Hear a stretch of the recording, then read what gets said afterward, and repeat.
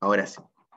Entonces, esta fórmula de redundancia parcial, cuando tengo n elementos, esos n elementos son los elementos disponibles que tengo en mi sistema, en mi bloque, en mi bloque del sistema. Eh, y para que mi sistema tenga un buen funcionamiento, yo solamente necesito R, donde n puede ser 5 y R puede ser 2, puede ser 3.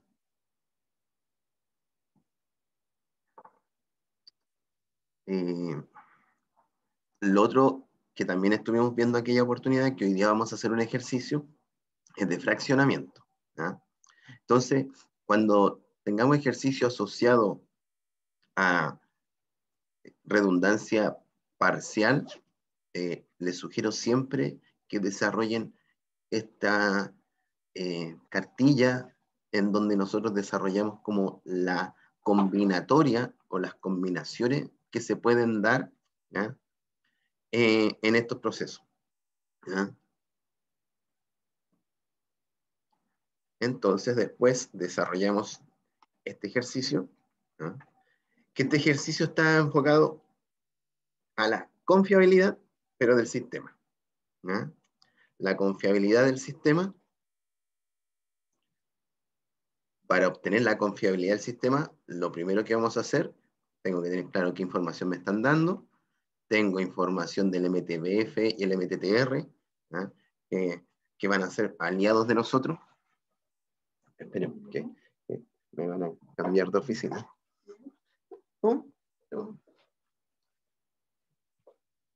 Entonces, ahora ya llegué a mi oficina.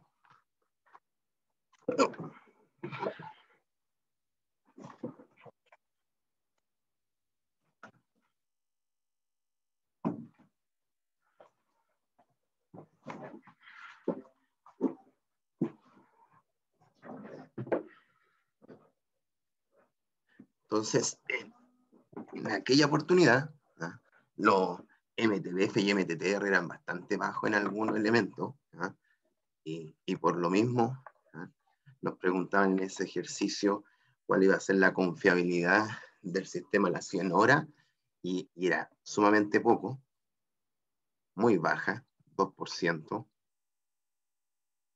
Eh, por lo mismo acá hay un problema de, que estos valores son muy bajos o, muy alto. Un MTTR de 27 horas, demasiado alto, ¿ah? y un MTBF de 98 horas es bastante bajo, asociándolo y comparándolo con los demás elementos que hay tendría que estar en la realidad de, este, esta empresa para ver bien ¿ah? eh, por qué este equipo 9 es tan bajo, pero ahora que veo este equipo 9, digo, ya, ver este equipo 9 no, no sé de qué manera me afecta al sistema, ¿ah? Y lo vemos que está en este bloque, que está en, en, redundancia parcial. ¿ah? Entonces, ese, ese elemento realmente no me impacta como uno podría creer que está impactando al ser tan bajo, porque va a tener eh, elementos que siempre van a estar apoyando probablemente este equipo, el equipo 9, está ahí más que nada para apoyar a otro, ¿ah? un equipo que está en stand-by, por ejemplo. Y luego desarrollamos este sistema de bloques. ¿ah?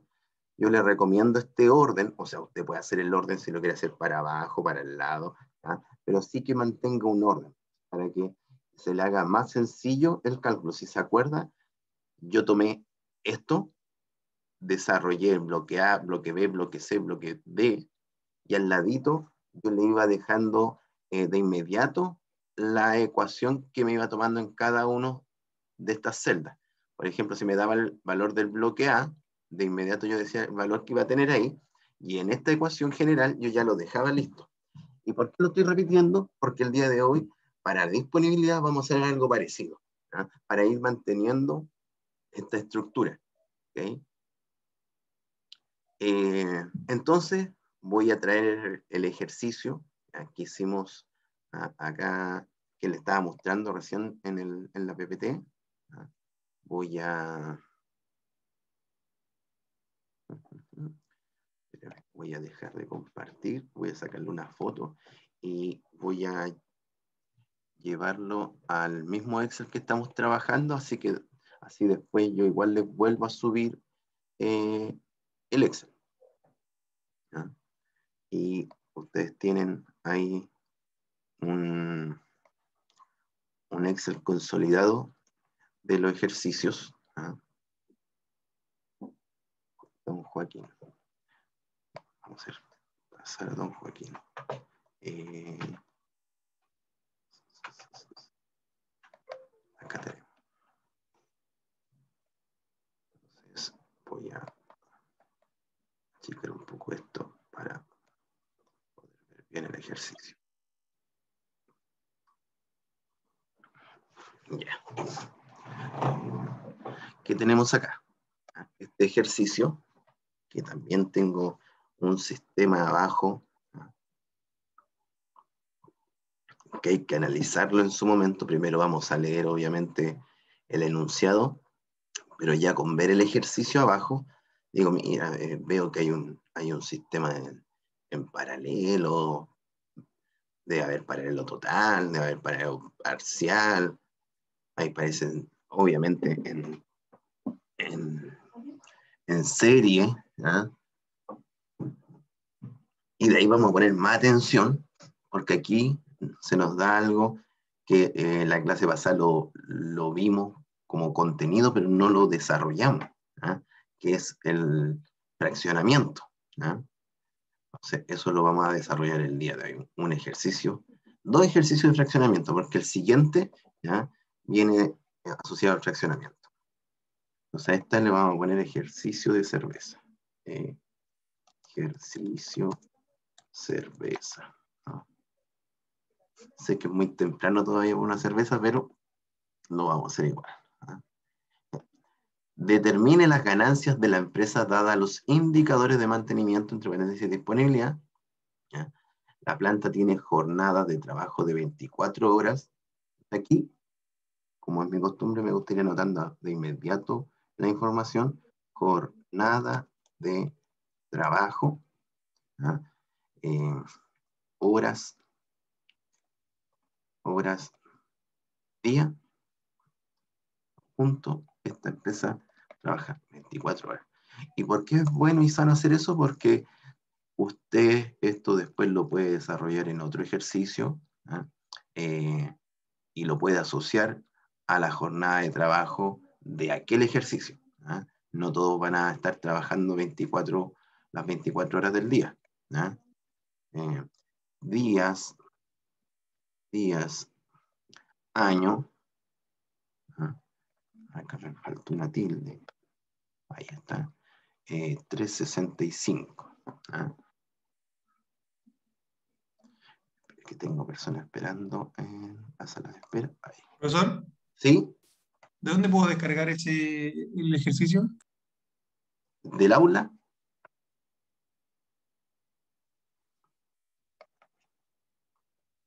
Mire, voy al aula. Voy al aula, se conecta con su clave y su usuario. No, primero el usuario, después la clave. Y busca la asignatura. ¿ah? ¿Usted todavía tienen asignaturas del semestre pasado o solamente las de este semestre? Sí, sí, aparecen. Ah, ya. Sí, aparecen, profe, del semestre pasado. Ya. Sí, profe. Qué bueno. Qué bueno. Que de repente uno no, no, alcanzó a recuperar toda la información y por eso pedimos que se quedaran ingeniería confiabilidad.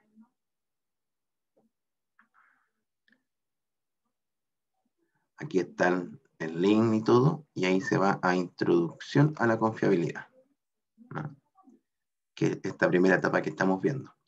Y ahí se va a presentaciones, y ahí está ese ejercicio, eh, esa PPT completita. Y ahí está el ejercicio que estamos desarrollando. Y, y si mal no recuerdo, en documentos complementarios, yo les subí ese primer Excel. Sí, ahí está el Excel de la clase pasada del 9 de abril. Ah, sí, lo subí todo. hoy día, una vez terminando la clase, eh, subo el, otro, obviamente. Y ahora vuelvo a compartir eh, acá.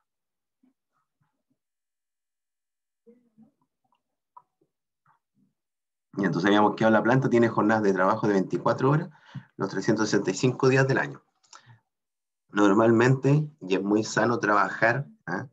Eh, estos ejercicios ¿ah? con, con horas. ¿ah? Es, bueno trabajarlo con horas. ¿Se puede calcular la confiabilidad en otro tiempo? Sí, en día, ya se puede calcular en, minutos. Eh, hay elementos que tienen fallas muy constantes y ahí yo lo puedo hacer en minutos, pero lo más eh, regular es que uno desarrolle eh, los ejercicios en, en, horas. Entonces yo aquí voy a hacer el cálculo de cuántas horas tengo en un año, asumiendo que tengo hasta 24 horas y multiplicándolo por los 365 días, ese va a ser entonces el numerito que voy a estar, es más, lo voy a dejar en, amarillo, porque esa celda, la M5, va a ser una celda que constantemente vamos a estar ocupando.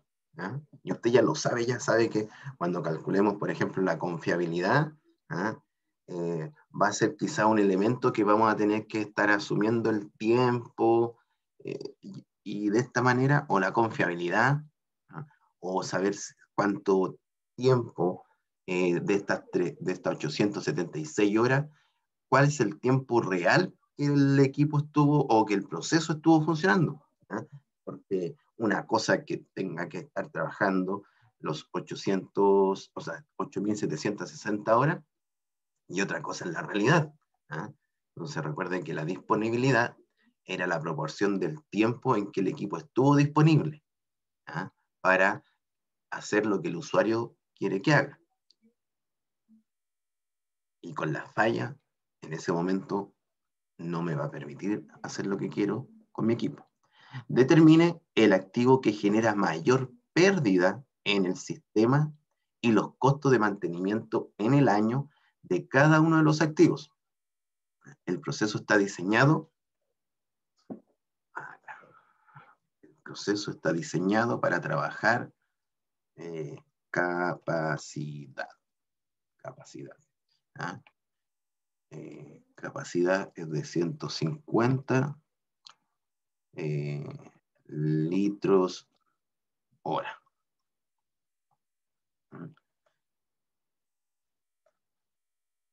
Litros hora. Eh, el precio, precio que el mercado paga por litro de cerveza, precio, ojo que eh, es su, cliente, su, cliente de esta empresa que fabrica cerveza, no es usted, eh, va, a ser un distribuidor y, por ende, y por ende, eh, distribuidor pondrá otro valor que le llega finalmente al consumidor. Pero esté saliendo de, de la fábrica. disculpe, peso por, por litro, peso por litro.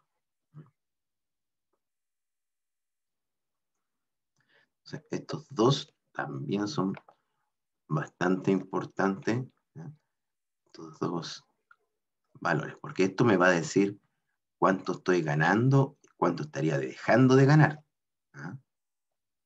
Por aquí va todo eh, el, ejercicio en sí, porque acá yo tengo que determinar costo finalmente me dice, determina el valor que me genera mayor pérdida, y esa pérdida obviamente es económica, y después me indica que entregue los costos del mantenimiento de cada uno de los equipos. Entonces, eh, por mientras, voy a pasar estos, estos valores al Excel para que quede todo ajustado. Que usted va a poner equipo, MTB F,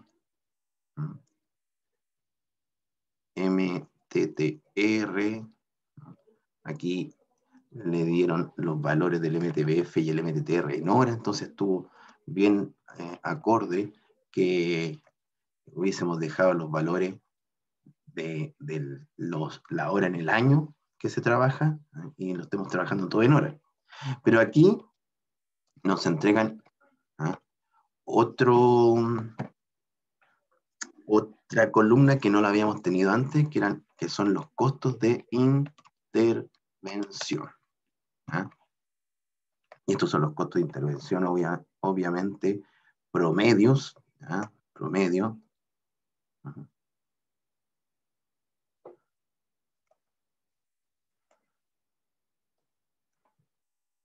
Y tenemos, voy a ir poniendo solamente los códigos, ¿ya? Más COC, equipo, equipo multi, eh, inter 1, in, inter 2, son dos intercambiadores Ahí veremos cuál va a ser el Inter 1 y el Inter 2. ¿ah? Obviamente yo pondría el de arriba Inter 1 y abajo intercambiador 2. Hay un fermentador. Hay un madurador. De aquí viene un filtro. 1 y hacia abajo. Son cinco filtros. Cinco filtros. Posterior a ese filtro está el envasado 1 y el envasado 2.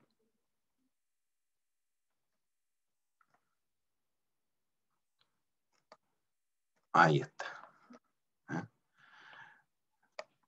Ahí sí que me, me, van ayudando si es que me equivoco con algún numerito. 750, 837, 415, 172, 107, el fermentador 573, 98, bastante bajo. Ahí ya nos llama la atención que esté tan bajo. Filtro 474, 289, 530, 336, 279, 93 también está abajo,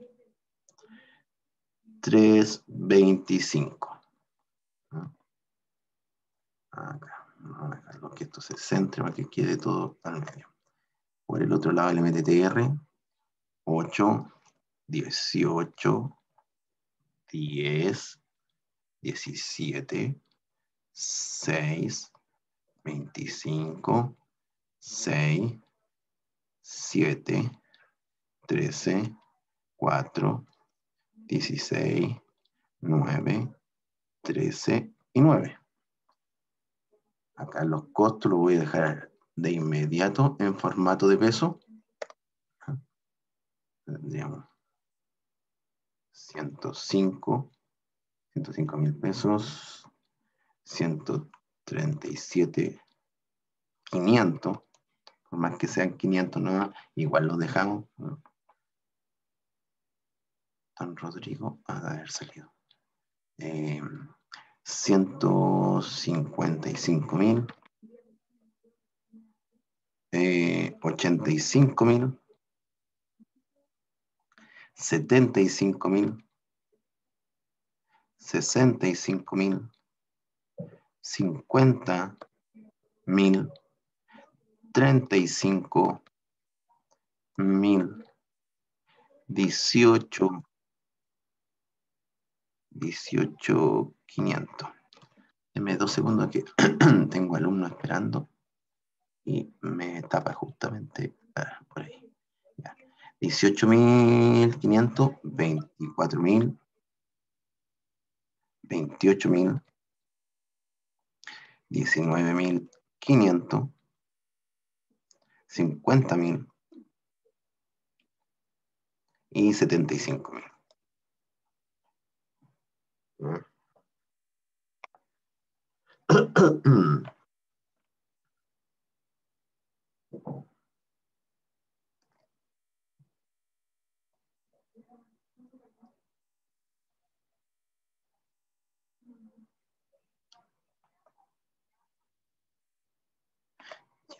Entonces,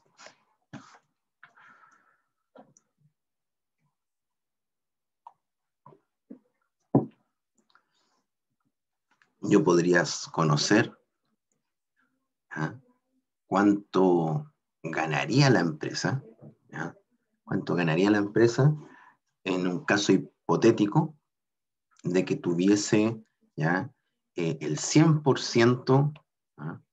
de, de disponibilidad.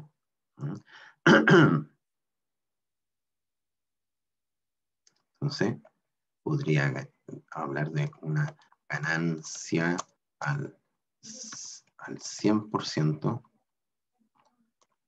de disponibilidad. Y eso, obviamente, es solo una hipótesis porque va a ser complejo ¿ah? que tengamos el 100% de disponibilidad en nuestro proceso. ¿ah? Si fuese así, yo tendría que decir, bueno, mi proceso va a trabajar 8.760 horas,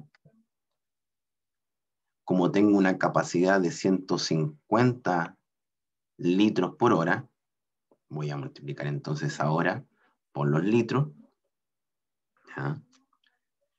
por los litros por hora, y después lo multiplico por el precio que me paga a mí el mercado por cada litro, o sea, por 250. Les pongo un signo peso.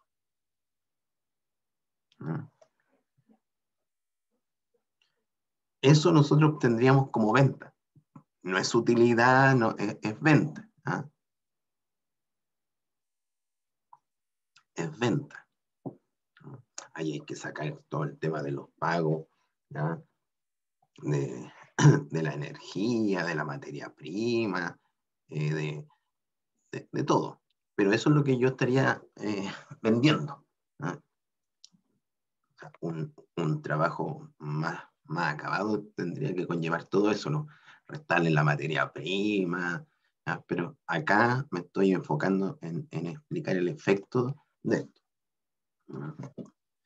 Pero, y además, que, que tampoco eh, es lo que vamos a ganar, porque tenemos un problema acá, debido a que no voy a poder cumplir esa disponibilidad.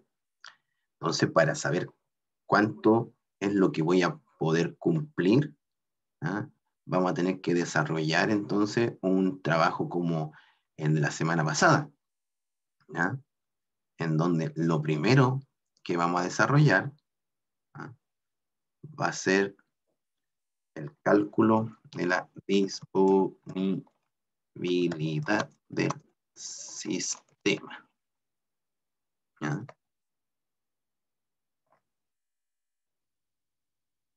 Y este es muy importante lo vamos a dejar con otro color llamativo. Y con negrito. Y lo voy a ajustar. Y voy a copiar la celda, el formato aquí. Entonces, tal como lo hicimos la semana pasada, vamos a ir a hacer un análisis previo de nuestro sistema de bloque, de nuestro sistema de bloque para saber cuántos bloques tengo. Entonces, voy a conectar acá.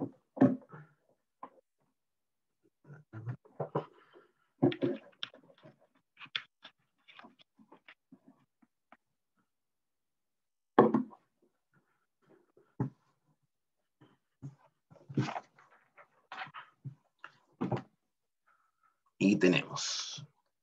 ¿ah? Y tenemos. ¿Cuáles son nuestros primeros bloques? ¿Ah? Nuestros primeros bloques, ¿ah?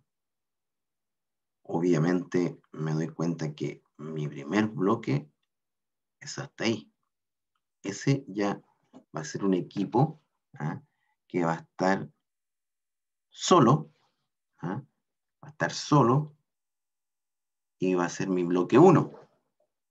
O bloque A. La semana pasada no me acuerdo cómo qué nombre les dimos, pero independiente del nombre sabemos que va a ser el primero. ¿ah? Para mantener lo que hicimos la semana pasada, lo llamamos bloque A. ¿ah? El bloque A. Eh, siguiendo con el desarrollo de bloque, todo, este no es un, este va a ser un subbloque. ¿ah? Ese subbloque va a estar conectado con este otro bloque, pero yo en esta primera parte no quiero saber de eso, quiero saber los grandes bloques. Entonces aquí nosotros vamos a tener este gran bloque B. Este va a ser nuestro bloque B. Y por acá tengo un bloque solito, que es el madurador, un bloque C,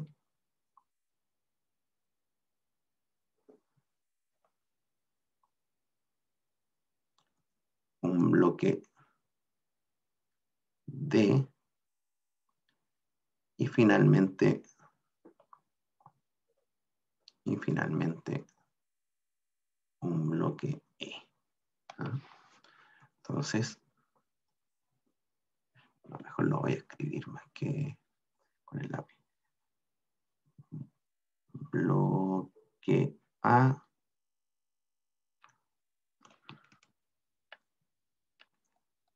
Voy a poner A, B, C, D y E. Esos van a ser mis bloques. Entonces, me voy a ir acá y voy a generar, voy a generar entonces mi bloque A igual y algo va a quedar aquí. Y esto va a quedar nuevamente con un color para eh, ir asumiendo esas diferencias, que estos son los valores que, más importancia voy a tener los más, uno de los más importantes que me van a dar la respuesta finalmente a la disponibilidad del sistema.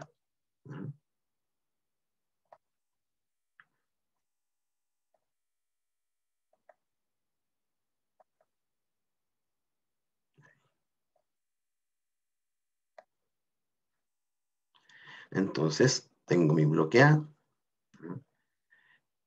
Voy a copiar este mismo formato, control C, lo voy a dejar acá y lo cambio a mi bloque, mi bloque B. Alguien me podría decir, profe, deje más espacio para el desarrollo. Sí, toda la razón, podemos eh, ir dejando el tiro espacio, pero después lo voy moviendo. a medida que vaya avanzando, voy bajando ¿ya?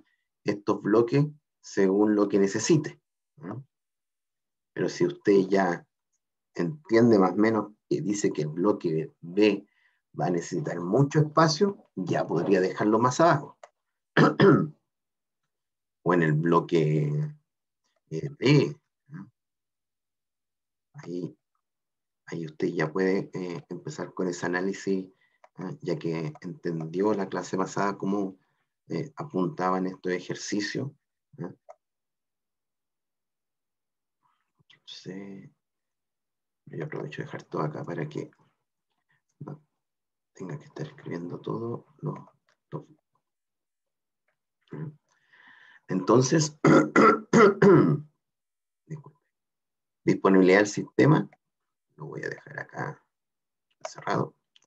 Y ya sé que estos cinco bloques ¿ah? van a entregar un sistema que va a estar en serie. Va a ser un sistema que va a estar en serie. Por lo mismo, como va a estar en serie, tendría que ser la multiplicación del resultado que me va a dar en el bloque A multiplicado con el bloque B multiplicado con el bloque C, multiplicado con el bloque D y multiplicado con el bloque E. Obviamente,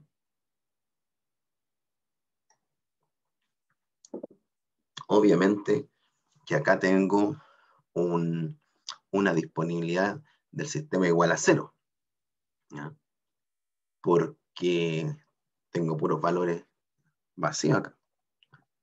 Entonces, ahora ya voy a poder empezar a trabajar en los diferentes bloques, pero antes, para poder trabajar en los diferentes bloques, vamos a hacer una intervención acá, en este cuadro. Una intervención. ¿Por qué? Porque en estos momentos no tenemos la disponibilidad de cada elemento que requiero.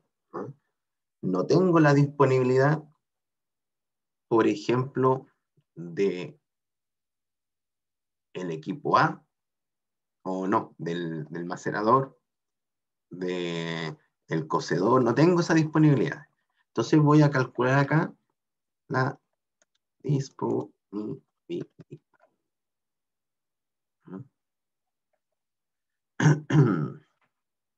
Quiero mover esto un poco. Ah, pero ya sabemos que es, el bloque ABC, así que lo voy a checar para tener más espacio. Esto lo voy a bajar un poco, a ver si me permite, sí. Para tener espacio aquí para el desarrollo de, de lo que son los análisis económicos que me va a estar entregando una vez que obtenga la disponibilidad. Otro consejo, ya que tiene la disponibilidad, yo le aconsejo que de inmediato de otro espacio. Entonces, la disponibilidad, yo les comenté que lo vamos a indicar con una letra A. Esa letra A, obviamente, es la inicial en inglés. Y me quedó muy horrible. Ahí sí. Entonces, les sugiero que de inmediato, ya que tiene la disponibilidad, de inmediato usted calcule lo contrario, que va a ser la indisponibilidad. Que la indisponibilidad va a ser A o 1 menos A. Porque recuerde que la disponibilidad está en porcentaje. ¿ah? Y dejamos todo esto encerradito acá y le vamos a dar otro color porque para que veamos la diferencia. Que esto es lo que vamos a usar acá abajo. ¿ya? No voy a usar acá abajo el MTBF, el MTR, sino que voy a llevar directamente la disponibilidad. Y es una disponibilidad esperada, recuerden, porque voy a trabajar con el MTTR y el MTBF, y ahí usted se debe acordar de aquella ecuación que vimos el semestre pasado de disponibilidad, ¿ah? en donde trabajamos con el M, eh, el MTBF, MTBF. Ah, me da dos segundos.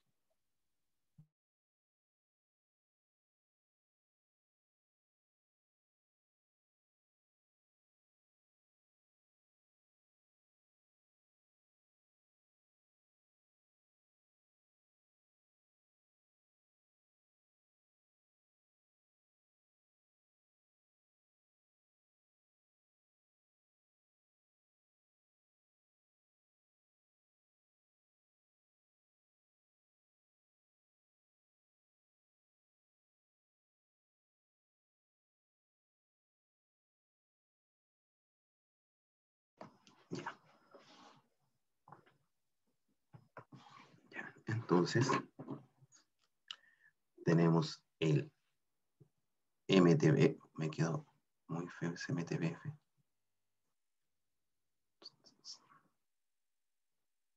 El MTBF. Y abajo estaba dividido. Y ahí, recuerden, la calculadora por el mismo Excel. Eh, aplicábamos el uso de un paréntesis para que eh, no nos vaya a tomar mal el sistema, el cálculo. Porque todo esto tiene que estar en un paréntesis. Entonces, esta fórmula nosotros la vamos a dejar acá.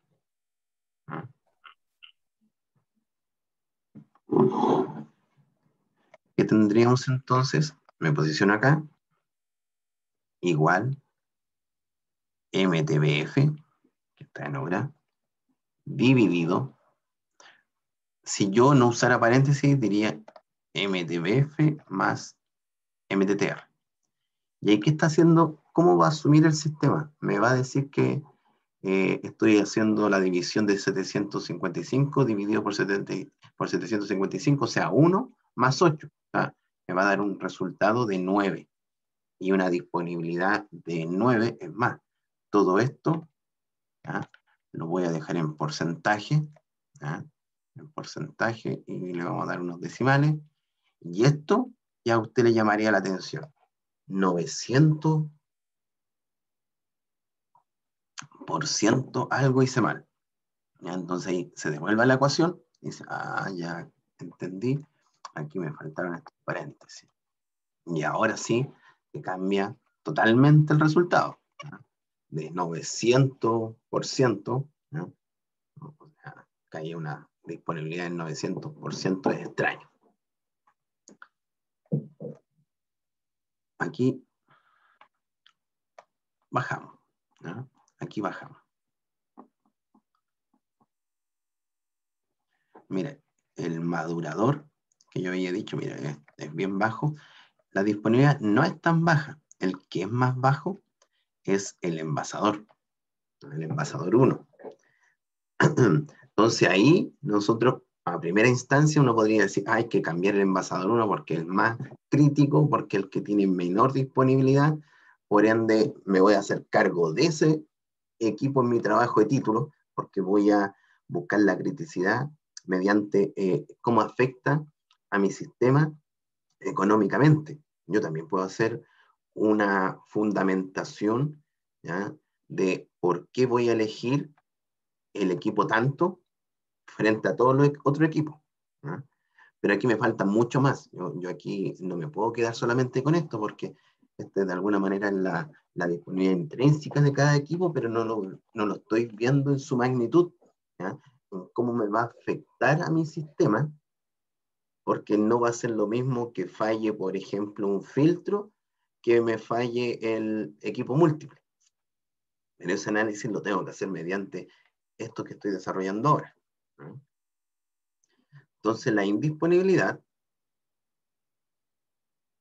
va a ser 1 menos la disponibilidad del equipo macerador. Dice. Ah, sí. Ah, estoy bien. Me usted había visto 105, pero no. Es 1,05. ¿qué hice? Ahí es uno. dígame. La disponibilidad, ¿cómo lo sacó? Con esta ecuación. Con la disponibilidad es igual al MTBF dividido el MTBF más MTR. Entonces, acá tú tomas 755, 755 dividido por 755 más 8. Y en su calculadora o en su Excel, según cómo lo está haciendo, use ese paréntesis, que ese problema puede tener. Entonces aquí no es 105. Profe. Dígame. Me dio 1,06. ¿Tengo algo, diferente? ¿Acá? Sí, en disponibilidad. ¿Y cuánto te dio en disponibilidad? Me dio 98,94. y tiene 755, Ah, 50. ahí puede estar. ¿Ah? Pequeños detallitos ¿ah? que hace que pueda variar algo ahí. ¿ah? Voy a revisarlo. No, no. Sí. Vea si voy a agrandar esta parte para que revisen ahí ¿ah? si están todos los, los valores iguales. ¿ah? Ya, ya con esto, ya con esto nosotros podemos empezar ¿ya? a trabajar con, con los diferentes bloques. Porque para hacer otro análisis de, de, de costo, sí o sí, necesito, necesito eh, conocer mi, mi situación eh, en cada bloque. Sí o sí. Entonces, voy a volver a achicar acá un poquito. Ahí, si alguien tiene algún algún pero con, con que vuelva a revisar algún valor, me lo dice nomás. A mí no me había dado cuenta, pero el intercambiador 1 también es bastante bajo. Está bastante bajo. Es más, es más bajo que el propio madurador. Y ese es por los tiempos que tiene de reparación. Pero tampoco hay que dejar muy de lado que el equipo múltiple, que tiene poco, que tiene poca indisponibilidad, ¿eh? o tiene una alta disponibilidad, pero tiene un costo de intervención bastante alta. Entonces, ojo que y aquí no estoy analizando solamente la disponibilidad, sino que eh, cómo afecta los costos a la, a, al- a la empresa. ¿ah? Obviamente lo voy a asumir mediante el efecto de la disponibilidad y los costos de intervención. Entonces, aquí no debía haber hecho esto porque no me molesta. Entonces ahora nos vamos al bloque A. Y en el bloque A, ¿cómo lo llamamos la vez pasada? Ah, no, no, los diferentes bloques, bloques ya. Era bloque B, ya. Aquí el bloque A, me voy al macerador y nos damos cuenta que el macerador es el único elemento, es el único elemento que yo tengo en mi sistema. En mi sistema de bloque A. Obviamente, de todo el, sistema completo, tengo muchos más elementos, pero en mi sistema que estoy analizando acá, es solamente el macerador. Entonces, macerador. Igual. ¿Cuál es la disponibilidad del macerador? Y ahí tomo y me voy directamente al 98,95. ¿Ya? Lo voy a dejar encerrado.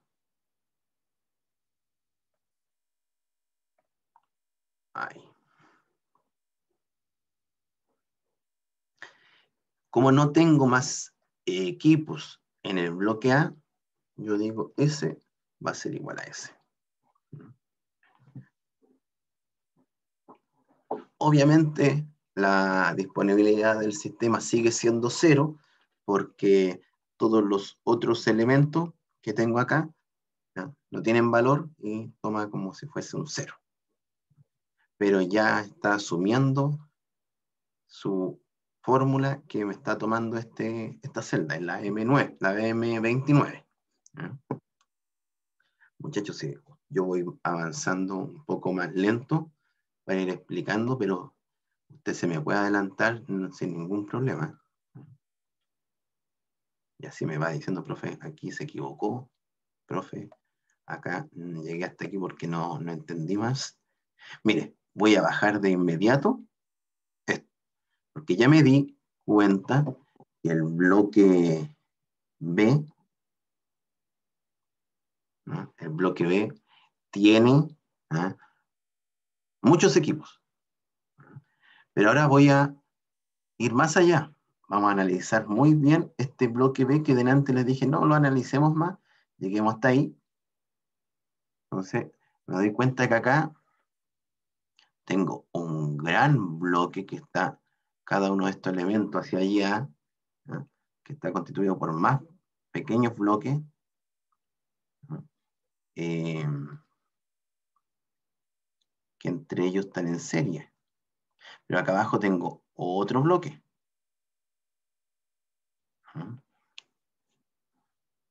Entonces vamos a llamar al primer bloque el B, el B1 y acá el B2. Entonces, ojo que en el B1 y quizá en el B2 hay que hacer más cositas, pero por mientras yo voy a anotar acá esa identificación de esos bloques. ¿ah? Bloque B.1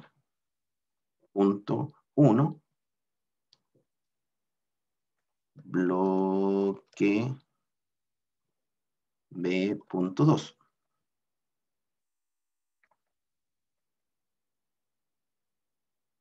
Más que un igual, ya sí, igual.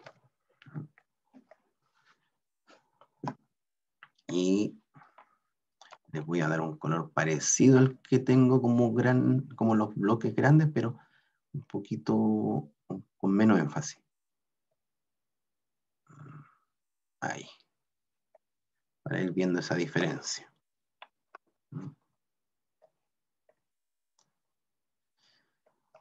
Entonces aquí va a ir el valor del bloque B1. Profesor, el valor del bloque B1, eh, hay mucho equipo, así que no lo puedo sacar. El valor del bloque 2, profesor, en el bloque 2 hay solamente un equipo, que es el equipo múltiple. Este equipo múltiple cumple la función de todo lo que tengo acá arriba en un puro equipo. Internamente hace todo este proceso que hace allá arriba. Es un equipo más moderno, pero ojo, y ojo acá muchachos, hay que ver una gran diferencia que tengo entre B1 y B2, que me va a afectar al bloque B. ¿ah? ¿Cuál es esa?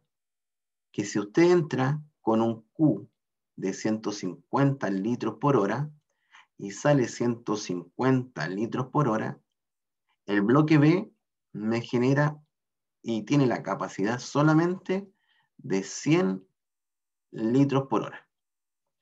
Y el equipo múltiple, 150, 150 ¿ah? litros por hora. ¿Ah?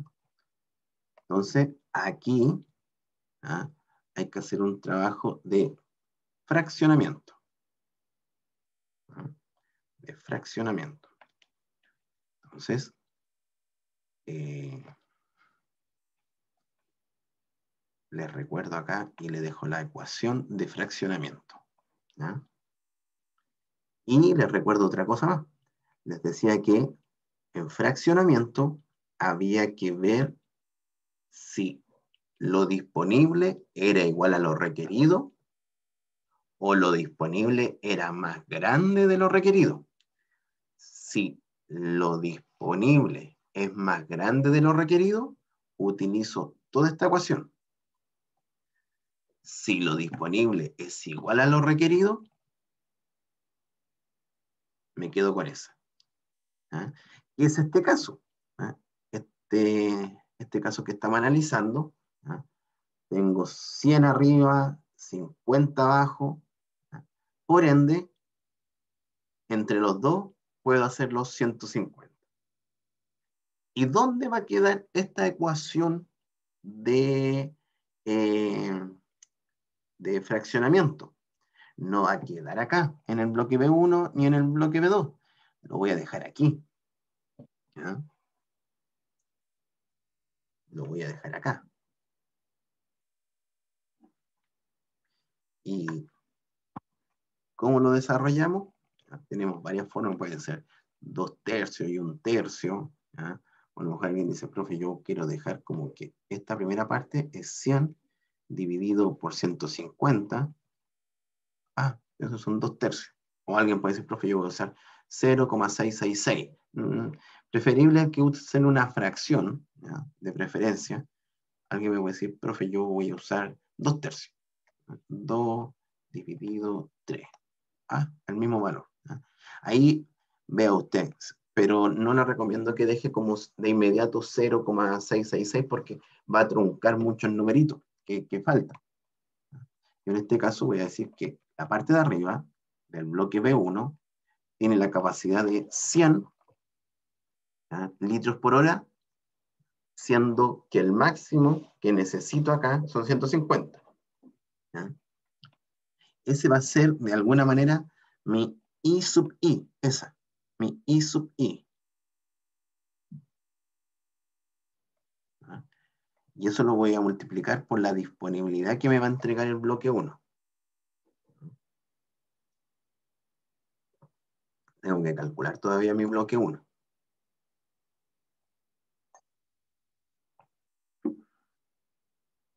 Igual lo voy a dejar listo. Después me dice más. Veo el de abajo, que va a ser 50 dividido por 150 por el bloque 2. Claramente que va a ser un 0 en este instante. Esto, faltó como copiar este formato ahí. Este formato ahí. Por mientras, obviamente va a ser 0, pero ya lo tengo asociado a la, al fraccionamiento. fraccionamiento.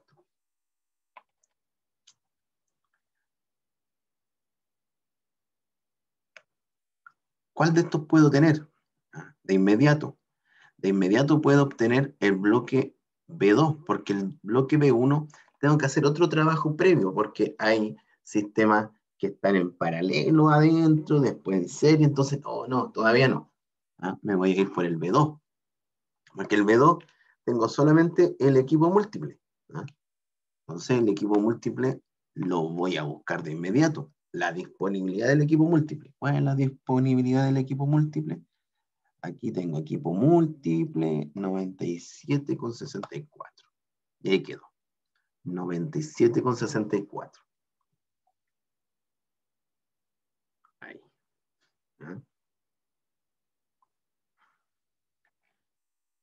Voy a tomar esto para seguir el mismo orden que estaba desarrollando acá. Yo lo que hice acá fue muy acelerado. Mm, Me disculpan por eso, pero prefiero volver a escribir acá. Equipo. Equipo múltiple igual. Y voy a ir a buscar ese equipo múltiple, al igual que lo hice recién. ¿ah? Ahí. Porque así copio lo mismo que estoy haciendo aquí. ¿ah? Pero el valor va a ser el mismo, así que, pero solamente por, por un orden que, que quiero llevar. ¿ah? Porque así voy reconociendo también qué equipo están en cada bloque sin ver esto. Después yo voy a analizar solamente eso, esa figura del Excel, esas cajitas del Excel, y, me va a quedar claro de qué estamos hablando. Entonces vamos al bloque B1. Para llegar allá, voy a borrar ahí.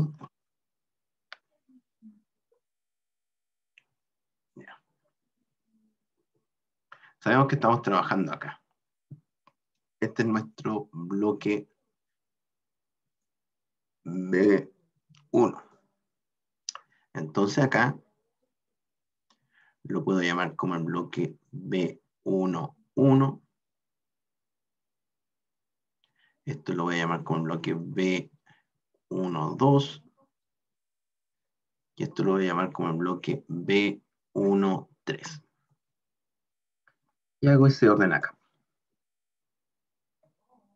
ese voy ahí. ¿ah?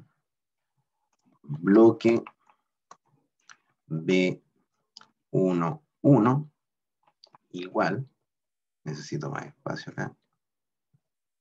Voy a llevarlo hacia abajo.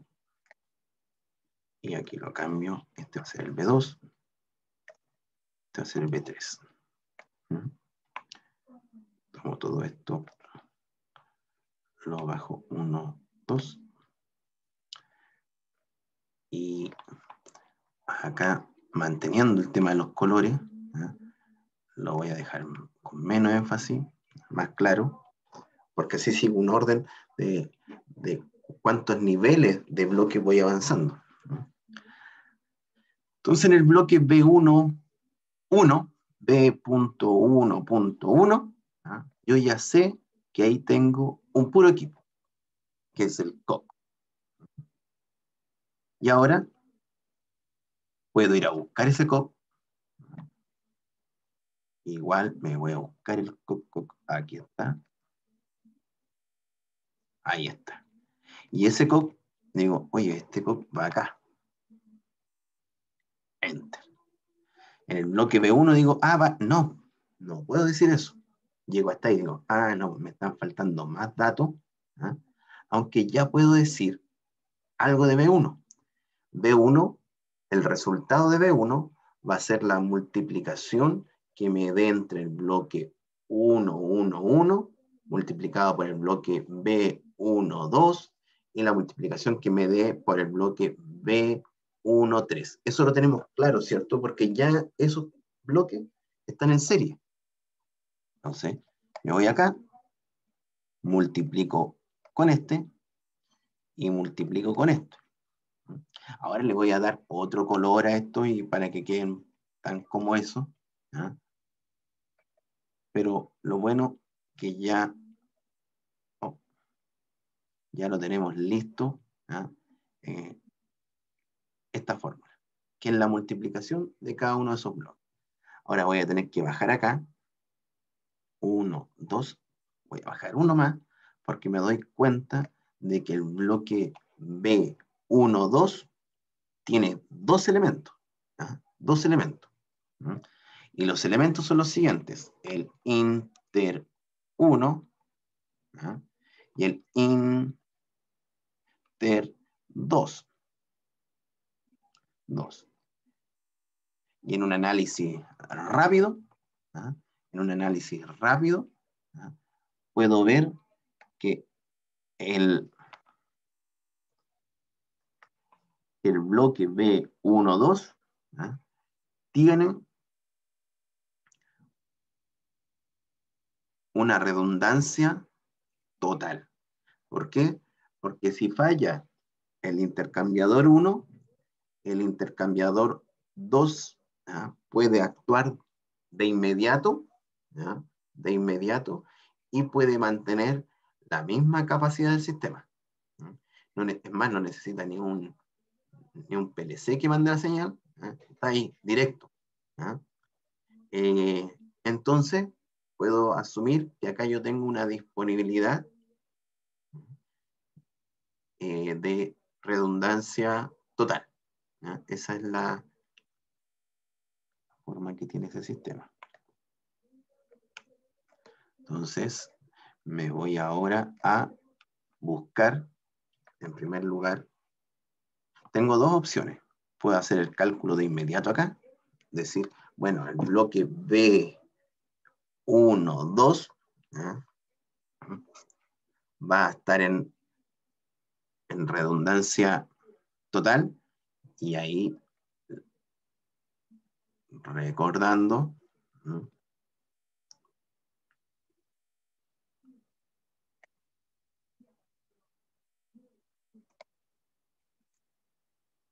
les dejo la misma ecuación que ahí. Ese es para una redundancia total. Pero asumiendo que ahora estoy sacando la disponibilidad. Entonces aquí va a ser 1 menos, aquí abríamos paréntesis, mantenemos 1 menos la confiabilidad o disponibilidad en este caso de este elemento, ¿ah? multiplicado, abro paréntesis, 1 menos la disponibilidad del intercambiador 2. Si tuviese otro equipo ahí, tendría que agregar otro elemento a esta ecuación, pero en este caso son solamente ¿ah? eh, dos.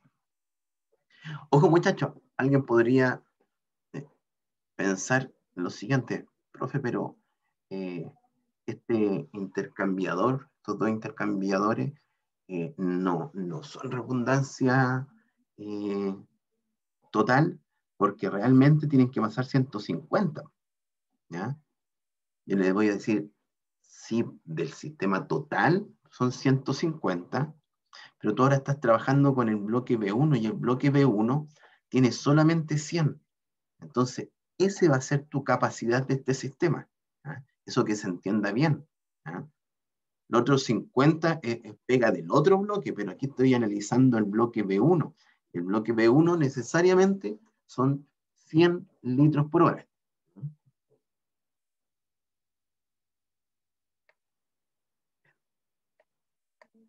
Eh, Obviamente va a ser cero, pero ahora me voy a buscar el intercambiador 1, la disponibilidad del intercambiador 1, 90, sí, 91,01, y me voy a buscar el intercambiador 2, intercambiador 2, 94,69. Ahí está. ¿Mm?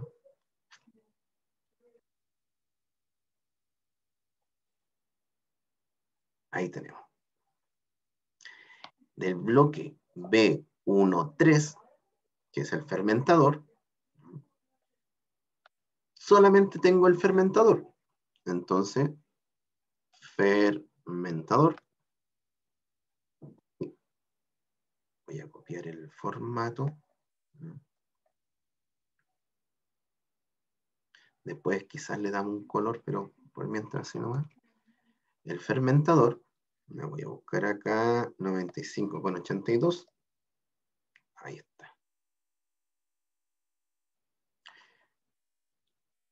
Y ahora puedo decir que como en el bloque B13 está solamente el fermentador, copio la disponibilidad del fermentador. Y ese, y ese le voy a dar formato de porcentaje y le vamos a agregar dos decimales. Entonces, tenemos ya el bloque B ya listo. Tenemos el bloque B ya listo. Está, habíamos dejado todas las ecuaciones preparadas para medida que íbamos completando. Lo íbamos eh, indicando de inmediato.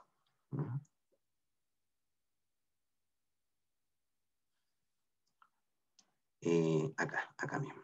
Si nos damos cuenta, el bloque C, ¿ah? el bloque C. Profesor, Leonardo Varas por acá, una pregunta. Dígame. Nada que ver, disculpe que lo interrumpa, que tengo a Rafael Donoso que me dice que no puede entrar, que no puede entrar a la clase porque no está en el sistema registrado. Y me está pidiendo el ID de la reunión, no sé, yo no vi el ID, sino que más que el link por ahí. De hecho, lo tengo en un Excel anotado. Entonces, no sé si se le puede mandar una invitación a él en forma. Eh, escríbele que me mande un correo y se lo envío de inmediato. Ok, le yo aquí copio el ID, pero necesito. Ah, a ver, eh, ¿cuál es el nombre de, de Donoso? Rafael Donoso. A ver si lo tengo. Rafael. Rafael Donoso. Aquí lo tengo. Eh, dígale que revise el correo, a ver si llegó. Por Profe. ¿Sí? gracias. Alguien me acaba de hablar. Yo, eh, el B1, ¿cómo se hacía el B1? B, que está ahí el 9335. Acá, ese. ¿Este? Ese, ese, el, el, B1 ¿ah? El B1 es nuestro bloque B1, recuérdenlo, que es este nuestro B1, este es nuestro bloque B2, y en el bloque B1 habíamos indicado que teníamos al interior el bloque B11, el bloque B12 y el bloque B13. Si te das cuenta, olvídate lo que hay acá adentro, olvídate. ¿Ah? Olvida lo que hay adentro. ¿ah? Independiente de lo que hay adentro, ¿ah? tú tienes un bloque 1, un bloque 2 y un bloque 3 que están en serie. Y por lo mismo acá, nosotros multiplicamos a cada uno de ellos, porque si se calcula un elemento, un sistema en serie. Multiplicar la disponibilidad del primero, la disponibilidad del segundo, la disponibilidad del tercero, la disponibilidad del cuarto, la disponibilidad de n elementos. Por ende acá, multiplicamos el bloque B11, el bloque B12 y el bloque B13. ¿Sí? Don Alexis, ¿me sigue? Sí, profe, gracias. Genial.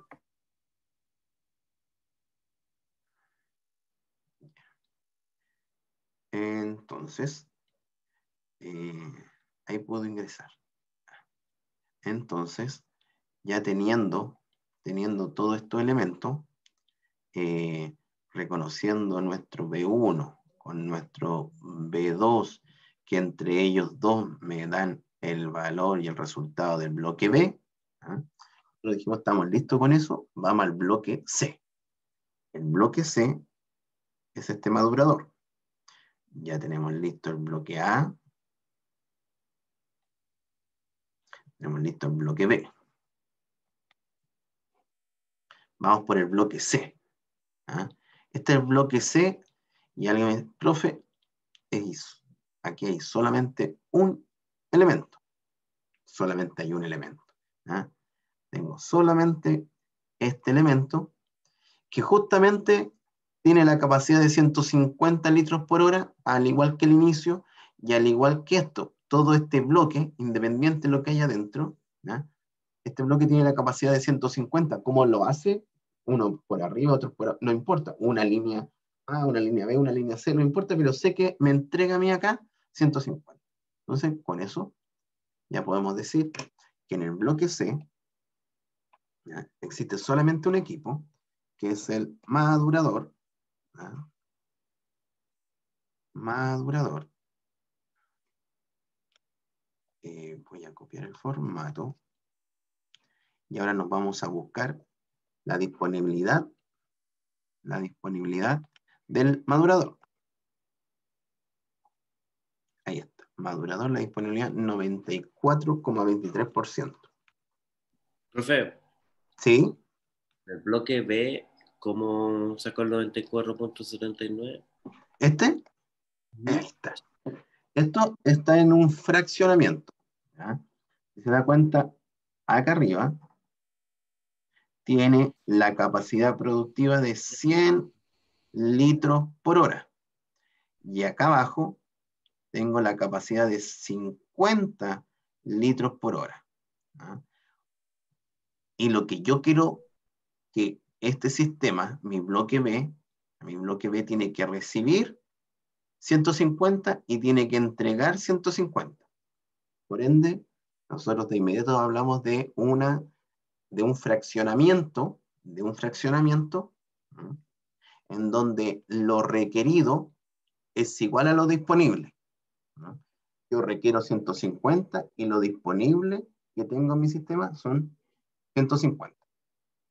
Si, si lo requerido fueran 150 y lo disponible fueran 200, mm, yo ahí tengo que usar otra ecuación, que es la ecuación en completa, que justamente fue esta que, que había sacado de acá.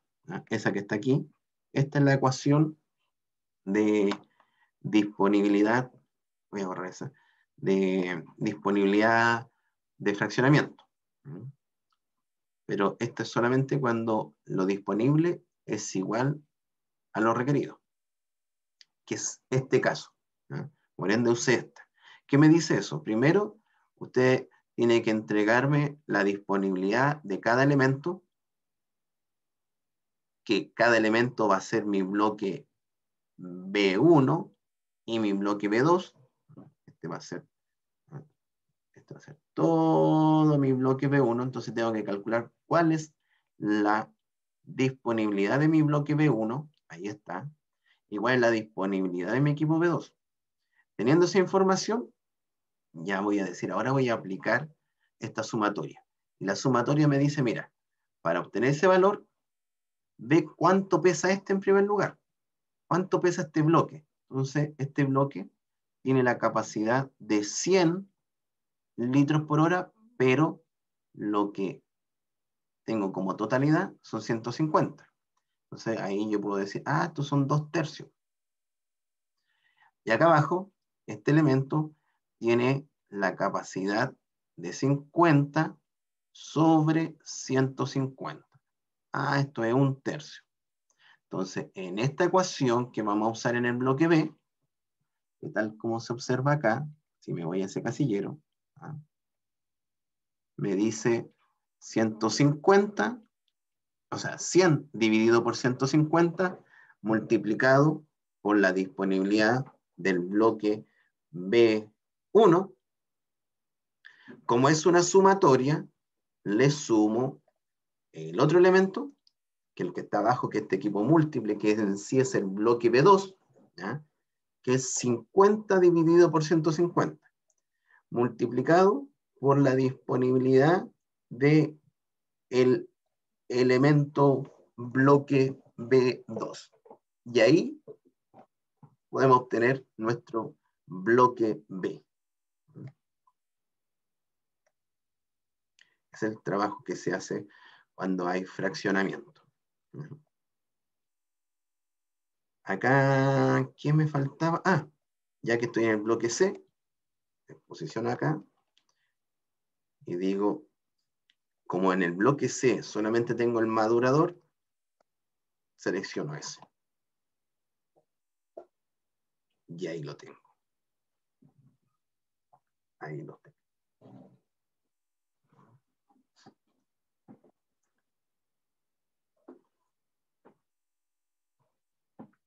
Voy a sacar este.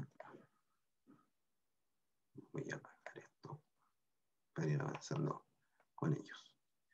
El bloque D, ya aquí tengo harto trabajo, así que no sé si está bien ahí, a lo mejor es más abajo, pero lo voy a bajar para el desarrollo entonces de este sistema.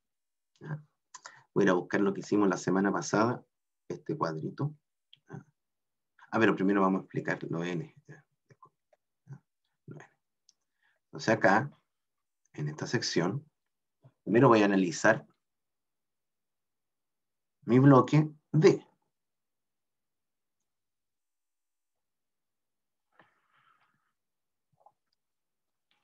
Mi bloque, ah, mi bloque D, mi bloque D recibe 150, recibe 150 y entrega 150. No puede entregar más.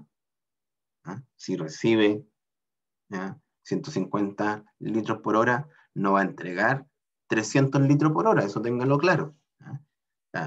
Eh, su trabajo es de 150 litros por hora, que luego se lo va a entregar al envasador 1 o al envasador 2, dependiendo cuál esté funcionando.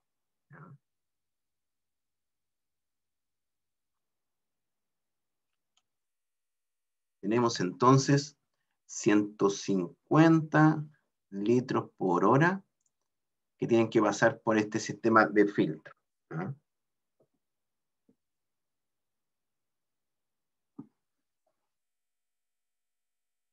Entonces voy a poner acá todos los filtros que tenemos. Acá.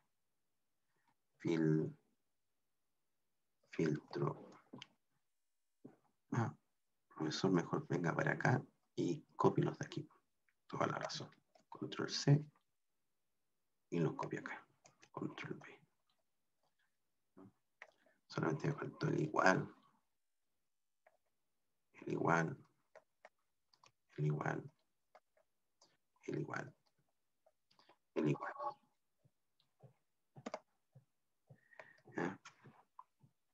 ¿Qué necesito del filtro 1, filtro 2, filtro 3? Necesito la disponibilidad. Entonces, ¿por qué muchachos? Porque recuerda acá que tengo para el bloque D, tengo... Ah, ¿Por qué no se mueve? Acá. Tengo que analizar. ¿Sí? Aquí, ahí también hay que fraccionar. No. Esto no es fraccionamiento.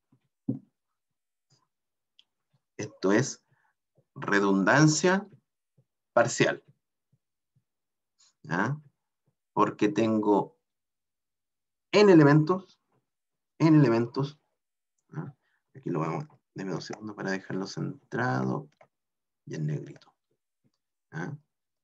Tengo en elementos, ¿y cuántos elementos tengo disponibles? Uno, dos, tres, cuatro, cinco elementos. ¿ya? y tengo que por lo menos tener R elementos en buen estado. ¿Cuántos elementos Tienen en buen estado? funcionando. Y tengo que tener tres funcionando a lo menos. ¿ah? Si tengo menos elementos, el sistema falla. ¿ah? Entonces esa es la redundancia parcial. Y acá, en el filtro 1, 2, 3, 4 y 5, yo me voy a ir a buscar acá. Esto ya lo calculamos, está aquí. Eh, no más, mejor de otra manera, porque después puedo cambiar algo ahí arriba. Este va a ser A, este va a ser 1 menos A.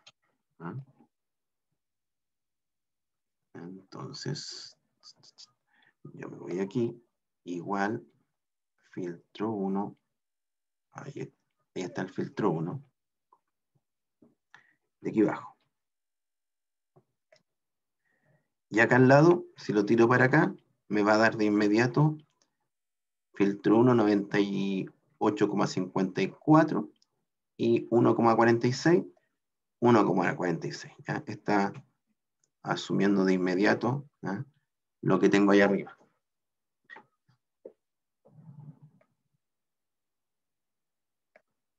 Ahí. Esto es lo que tengo ahí arriba, no, no es ningún otro tema más. ¿ah? Por favor. ¿ah? Eh, lo que tengo allá es exactamente lo que estoy escribiendo acá, ¿ah? del filtro 1 al filtro 5. Y cuando trabajamos con redundancia, redundancia eh, parcial, ¿no? Recuerde que necesito tanto la disponibilidad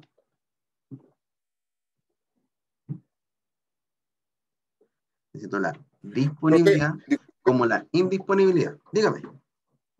Profe, ¿cuál es la diferencia entre fraccionamiento entonces y redundancia parcial? Porque en, en la parte donde están los intercambiadores también se podría hacer una redundancia.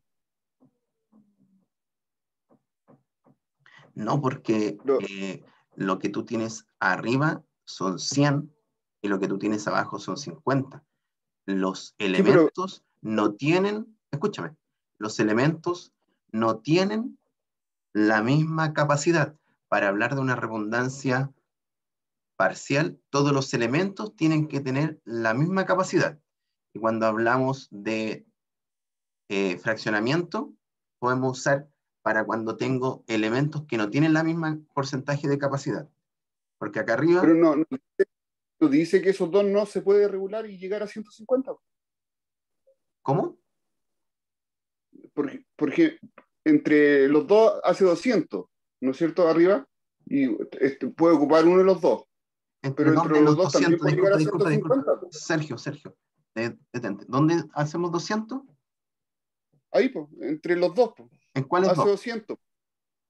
¿En cuáles Entre dos? los inter, después 100, pues, Sergio. Después Sergio. la salida. ya, ¿Cuáles pero dos? es por eso, pero significa que no se puede regular y, mar- y entre los dos entregar 150. Eh, Sergio, ¿cuáles, ¿cuáles dos? Todavía no te entiendo, discúlpame. Eh, en el- la parte B dice Pero inter. intercambiador, fermentador, filtro. Sí, ¿Cuál? Los intercambiadores, es lo que no Ah. entiendo, cuál es la diferencia entre fraccionamiento y Aquí tú me dices. Ya, Claro. pero el intercambiador, ¿cuánto recibe? ¿Recibe 150? Mm, ya, ya, ok, ok, ok. Ya, No, recibe 150. ¿Sí? me he dado cuenta de ese detalle. Ya, Ya. sí. E- Ese detalle Ya, son, ese son- detalle no son bien minuciosos y, y si fuese de esa otra manera, sí, te creo, lo, lo podemos ajustar, y- pero eh, no recibe 150, eh, recibe solamente... Ya, 100. no, Ya. no, no me había dado cuenta ese detalle. Ya. No hay problema. no hay Ahora problema. Lo, lo importante que quedemos claros y a lo mejor otro tenía el mismo eh, conflicto ahí. Entonces, cuando hablamos de redundancia parcial, nuestros elementos tienen que tener la misma capacidad. Todos, todos los n van a tener la misma capacidad. Si hay uno que tenga otra capacidad, ya vamos a hablar de fraccionamiento. Entonces, si mis elementos tienen la misma capacidad. Y esa capacidad me llega justamente para cumplir ¿ah? con tres elementos o con dos elementos lo que necesito, puedo hablar de redundancia parcial. Si necesito 2,5 elementos para llegar a la capacidad requerida, ya no es redundancia parcial, ahí es fraccionamiento. ¿ok? Por ejemplo, alguien me puede decir, eh, profe, ¿qué pasa si esto, deja hacer un, dos segundos, que fueran de 70? 70, 70, 70, 70, 70. Profes, todos son iguales. Entonces, redundancia parcial. Pero si tú tienes 150 dividido 2, eh, creo que fue un mal ejemplo. Ah, no, sí, un buen ejemplo. Si está pasando 150, lo divido por 2, es 75. Necesito S,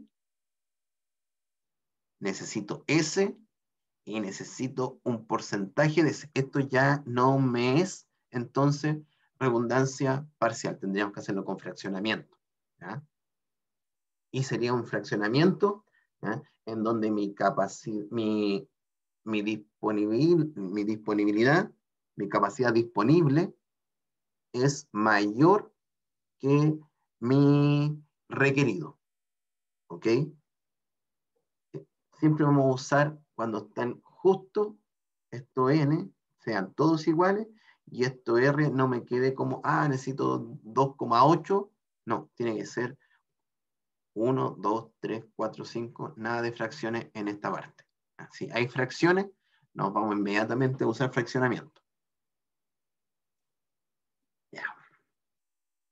Entonces, tal como les comenté ese día, lo primero que tienen que desarrollar acá va a ser los diferentes J, porque se acuerda que hacíamos una sumatoria. ¿no? Bueno, en la sumatoria de I igual a, a, a J ¿ah?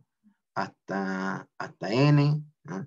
El J partíamos, decíamos que el J era igual a R. ¿ah? Entonces íbamos sumando primero un J igual a 3. ¿Por qué igual a 3? Porque partimos con R igual a 3 después un j igual a 4. ¿Por qué igual a 4? Porque le sumamos uno más, después un j igual a 5, porque le sumamos otro más, un j igual a 6. No, profe, ya no hay j igual a 6, porque usted indicó que eran solamente 5 elementos. n igual a 5, llegamos hasta ese valor. ¿no?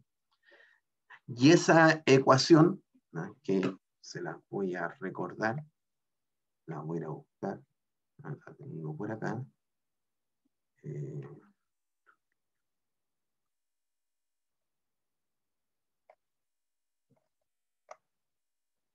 esa fracción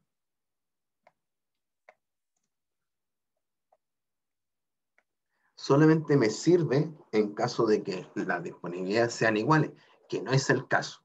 Entonces, aquí tenemos que asumir ¿ah? de primero trabajar con un J igual a 3. ¿ah? Lo voy a dejar aquí en, en amarillo para recordarnos ¿ah? que este trabajo que viene a continuación. Teníamos después un J igual a 4 y un J igual a 5. ¿ya? Con cuál comienza, véalo usted, ¿qué se le hace más fácil? ¿Ah? O, O a lo mejor quiere partir con lo más difícil al tiro. ¿ah? Aquí voy a hacer un, un reordenamiento y voy a partir con el j igual a 5 primero. Después voy a seguir con el j igual a 4. Y después con el j igual a 3. ¿Qué significa que un j igual a 5? ¿ah? Recuerden que aquí yo tengo que buscar toda la cantidad de combinatorias, de combinaciones que se pueden dar, tanto para que mi sistema esté siempre en un buen funcionamiento. Y mi sistema puede estar en funcionamiento cuando tengo tres filtros funcionando, tres de los cinco, pero también se puede dar que puedo tener cuatro filtros en buen funcionamiento de los cinco. Y también se puede dar en algún momento que tengo los cinco filtros en buen funcionamiento. Se puede dar eso. Se puede dar de que en algún instante se me vaya generando lo que le estoy indicando. Entonces, voy a ir a buscar esto. Ahora nosotros tenemos nuevamente esto, más que nada esa plantilla. Vamos a ir repitiendo la plantilla. Y voy a dejarla acá.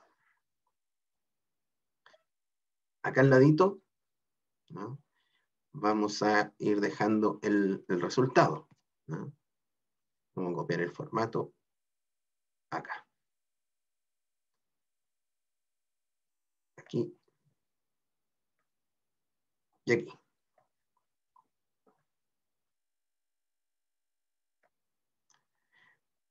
Entonces, ah, filtro, sería el 1, el 1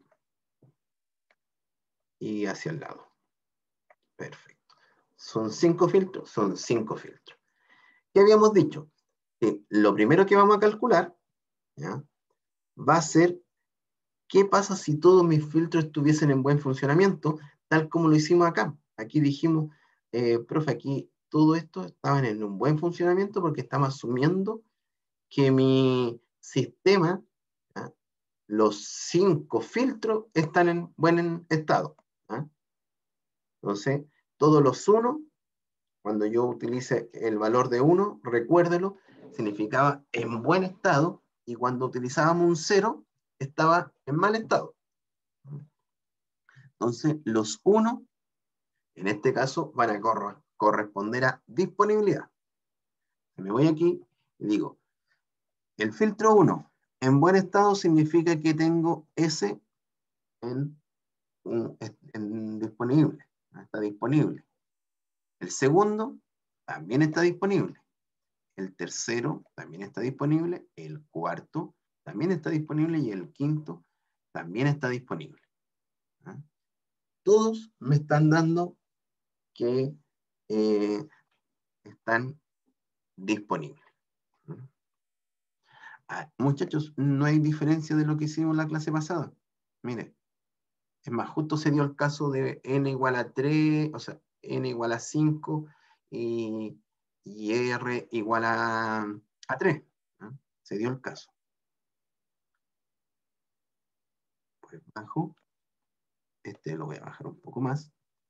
Voy a copiar este mismo formato, control C, control V, y voy a eliminar esto porque vamos a hacerlo desde ya. Y si, y si algo, le recomiendo, le recomiendo que ponga desde ya en su calculadora la cantidad de combinatorias que vamos a tener cuando necesito cuatro elementos sobre cinco. Entonces, recuerde, en su calculadora tenía una tecla, una tecla, que en mi caso es una tecla que aparece esto, N, C, R. Esta calculadora, pero en algún momento tuve una calculadora un poquito mejor y aparecía esto. ¿Ah? Cuando fui estudiante tenía esas texas que resolvían todo pero después nos damos cuenta que eso es para la 1, con esta te resuelve todos los problemas del mundo. obviamente ahí en matemática con, con Gilberto, mientras mejor calculadora tuviesen, mm, mejor era la- los resultados del semestre. Entonces, voy a poner, en mi caso, me dice N, tal como le había comentado, me dicen NCR. Eso significa que primero me están pidiendo el N. ¿Cuántos N tengo? 5. Después pongo en la tecla que está NCR y R son 4. Ojo, no 3. Estoy analizando acá. 4. Cuando tengo 4 equipos, bueno. Y me dice 5. El resultado me indicó que eran 5.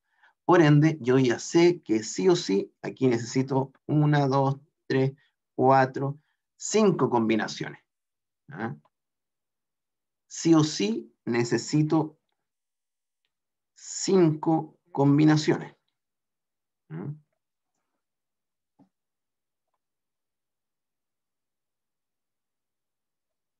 Y empiezo a ordenar mis combinaciones.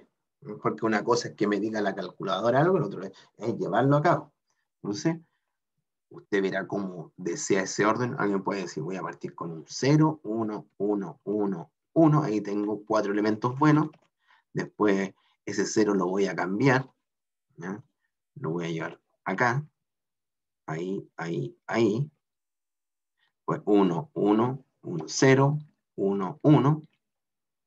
Pues 1, 1, 1, 0, 1, 1, 1, 1 y 0. Profesor, ¿es necesario hacer esto? No. ¿ya? Si usted se le hace fácil esto, ¿no? lo lleva de inmediato a, a obtener el J. Dice, no, yo, yo eso no es, yo me ordeno con esto, miro esto y ya sé cómo lo tengo que ir ordenando. ¿Sí? Cada uno ve cómo lo hará. ¿ya? Mi recomendación que igual es bueno eh, que lleve ese orden, ¿no? Pero así no se le pasa a ninguno. Entonces, ¿qué tengo acá? Igual. Ojo que esto no lo uso, eh, es para, lo podría usar muchacho, podría hacer eh, en Excel una combinatoria en caso de, le pongo un, una, una, condición, en caso de, de un 1 me tome este, en si eh, un 0 me tome el otro, y lo, podríamos desarrollar, no hay problema ahí. ¿eh? Usted ya lo puede desarrollar y, con eso le va a servir mucho para, para adelante. ¿Qué tenemos acá? Me dice que el primero no está funcionando. Si no está funcionando el primero, digo entonces ese no está en un buen funcionamiento y está en una indisponibilidad. Y elijo entonces el 1 menos A, que es, que es la indisponibilidad de mi filtro 1. Multiplicado, después me dice que el filtro 1, de, disculpe, el filtro 2, el filtro 3 y el filtro 4 y el filtro 5 están en buen estado. El filtro 2, el filtro 3, el filtro 4 y el filtro 5. Ahí está, cinco elementos. Más, me voy al otro, eh, a la otra combinación, a la combinación número 2. Me dice la combinación número 2 es que el primero, el primer filtro está en un buen funcionamiento, el segundo está en un mal funcionamiento, y luego el tercero, cuarto y quinto en buen funcionamiento. Aprovecho de contar 1, 2, 3, 4, 5. Ah, están los 5 elementos. Perfecto. Sigo avanzando. El paso 3. 1, 1, 0, 1, 1. Y después ya soy casi como un, robot en este momento. Eh, bueno, bueno, malo, bueno y bueno. Cuento. 1, 2, me faltó el último. Ahí está. ¿Ah? 52, 53, 54, 55, 56. Y ahí cada uno va buscando cómo se puede ordenar de manera más fácil este desarrollo. Que obviamente si se me pasa uno, casi no se va a detectar, pero puede ser que no le falle, no le vaya a fallar ¿eh? un elemento ¿eh? Que tenga un mayor impacto. Eh, N4. Es bueno, bue- bueno, bueno, malo, bueno. Ahí están. 52, 53, 54, 55, 56. Están todos. Más. ¿Mm? Bueno, bueno, bueno, bueno, malo. Y ahí están las cinco combinaciones. Mi combinación 1, mi combinación 2, mi combinación 3, mi combinación 4 y mi combinación 5. Y ahí está. 12 con 74. ¿Cuánto llevo hasta el momento? Si lo sumo, 99 con 29. O sea, este J3 va a ser prácticamente pequeñísimo. Igual lo vamos a hacer. Igual lo vamos a hacer. Igual lo vamos a desarrollar. Profe, ¿cuánto le dio al J4? ¿12? 12 con 74. Ah, no, me dio igual. Voy a revisar. Revíselo. Yo lo voy a revisar igual. Aquí tengo P52, 53, 54, 55, 56, 52, 53, 54, 55, 56, 52, 53, 54, 55, 56. Eh, busca si tienes eh, la suma, porque de repente eh, nos pasamos de largo y en vez de una suma ponemos un por ¿ah? y nos queda eso. ¿ah? Y ahora no sé dónde dejé ese por aquí. Ahí está. Es el que había cambiado, sí, porque aquí vengo con 52, 3, 4, 5, 6. Aquí era el más. ¿Mm? 52, 3, 4, 5, 6, otro más. Más o menos traten de... Ahí normalmente son los errores. Ahí son los errores.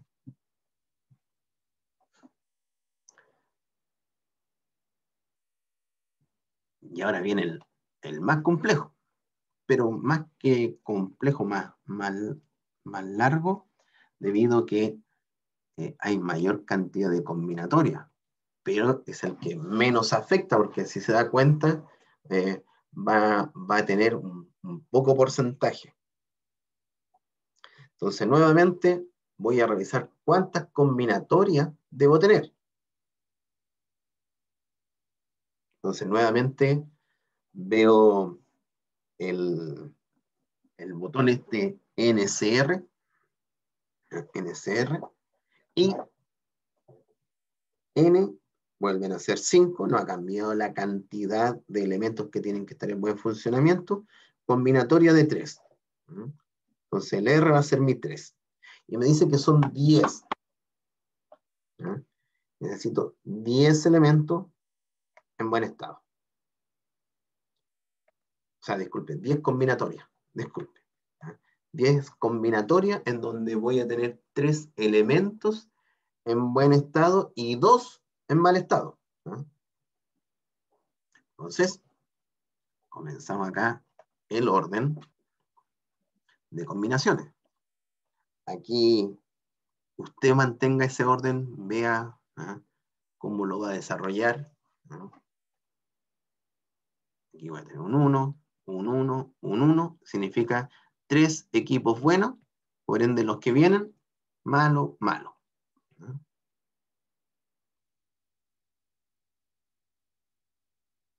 Bueno, bueno, malo, malo, bueno. Bueno, bueno. No, este era malo. Malo, malo. Bueno, bueno. Sería malo, malo. Bueno, bueno, bueno. Malo, bueno, bueno, bueno. Malo. Y ahí terminé con, con los más fáciles que están asociados a, a 3 en cadena buena y 2 seguido malo. Ahora voy a tener que empezar a hacer, ir saltándome de uno en uno y ahí voy buscando cuál es la mejor opción. Podríamos partir como 1. 1, 0, 1, 0. Esa combinación no la tenía. No tenía esa combinación. 1. Me voy a preguntar aquí, ¿puedo hacer otra combinación con estos tres? Puede ser 0, 0, 1. No, profe, el 0, 0, 1 ya lo tiene arriba. Ya. Y puede ser 1, 0, 0. No, esa es la primera que hizo. Mm, ¿Qué otra combinación puedo hacer acá? Este, bueno, no, ya no me queda mal. Entonces tengo que venir a buscar este. Ese malo. Ese bueno. Ese malo. Ese bueno.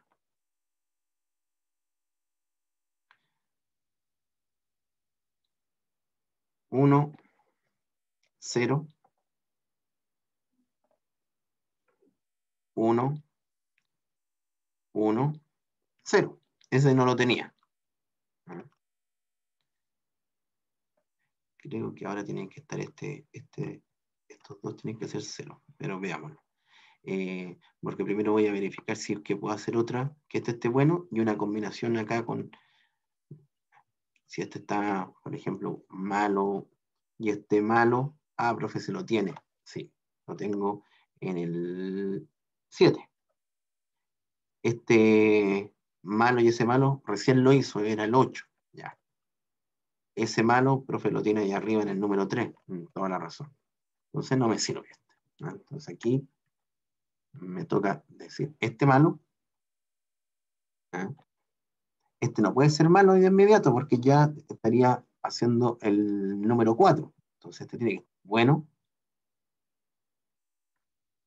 Este malo lo tengo. Sí, lo tengo. Lo tengo ahí. Lo tengo acá en el 0. No, este no lo tenía. No lo tenía. Ahí, ahí ya me sirvió. No tengo un 0, 1, 0. 1, 1. Ahora, ese malo, ese bueno, ese bueno, y ese malo.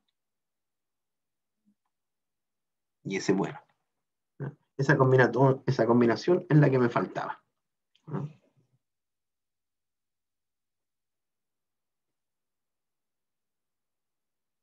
Es un trabajo arduo, de, de mucha paciencia, pero de mucha lógica. Esto, esto es lógica finalmente, de, de ir jugando con, con esos elementos,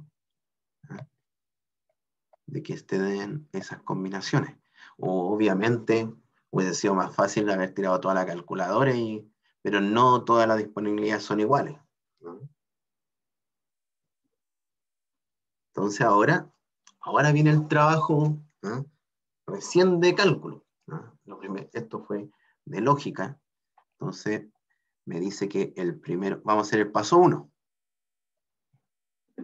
Mira, los pasos porque no me olvida. El primero, con el paso 1. Y saqué un lápiz.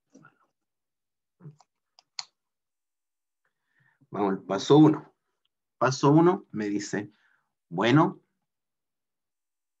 bueno, bueno, malo y malo.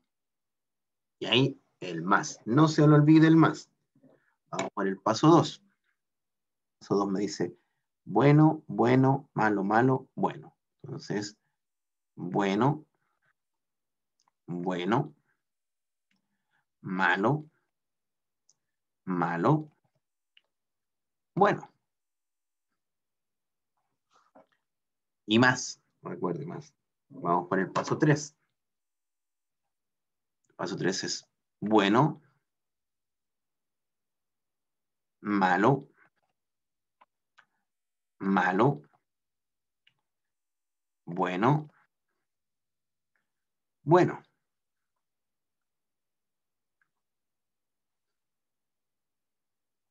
Más. Vamos por el paso 4. Paso 4 es malo, malo, bueno, bueno, bueno. Entonces, malo, malo, bueno, bueno, bueno, más. El paso 5. paso 5 es malo, bueno, bueno, bueno y malo. Vamos por el paso 6. Paso 6 es bueno, bueno, malo, bueno, malo. Bueno, bueno, malo, bueno, malo. Igual es bueno tener una buena memoria. 7. Bueno, malo, bueno, malo, bueno. ¿Ah? Entonces, el paso 7, partimos con bueno, malo, bueno, malo, bueno, más.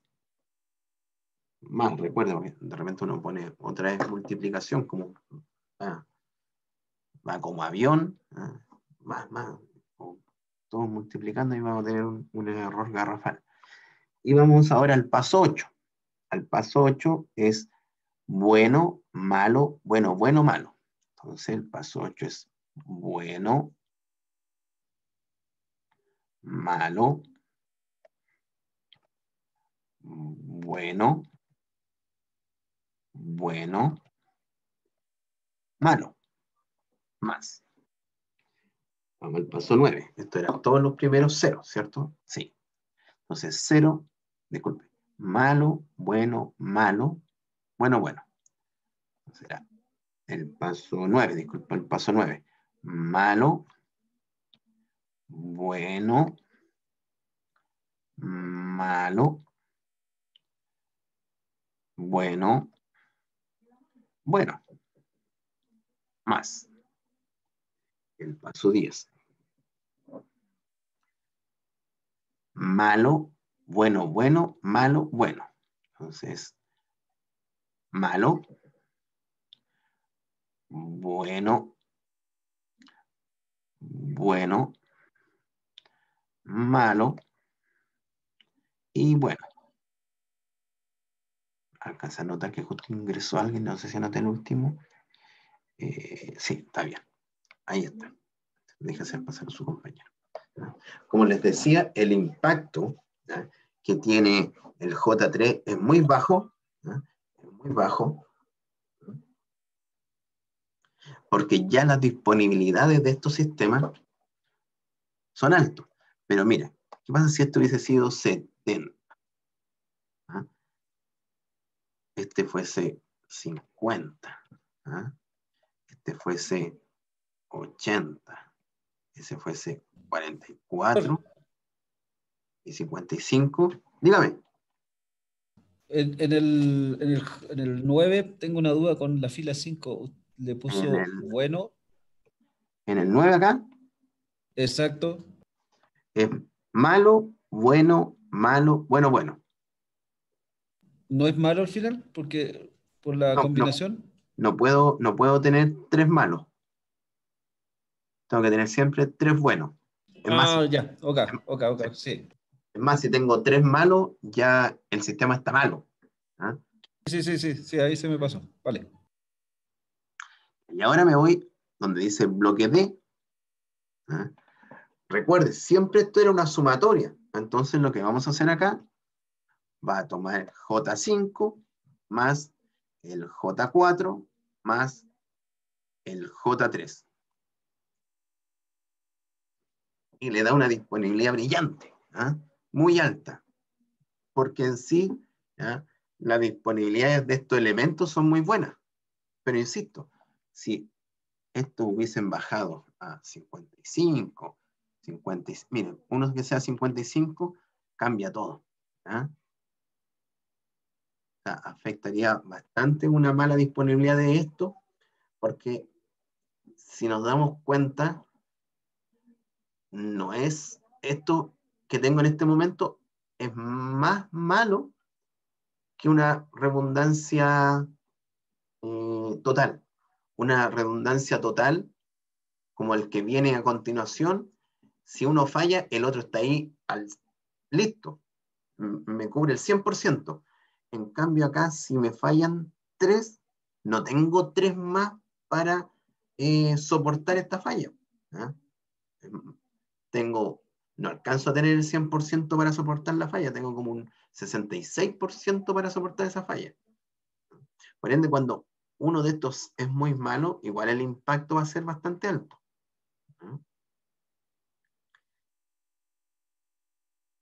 Entonces, aquí lo voy a dejar con algún color para recordar que es la base de todo este análisis.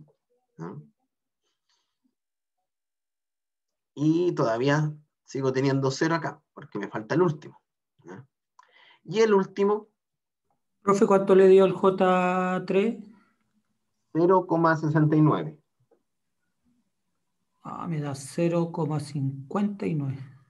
Revi- Delante te había equivocado en, en alguna suma. ¿En qué había sido la falla? No, me faltaba un ingresar un número. Ya, Voy a revisar de nuevo. de nomás.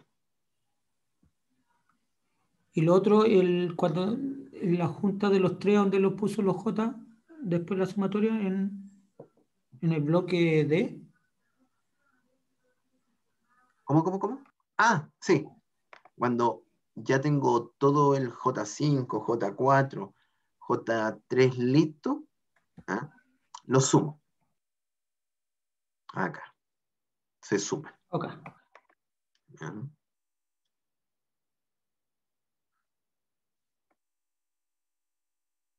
Ya, ahora.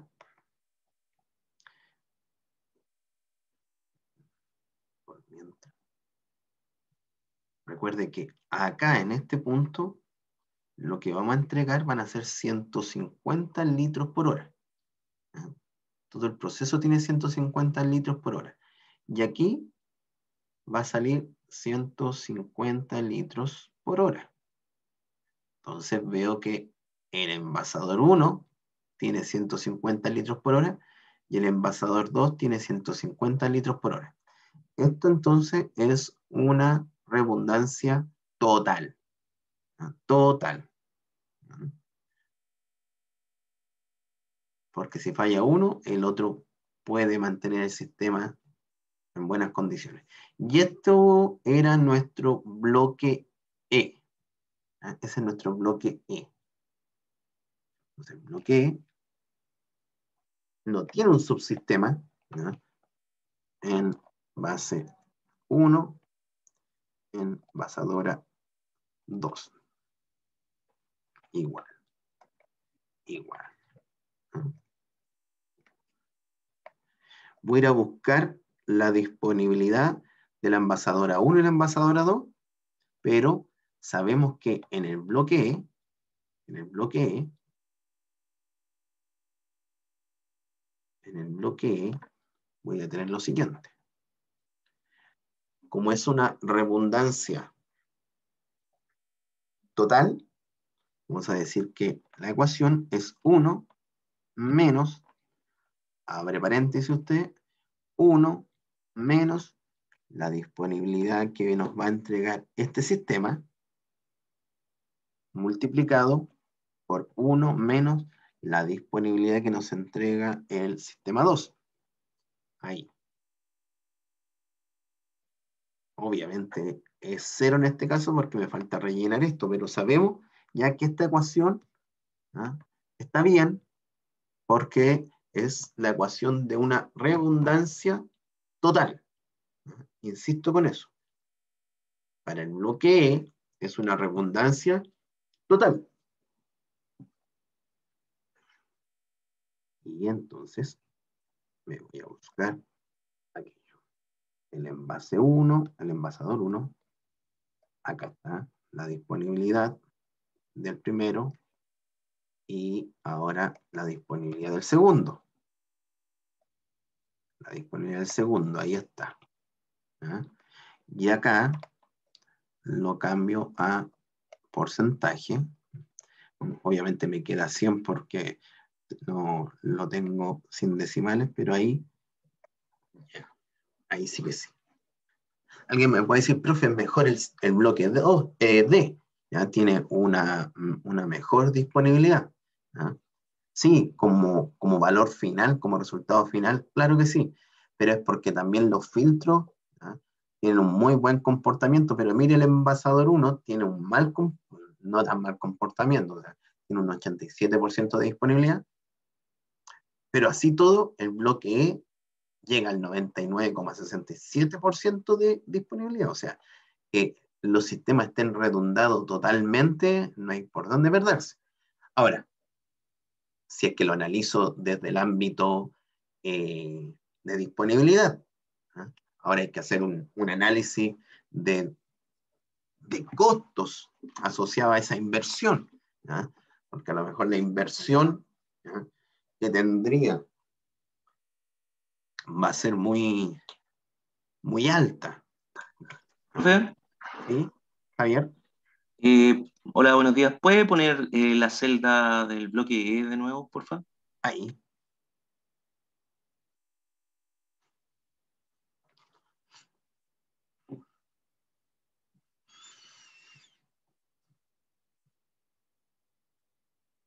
Use los paréntesis.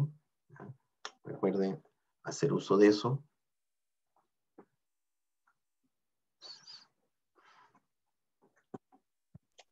Vale, profe. Ya.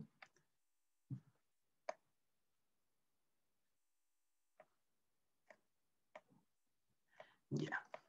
Entonces, ahora debería subir y llegar a la disponibilidad del sistema. Vamos a- nuevamente a dejarlo ahí. ¿ah? La disponibilidad del sistema, y vamos a subir esto nuevamente. ¿ah? La disponibilidad del sistema es un 88 con 0,73% de disponibilidad.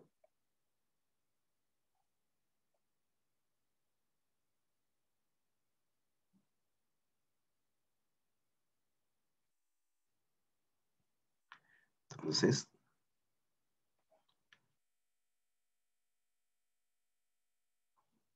vamos a decir la ganancia real. Ahora ya puedo tener la ganancia real ¿ah? de nuestro sistema.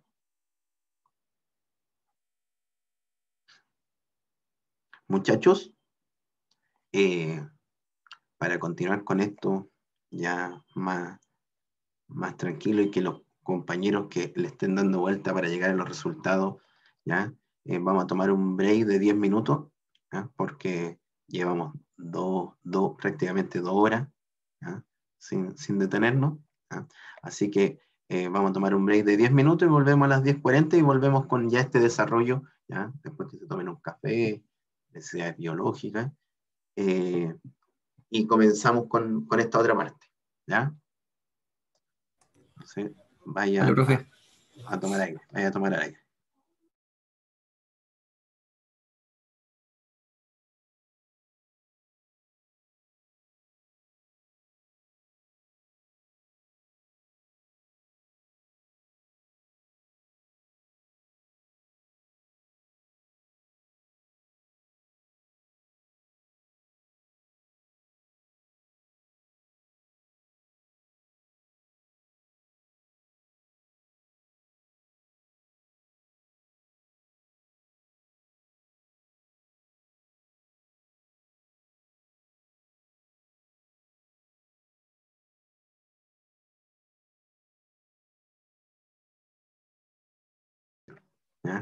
Tenemos que ver cuál sería la ganancia real de nuestro sistema.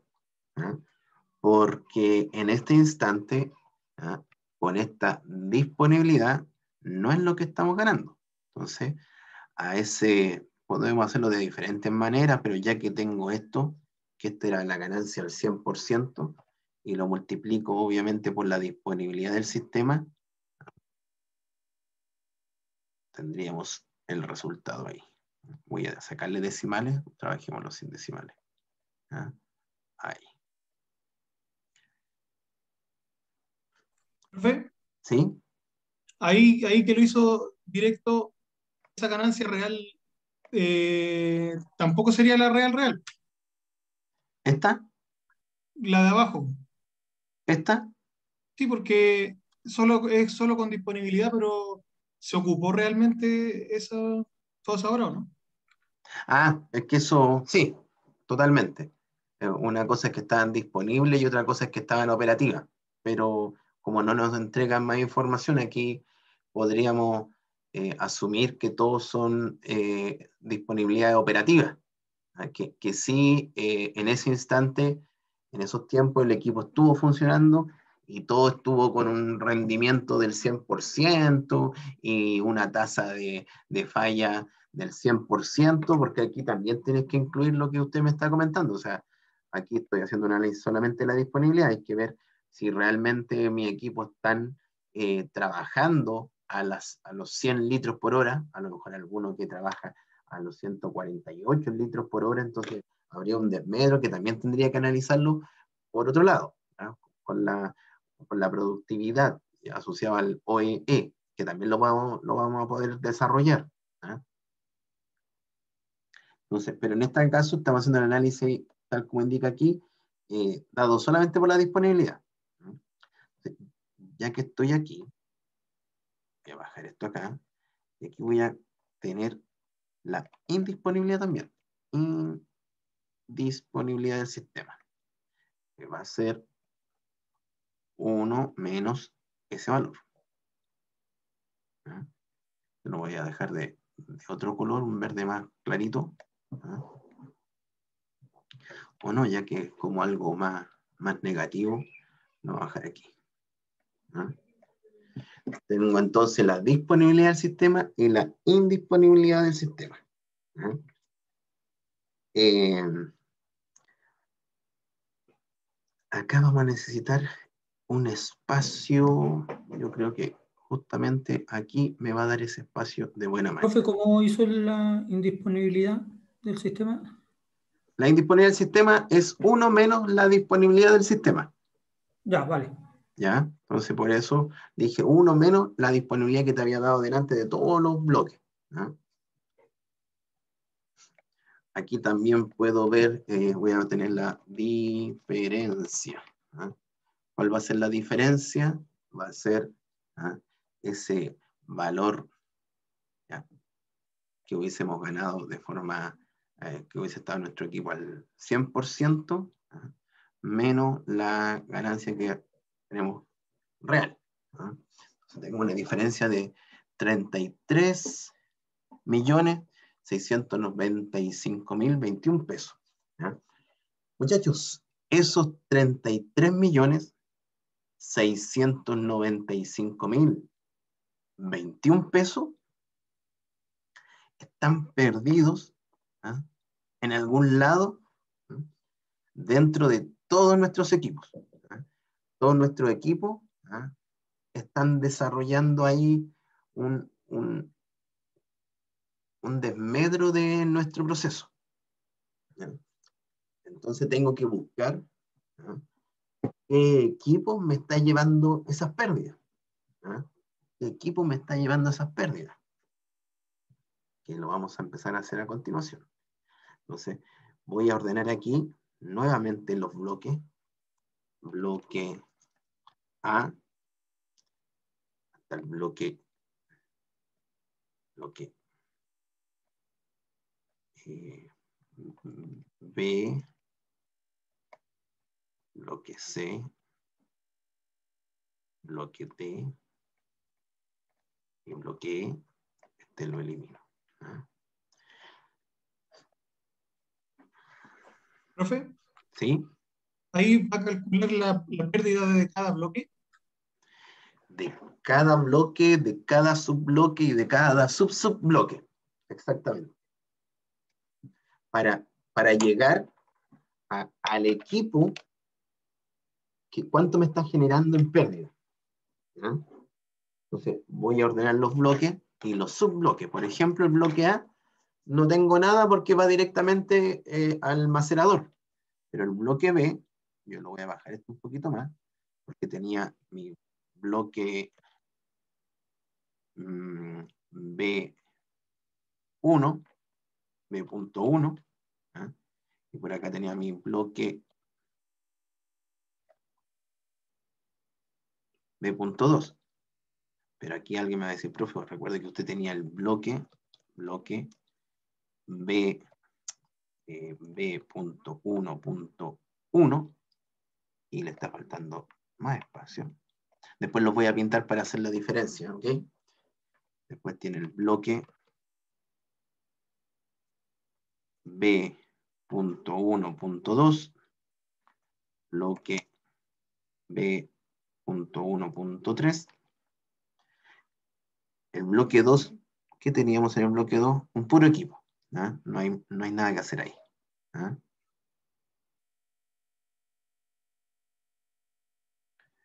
El bloque C, tenemos un puro equipo también. El bloque D ya lo voy a correr un poquito más acá, ¿ah?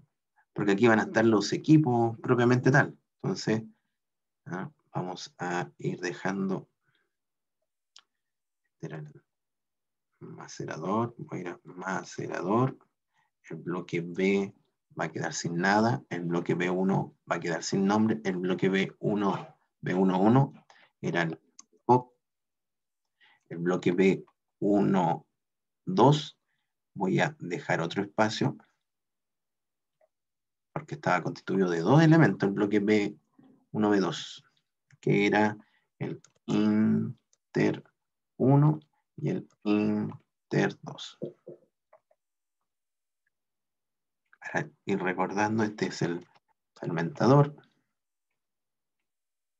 Fermentador. El bloque era el equipo múltiple, el C era el madurador, el D, voy a dejar acá, filtro 1 hasta el filtro 5. Y el bloque E eran dos equipos, el en pasado 1 y el en pasado 2.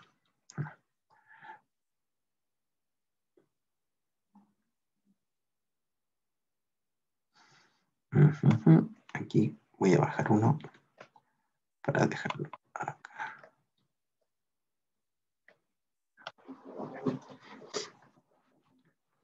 Entonces, lo que vamos a hacer ahora, voy a pintarlo en primer lugar como lo, hicimos anteriormente, los bloques eh, superiores van a quedar con un color más oscuro.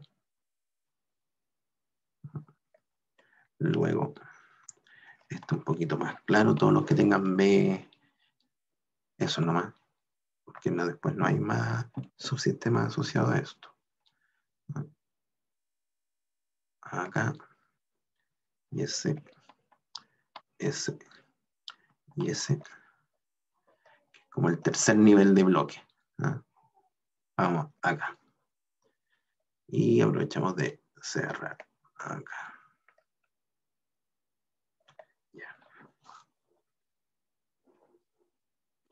Vamos a calcular la disponibilidad de cada, no más que calcular, vamos a tener la disponibilidad, pero vamos a calcular la indisponibilidad. La disponibilidad y la indisponibilidad. ¿Mm? Recuerde que A1, disculpe, A menos A. A es disponibilidad, 1 menos A es indisponibilidad, ahí sí. ¿Mm? Ahí sí que sí.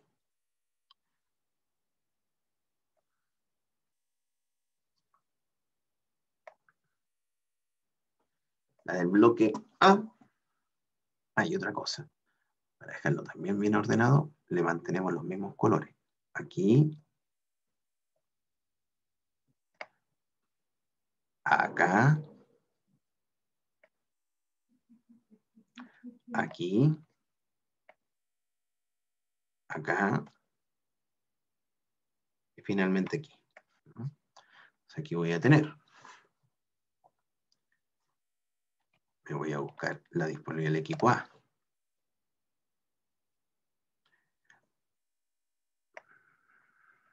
Voy a agrandar un poquito más porque de repente se pierden un poco los colores. No sé si elegí un buen color de, de estos bloques. Voy a, por esta oportunidad, vamos a cambiarlo porque como son letras negras y el, maldición, como son letras negras y y el rojo es bastante oscuro, como que de repente tiendo a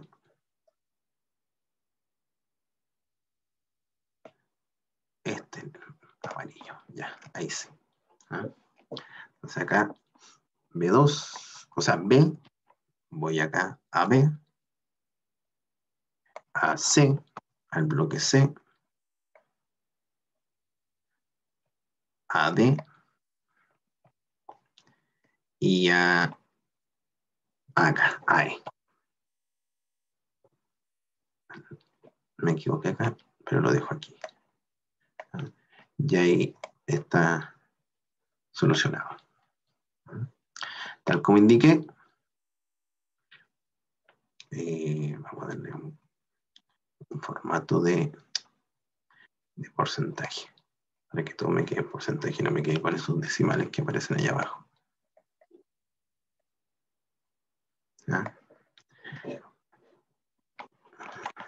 1 menos ese valor, 1 menos esa celda, 1 menos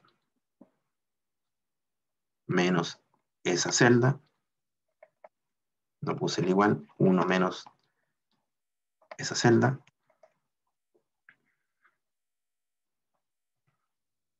uno menos esa celda,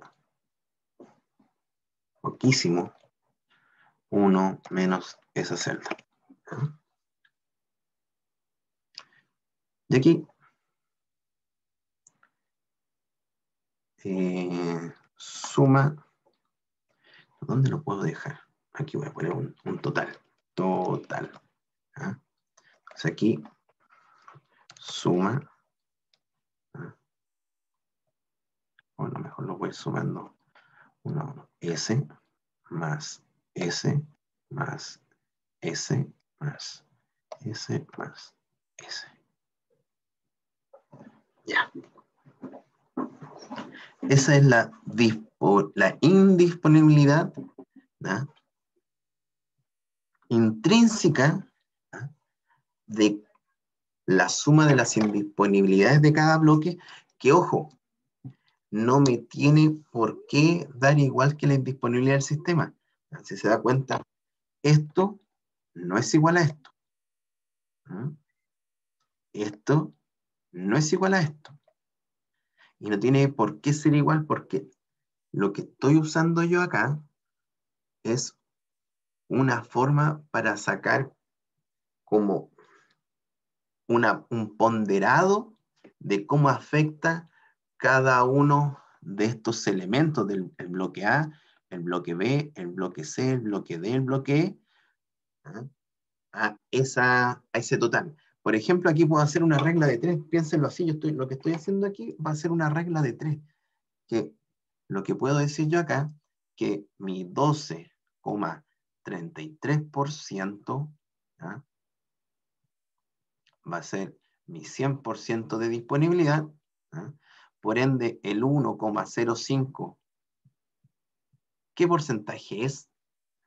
Entonces ahí lo voy a llevar, quizás en vez, en vez de utilizar ese 100%, ¿ah? yo voy a utilizar dinero. ¿Ya? Y el dinero que voy a utilizar va a ser ese dinero que anda perdido de esos 33 millones que vimos arriba. Entonces voy a hacer ese nexo entre esas lucas y este porcentaje con ese porcentaje.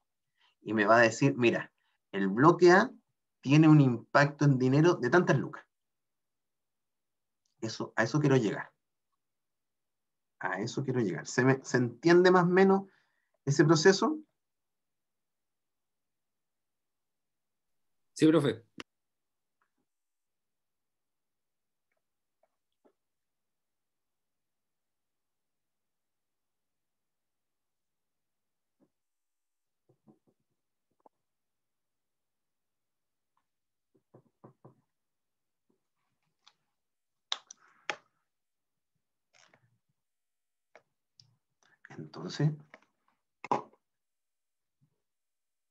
Lo que puedo hacer acá, yo aquí voy a poner ah. voy a poner pérdida ¿ya? pérdida bloque pérdida esta es pérdida por bloque vamos a poner una X. Mm, por bloque. Por favor, más que, que, llevarme el, el tema asociado a que está desarrollando un, bien, un buen Excel, vaya más allá, vaya a lo que estoy tratando de lograr acá, e- e- entienda eso, entonces yo voy a sacar ponderado, tal como le indiqué, ese 12,38% es nuestro 100% de alguna manera. Entonces voy a decir S dividido por ese 12, ¿cuánto es? Un 8%. S dividido por ese 12%, ¿cuánto es? S dividido, dividido por S. ¿Cuánto es? S dividido por ese 12,38. ¿Cuánto es? Y finalmente, S dividido por este, ¿cuánto es? ¿Sabes qué? Creo que debía haberlo hecho con una suma nomás delante. Suma. Total. Me voy a alargar para allá, pero no importa. Vamos a ir aclarando en cada bloque. Ahí. Y acá digo suma nuevamente. Suma. Voy a sumar todo esto. ¿Cuánto me tiene que dar, muchachos, si sumo todo eso? 100. 100. profe. Perfecto. Perfecto. Y ahí están los 100. Genial. Entonces.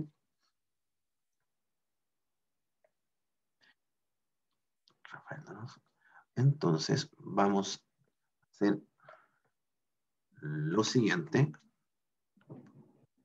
Voy a hacer un cambio en lo que escribí allá arriba, porque allá arriba puse pérdida. Entonces voy a poner pérdida porcentual. ¿ah? Pérdida, y así, pérdida intrínseca.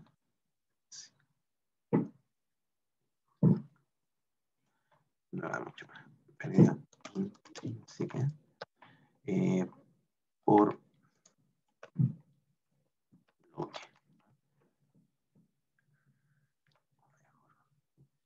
Y acá, eso para que me quede más espacio, eso quería hace rato. Y lo vamos a dejar.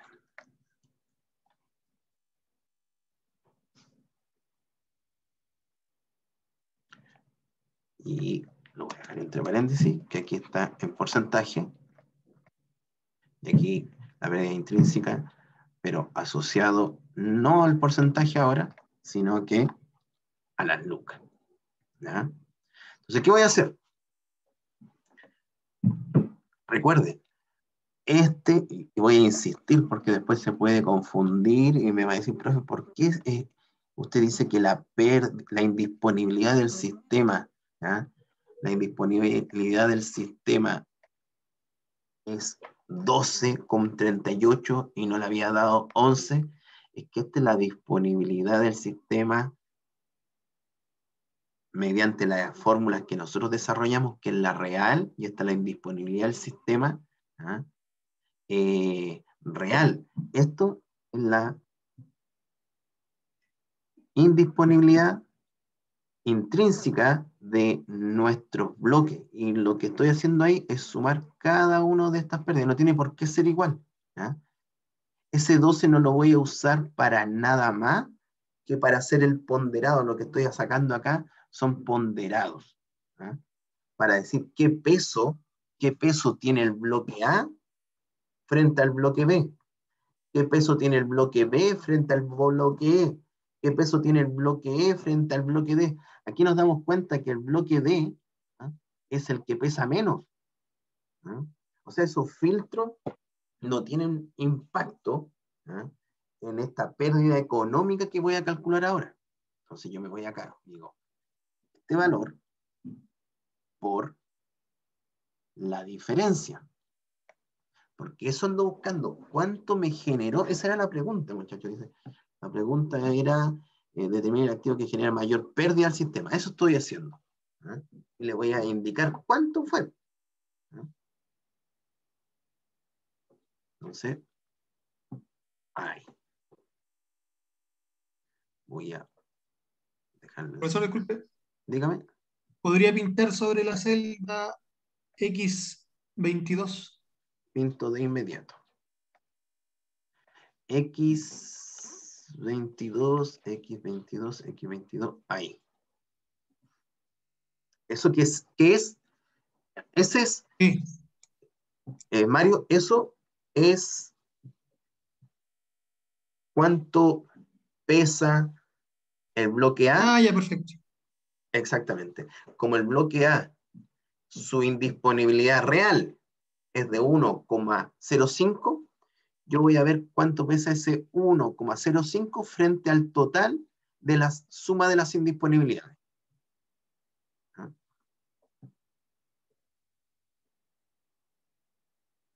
Ya, ahí me. Y después lo mismo, exacto, lo hicimos lo mismo para B, etc. ¿Ah?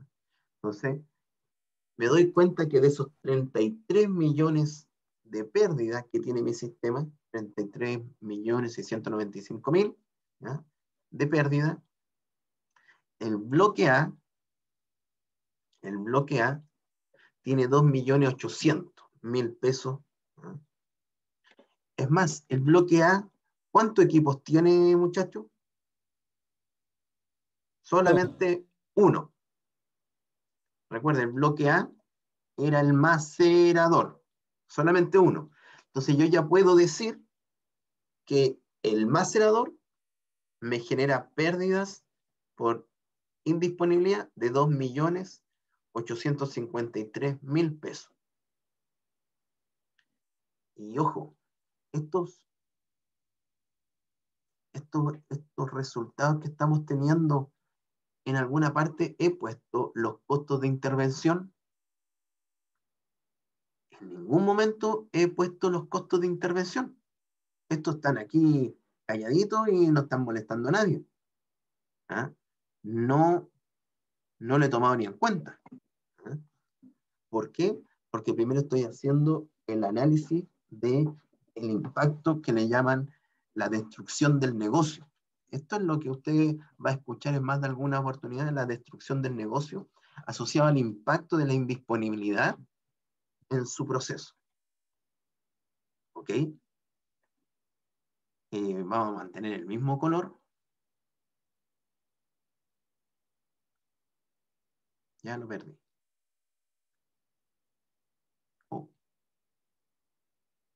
Vamos a tomar este y lo voy a copiar. Y ahora tengo que dejarlo con signo peso. Profe, Dígame.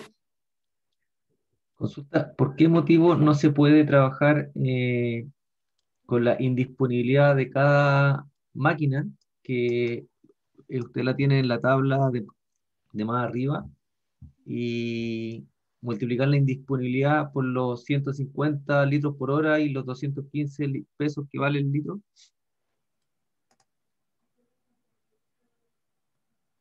Ah, porque eh, no todos tienen el mismo impacto. Eh, el, equipo múltiple no tiene 150 eh, litros por hora. En cambio, aquí yo ya estoy metiendo toda esa información, ya está dentro de acá. Aquí ya calculamos el impacto si es fraccionado, si es redundancia, entonces ya está toda esa, información que nos faltaba acá. Por eso no, ocupo lo de arriba. Es más, si yo sumo esto de acá, me da 58,96% la indisponibilidad y, no, nosotros estamos calculando esto por acá. Y aquí me entrega de, forma, eh, primero sacamos de forma ponderada cada bloque, cómo afecta cada bloque a nuestro sistema, porque esto lo estoy haciendo primero eh, bloque A, bloque B, bloque C, bloque B, bloque D, está dentro ya el cálculo de serie. Ya se está calculando en serie. Y posteriormente, ahora vamos a hacer el cálculo de los otros elementos. Entonces, para el bloque B, tengo un 42,12%. Nuevamente, por esta pérdida o por esta diferencia entre lo real y lo que debería haber ganado si es que tuviese el 100%. ¿ah? Es el impacto ¿ah? de destrucción del negocio que tiene mi sistema. La destrucción del negocio. Y acá, porque imagínate si lo haces de la otra manera, probablemente te van a dar que los filtros ya tienen un impacto terrible, súper grande. ¿ah? Pero en la realidad, el impacto de los filtros ¿ah? es apenas 47 mil pesos por destrucción del negocio. Ojo, por destrucción del negocio. Y ahí yo después puedo hacer un análisis asociado a qué política de mantenimiento yo puedo usar acá. Si me sirve uh, para algún equipo una política de mantenimiento eh, preventivo o correctivo. Imagina ahí en los... Si yo me hubiese quedado con lo que usted me estaba pidiendo acá, ¿ah? ¿Ah? a lo mejor mi primera instancia va a ser, oye, como es tanto la pérdida de indisponibilidad que tiene este sistema, eh, desarrollemos un mantenimiento preventivo, claramente. Pero ahora que lo veo por bloque y, y, y veo que tengo 47 mil pesos de pérdida, estar haciendo mantenimiento preventivo acá, yo creo que es irrisorio. Eh, aquí vale la pena, es un mantenimiento correctivo. ¿ah? No hay, no hay, mantengamos un, un, par de filtros en bodega, pero estar haciendo mantenimiento preventivo a, este, a estos filtros. Eh, es más, esto me dice que el bloque D me, me genera 47 mil pesos de destrucción del negocio pero todavía tengo que ver cuánto me genera el filtro 1, 2, 3, 4, 5, que obviamente entre ellos ya nos vamos a dar cuenta que va a ser mucho menor. La suma de los 5 filtros me está dando 47. ¿ya? Entonces, Profesor, disculpe, sí. eh, bueno, tengo una, una, una diferencia abismante con la pérdida in, intrínseca por bloque, ¿podría colocarse ahí para ver el... Voy el, de inmediato, voy inmediato, don Sergio, déjeme, ya que tengo esto acá, ahí, ahí, y antes de darle la respuesta a usted, don Sergio, voy a hacer esto, voy a copiar acá y voy a copiar esta diferencia ¿eh? para tenerla acá a la vista. Y decir, oye, ese es nuestro valor que que estoy perdiendo. Y acá voy a hacer entonces igual, suma, y voy a sumar todo esto. ¿Cuánto me tiene que dar? La suma, exactamente, los 33 millones 695 mil 21 pesos. ¿eh? Y de inmediato, y justamente ¿eh? Eh, nos entrega el mismo resultado. ¿eh? Llegamos al mismo resultado ¿eh? que esta diferencia. O sea, no se me ha perdido nada hasta el momento, no he perdido ningún peso. Sé dónde están mis pérdidas. Ahora, cada vez voy a ir enfocándome más y más a mis equipos. Y antes de, de responderle tanto a, a, don Sergio y al que me hizo la siguiente pregunta, mire el madurador. El madurador que está en el bloque C que está solito, ya sé cuánto me está generando en destrucción del negocio. 15 millones de pesos me genera en pérdida el bloque C. Entonces, aquí, muchachos, a lo mejor alguien me dice, profe, voy con un plan de mantenimiento, o alguien me dice, profe, ¿sabe qué? Encontré un, equipo madurador ¿ya? No tiene las mismas capacidades de, de, este equipo que de 150 litros, es de 50 litros nomás, pero igual lo podríamos dejar. Y le claro, lo dejamos. ¿Cuánto le sale? Me lo dejan a 2 millones y medio. Comprémoslo. Comprémoslo. ¿ah? Eh, y va a aumentar la disponibilidad en un sistema en fraccionamiento. ¿ah? Va a desarrollar ahí un fraccionamiento que la, lo, lo disponible más, va a ser mayor de lo requerido, pero eso le va a hacer que aumente la disponibilidad del bloque C y por ende esta pérdida ya no va a ser tan alta. Ya, ahora vamos con la, que, que igual quiero tanto ir explicando cómo se hace el desarrollo del ejercicio, pero lo más importante, después usted lo va a tener, muchacho, y va se va a dar cuenta dónde me equivoqué, pero lo importante es ese análisis que usted tiene que hacer para tomar después decisiones como ingeniero, porque eh, el éxito y el trabajo acá lo, lo puede hacer cualquiera. En la otra parte, ese análisis que usted va a tomar decisiones, las tiene que tomar informada y tiene que tomar buenas decisiones. Ya. Don Sergio, ¿dónde me voy? Ahí las pérdidas intrínsecas, ese mismo. Ese, mismo. ¿Ya? Si hago doble clic, lo que estoy tomando acá es los ponderados. A cada uno de ellos, si se da cuenta, lo voy a dividir por 12,38. ¿Qué estoy haciendo acá? Estoy haciendo una sencilla, ¿ya? nunca mal ponderada, eh, regla de 3. Yo voy a decir que mi 100% va a ser mi 12,38. Entonces, ¿qué porcentaje de ponderado va a ser ese 1,05? Ese es mi X. Entonces, reordeno esto. Este 1 pasa multiplicando hacia 100 como es un 1, el 100 lo puedo eliminar, estoy trabajando en porcentaje más encima, 1,05 dividido 12,38. Eso estoy haciendo ahí, estimado Sergio. ¿Qué estoy haciendo acá, en ese 46? ¿Cómo llego a ese 46? Ah, profe, usted mantiene lo mismo, pero en vez de poner ese 1,05, ¿ah? usted va a utilizar ¿ah?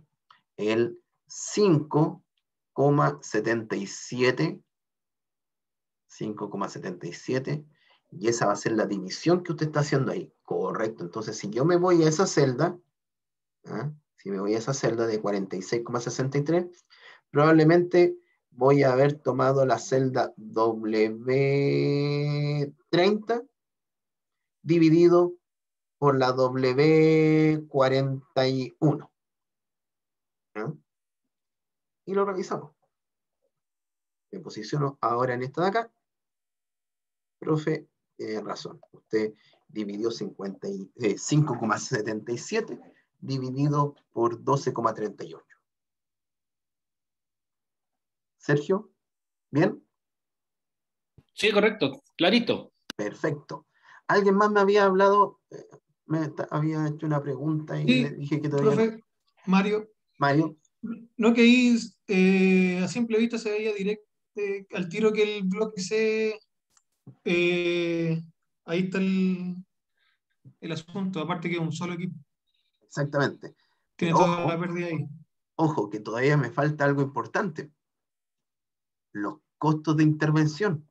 Quizá puede que otro equipo se le acerque o lo pase. Todavía no puedo tomar la decisión que el equipo, eh, el madurador, sea el equipo con más eh, efecto en este proceso. Obviamente. Profesor. Estamos, claro que va a ser ese, pero deja dejarte con esa duda. ¿ah? ¿Alguien me llamó? Sí, profe, los costos de intervención. No sé quién me está hablando. Rodrigo Peña. Rodrigo, dígame. Los costos de intervención que están asociados ahí, eh, eh, ¿A qué se refieren específicamente? Puede ser, no sé, repuesto, horas hombres, ¿a qué? Todo, todo, todo. Cuando se falla, cuando falla el equipo, todo lo que yo gasto promedio. Tanto en repuesto como en HH, de los trabajadores, etc. Y fui sacando un promedio, de ahí llevo cinco años sacando estos promedios. ¿ah? En donde me doy cuenta que donde está el sistema de filtro 1, eh, me lleva eso como promedio, etc. Eso más, mm, nos sirve que usted ya tiene que tratar de buscar esa información y mantener esa información en su, en su proceso, en, su empresa. ¿ah? Ya muchachos. Ahora, si no nos quedó claro el tema de la pérdida intrínseca, lo voy a tener que volver a hacer. ¿Pero por qué, profesor? Porque ahora voy por pérdida intrínseca por sub, subbloque. Y vamos a agrandar un poquito más acá. Vamos a agrandar un poquito más acá. Y a este también le voy a poner subbloque. Entonces, si no entendió bien lo anterior, ahora le va a quedar claro, o ahora no, ahora va a ser ya, ah, profe, aquí llegué, ¿no? No, es imposible, se lo va a entender. ¿no? Aquí llegamos. Hasta aquí llegamos. Vamos ahora a analizar ¿ya? por, eh, por subbloque. ¿no? Entonces, tengo que tener clarito que el bloque A lo voy a dejar todo con un color verde porque no lo voy a tocar porque está listo. El equipo C, el bloque C, no lo voy a tocar porque estamos listos.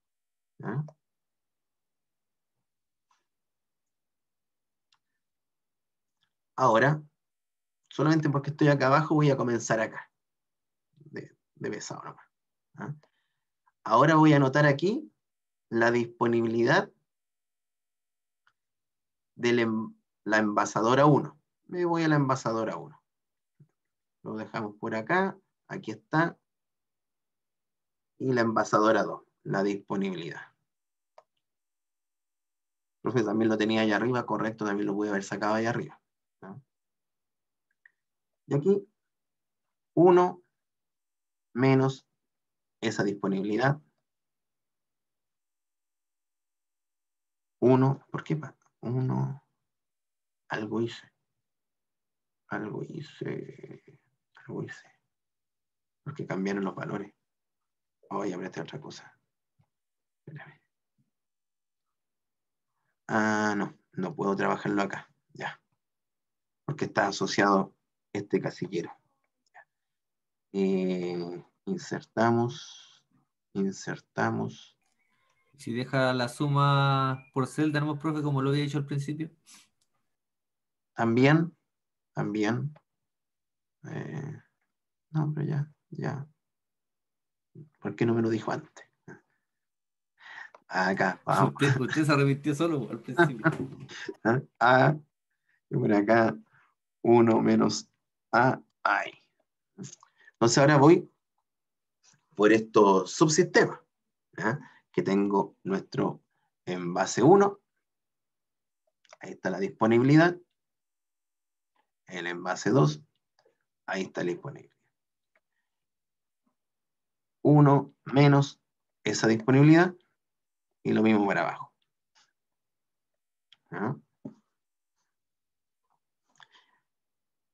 Y aquí voy a poner la suma de ambos. La suma de ambos. Profe, esa la voy a dejar en otro color. Deme dos segundos. ¿Ah? Y esta vamos a seguir dándole otro colorcito que eh, va a estar asociado a los subbloques aquí. ¿Ah? Profe, sí, usted suma estos dos, que son las indisponibilidades, ¿ah? le da ese 14,96.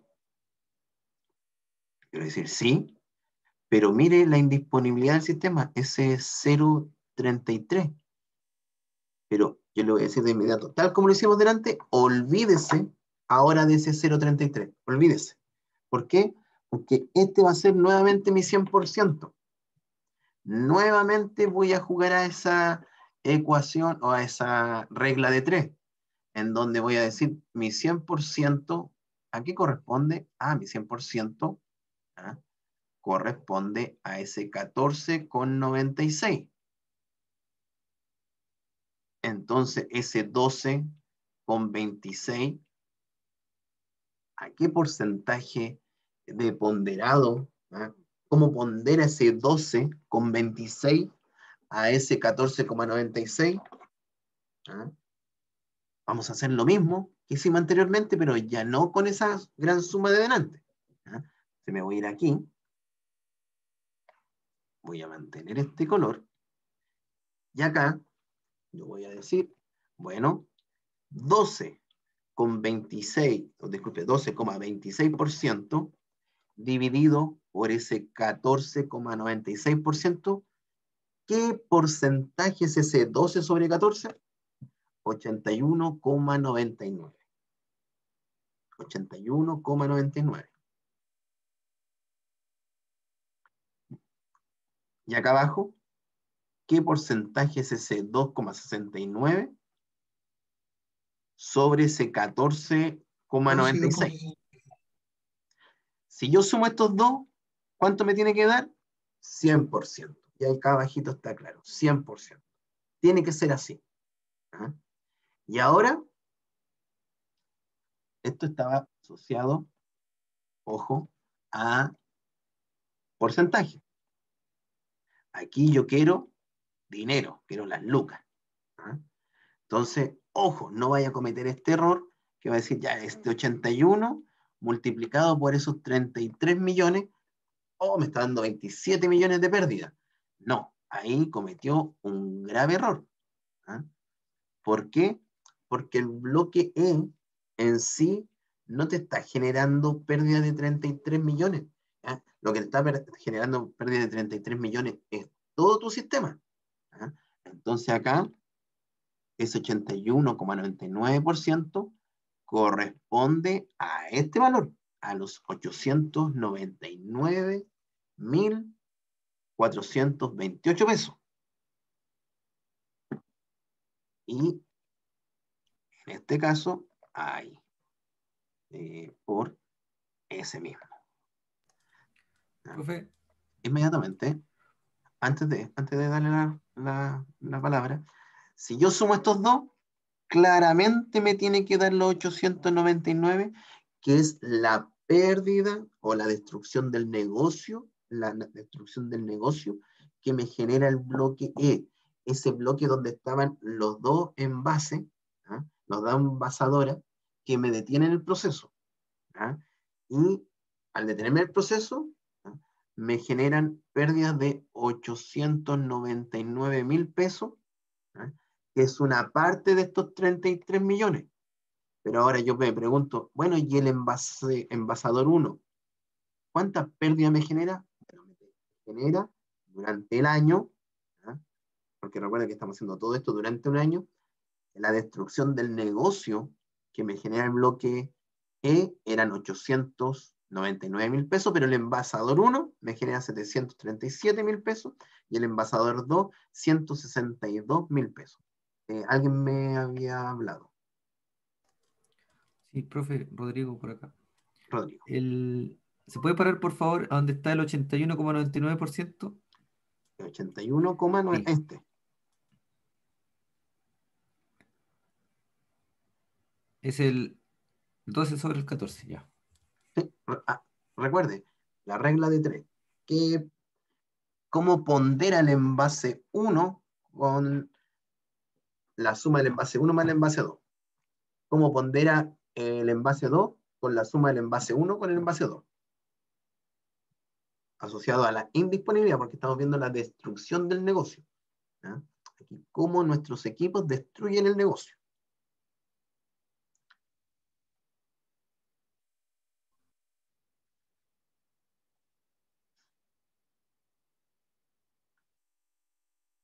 ¿Dudas? Ya, entonces aquí voy a pintar de otro color para hacer el siguiente sistema, que serían los filtros. ¿ya? Voy de abajo hacia arriba. ¿ya? Vamos a ver los filtros. ¿Qué están haciendo los filtros? ¿ya? ¿Cómo están afectando los filtros? Y me voy a la disponibilidad del filtro 1. Ahí está. Y abajo, ya está abajo. Que me va a tomar el filtro 1, 2, 3, 4 y 5, igual que acá. ¿ah? Y por aquí 1 menos S y hacia abajo. Ahí sí. Ahí tengo. Entonces, muchachos, yo creo que ya dijeron, ah, profe, yo ya sé lo que hay que hacer. Ah, ya lo tengo clarito.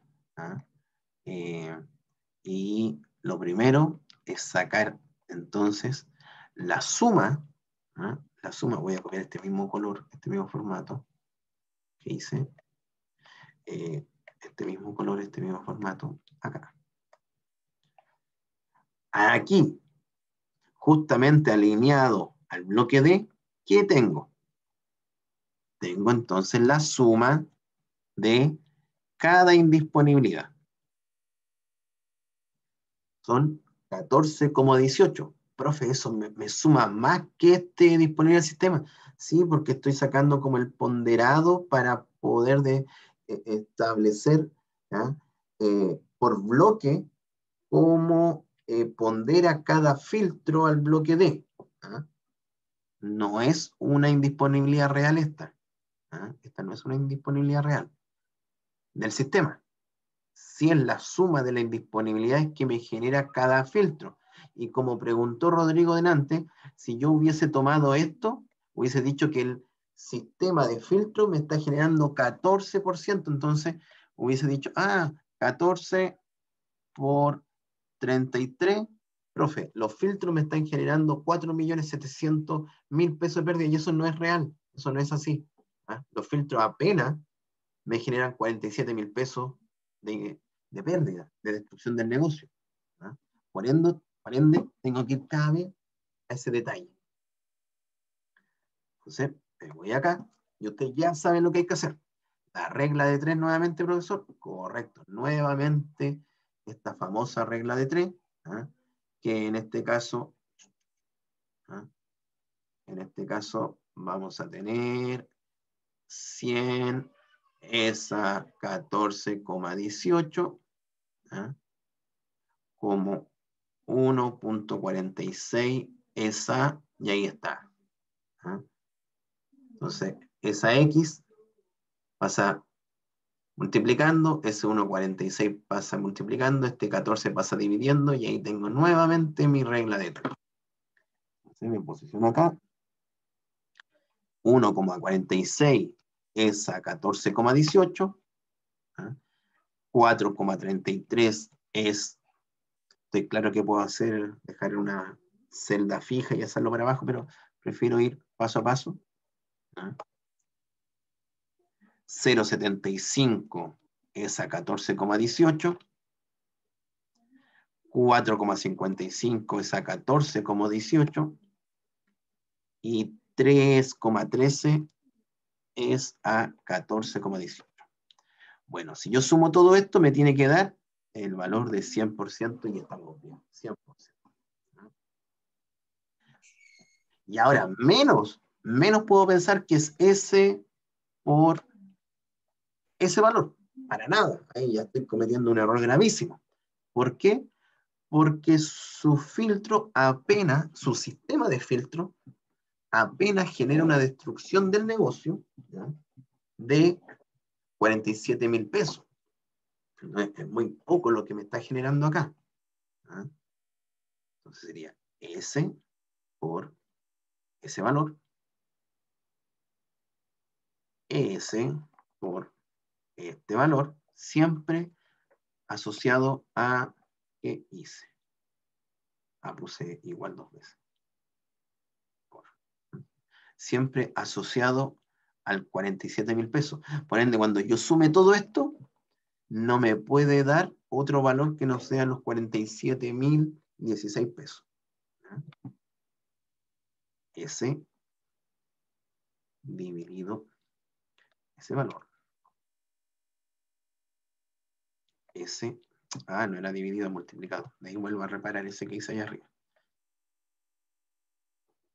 S por ese valor. Y ahora reparo este que puse dividido. Ahí. Ahora sí. Lo voy a dejar sin decimales. ¿ah? Y acá abajito me sale la suma de eso y me dice que la suma es 47.016. ¿ya? Que, ya que tengo acá el signo peso, es lo que estamos hablando. Y esto lo dejamos acá. Entonces, ya sabemos que el filtro 1 me genera 4.000 pesos de pérdida del negocio. El filtro 2 me genera 14.000 por pérdida o destrucción del negocio, destrucción del negocio. Y así.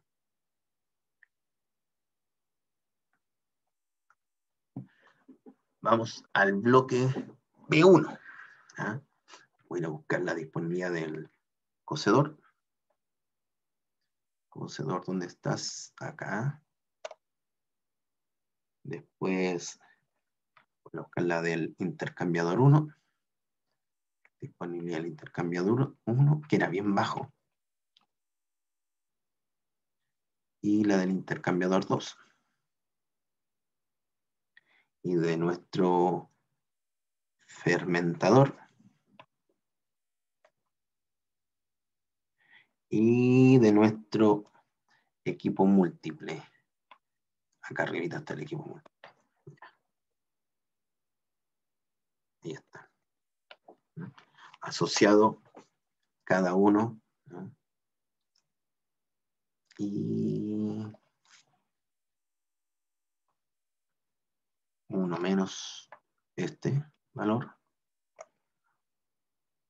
Uno menos, uno menos ese valor. Y ahí va hacia abajo.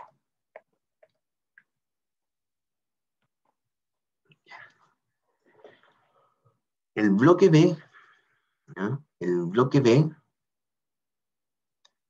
me genera 14 millones 193 mil 94 pesos de pérdida. Y eso lo ocasiona por el bloque B1 y B2. Entonces, voy a necesitar un poquito más de espacio. Voy a bajar esto un poco. Ahí.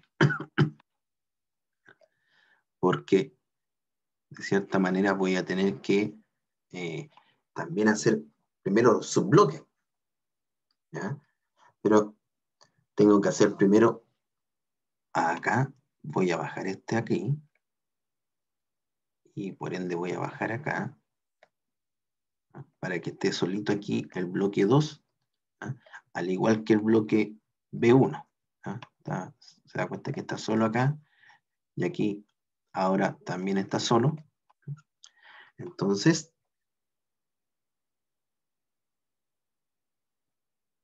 voy a ir viendo ¿ah? cuál es la suma ¿ah? de indisponibilidades, ¿ya? Tanto del bloque 2 eh, como el bloque B1.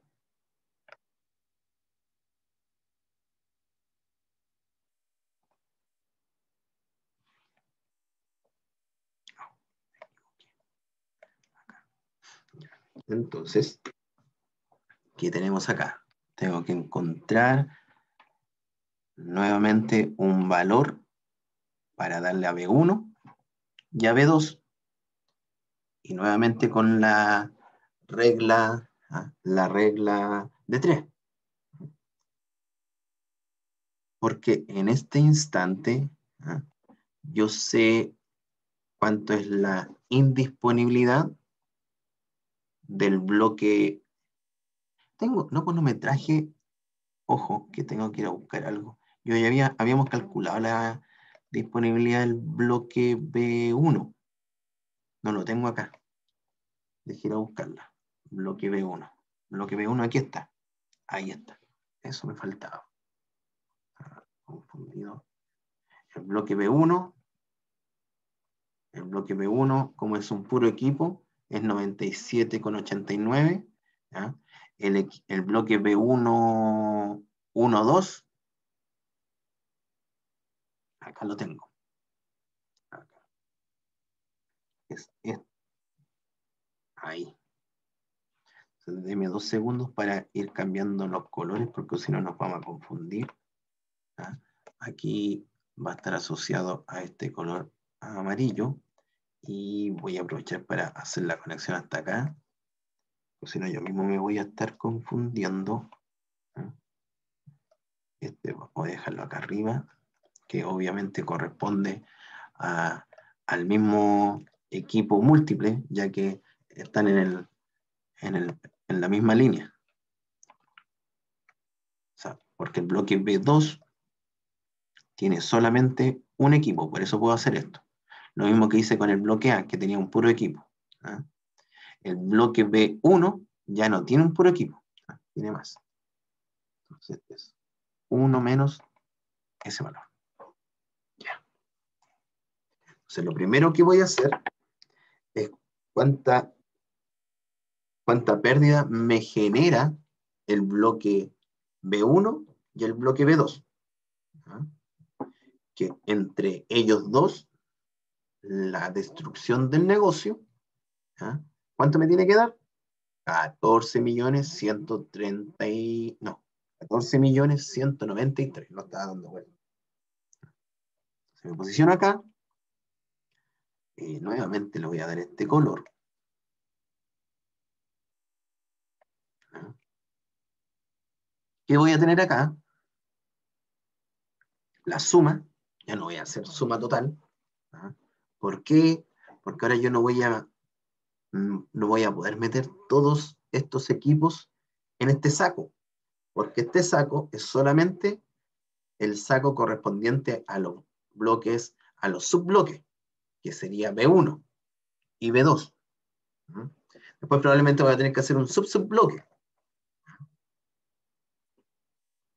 Esto sería más este.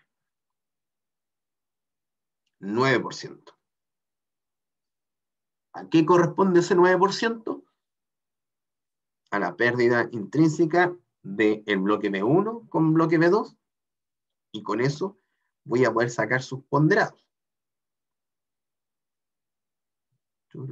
Acá y acá.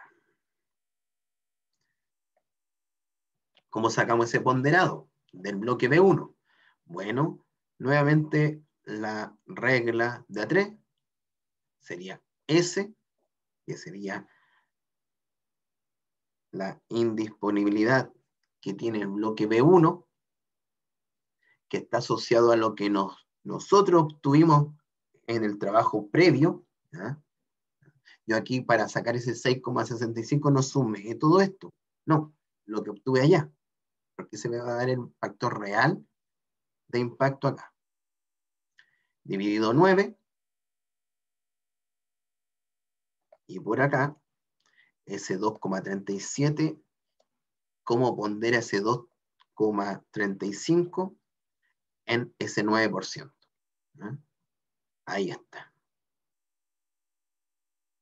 Y ahora tomo ese valor y lo multiplico por lo que está destruyendo el negocio, el bloque B. El bloque B. No el bloque 1, no el bloque 2, el bloque B. Acá, ese. Es el origen de, ese es el origen del bloque B. Y le voy a quitar los decimales. Y empezó. Ahí sí. No lo tenía en porcentaje. Se acabaron de- ¿El 9% de dónde salía? ¿Cómo? ¿El 9% de dónde salía? Ah, el 9% es la suma de las pérdidas ¿ah? de indisponibilidad del bloque B1 con el bloque B2. Recuerde que aquí estamos analizando los subbloques, los subbloques, que sería nuestro 6,65 asociado al bloque B1 y nuestro 2,35 asociado a nuestro bloque B2. Y ese va a ser el valor que yo voy a estar eh, haciendo referencia para los cálculos de eh, para los cálculos de nuestra eh, ponderado, ¿ya? el ponderado asociado al bloque B1, que ojo, que el bloque B1 todavía tengo elemento adentro, que todavía no terminó con el bloque 1. Todavía no sé cuánta pérdida me genera, cuánta destrucción del negocio me genera el intercambiador 1, por ejemplo. Todavía no lo sé. ¿no? Y por acá, S26 por S14 millones. Ahí está. Ahora, sí lo que puedo decir que el equipo múltiple me genera ¿ah? 3 millones 711 mil 112 pesos de destrucción del negocio. Por su detención, al sistema le genera eso. ¿ya? Entonces, alguien puede decir, profe, ¿qué ponderado es ese 3 millones sobre el total? Bueno, son el 11%. 11% ¿ya? de esa pérdida la genera el equipo múltiple. ¿ya? Pues sí, profe, y el, y el madurador, bueno, es S dividido esos 33. 46%. Ah, el mismo que acá, sí, porque era el bloque inicial. Era el bloque inicial, ¿ah? porque el madurador era el bloque C. No así el equipo múltiple, que no era el equipo B. El equipo B, o sea, disculpe, el bloque B está constituido por el bloque B1 y el bloque B2. El bloque B2 tiene solamente un equipo, que era el equipo múltiple. El equipo B1 tiene el cocedor, los intercambiadores y el fermentador. Entonces, ahora tengo que continuar con esto para saber cuánto es la pérdida del negocio que me genera el cocedor, los inter intercambiadores y el fermentador, que son propios del bloque B1. ¿Mm? Propio del bloque B1.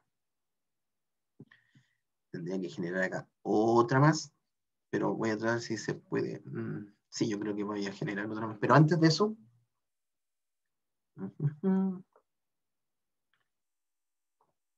voy a sacar este valor. Porque mira, aquí voy a eh, buscar ese color ya para alinear ese para acá.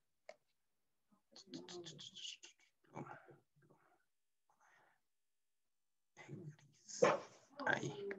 Ya. Eh, voy entonces a copiar esto. Y acá. Y esto lo voy a llamar más que subbloque, sub-subbloque. ¿ah?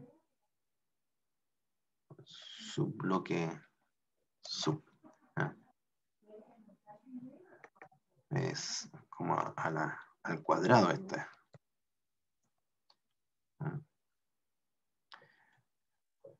Voy a bajar un poquito la pantalla que tengo ustedes acá para tener más espacio para visualizar todo. Esto no lo toco porque sigue siendo el, algo que ya tengo listo. Eh, estos dos también ya están listos. Esto no los toco porque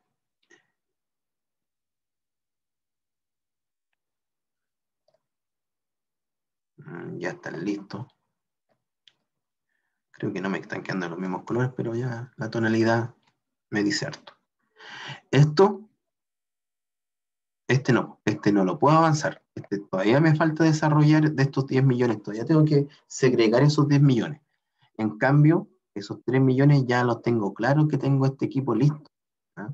Esos 3 millones corresponden al equipo múltiple como lo hablamos anteriormente. Ya no hay nada más que hacer con eso.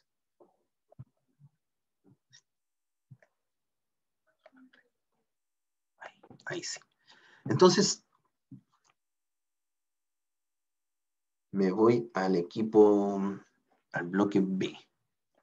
Y tendríamos que en primera instancia voy a hacer un trabajo de del bloque acá, del bloque B1 aquí voy a poner una suma y esa suma no, porque mejor tengo que copiar igual esto para que queden como en la misma la misma idea. Aquí. Y esto va a ser 1 menos esto. ¿ah? Eso estoy generando acá. Y me faltó el bloque, no, el bloque B. 1, 3. Ah, está ahí. Acá arribita. ¿ah? Acá arribita tengo que generar algo que voy a continuar con este gris para ayudarlo a ustedes que no se pierdan. ¿ah?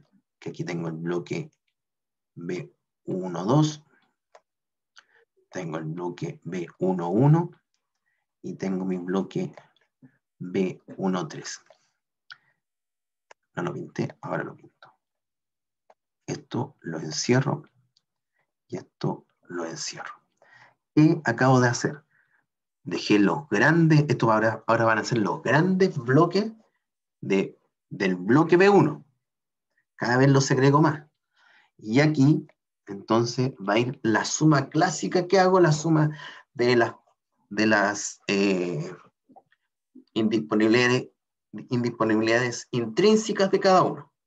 Entonces, ¿qué voy a tener acá? Va a ser esa indisponibilidad que, era del, que es del bloque B11 más la indisponibilidad del bloque B12 más la indisponibilidad del bloque B13. Y para mantener ¿ah? ese formato y después que yo le suba esto no se pierda, ahí está en amarillo. Todo eso, ese color amarillito son sumas intrínsecas que estamos desarrollando. Que, que, partimos ¿ah? con la primera, que esta, era, la dejo acá, acá abajo, la voy a dejar amarilla. Esta es la primera que desarrollamos el proceso. Y ahí, dígame. Ahí consideró una suma en el bloque B1.2, pero ese no tiene equipo. Eh, por ejemplo, acá, ¿cómo no, tiene equipo? ¿Está? Sí. No, porque si tiene, si tiene, tiene dos equipos, solamente que primero tengo que hacer tal como desarrolla acá. ¿Se acuerdan? Primero que desarrolla ese, y al final el de los intercambiadores. Exactamente. Ah, Acuérdate que aquí, aquí yo no me di cuenta si había en equipo o no, me di cuenta solamente la suma de esto. Después en el 9, esto y esto. Ese 14, eh, y así vamos segregando todo esto. Ah, perfecto. Vale, Además, usted ya nos dio una pista que algo tengo que hacer con esto. Ya. ¿Cierto? Perfecto. Sí. Entonces ahora, no de nada. Ahora me voy al equipo B11, aquí, y digo, ¿cómo pondera ese 2,11 frente a la suma total de los bloques 1, 1, 1, 1, 1, 2, 1, 3? que en sí es la suma de ese 6,76, lo que me estaban comentando recién. Luego, ¿cómo pondera ese 0,48? Estoy haciendo nuevamente esta regla de 3 en ese 6,76. ¿Y cómo pondera ese 4,18 en ese 6,76?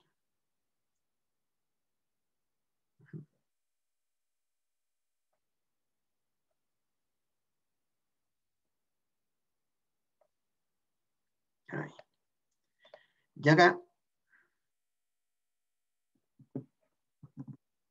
¿qué tengo?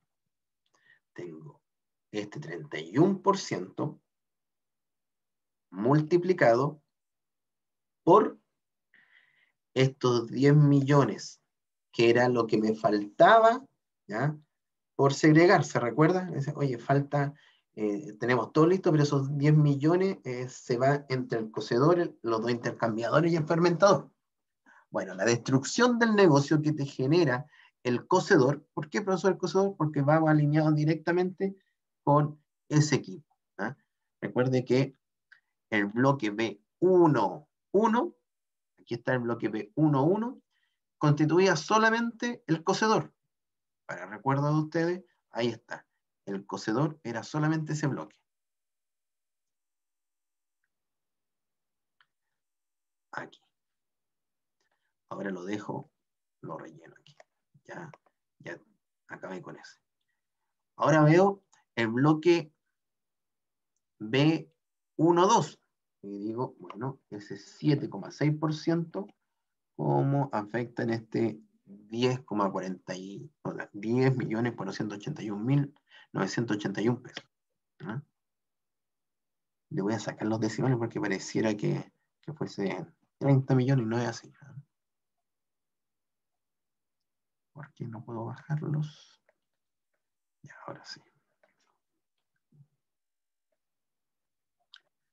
Entonces, los dos intercambiadores, siendo que en un momento le dije, mira, el intercambiador, el intercambiador genera uno de los que generaba más, más indisponibilidad, pero esa indisponibilidad, ¿qué me genera ah, en la destrucción del negocio?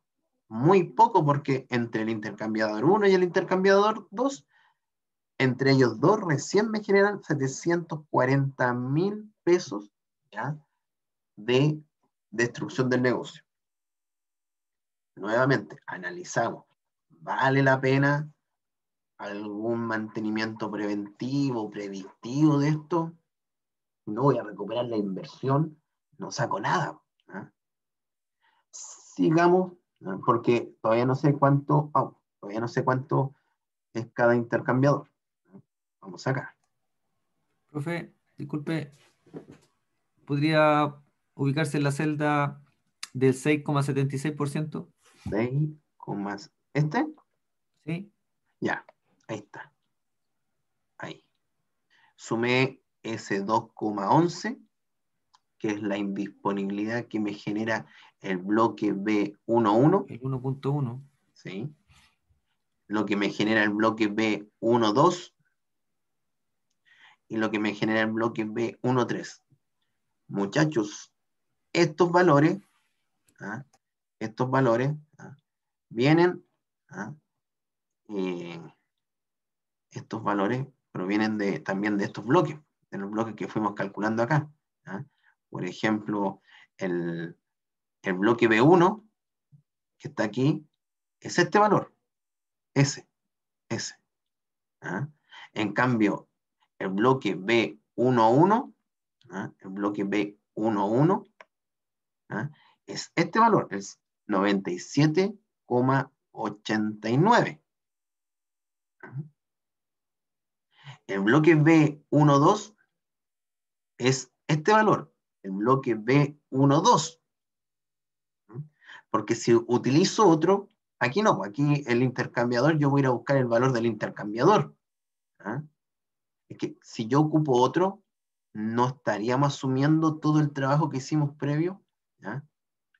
Eh, aquí el fermentador, si el fermentador lo tengo ahí arriba, por ahí, ahí está el fermentador, y este es el bloque B2 que está acá abajito, 97 con, es que aquí voy a tomar este, pero es lo mismo, va a ser lo mismo, porque como es solamente un equipo, no hubo cambios, si se da cuenta.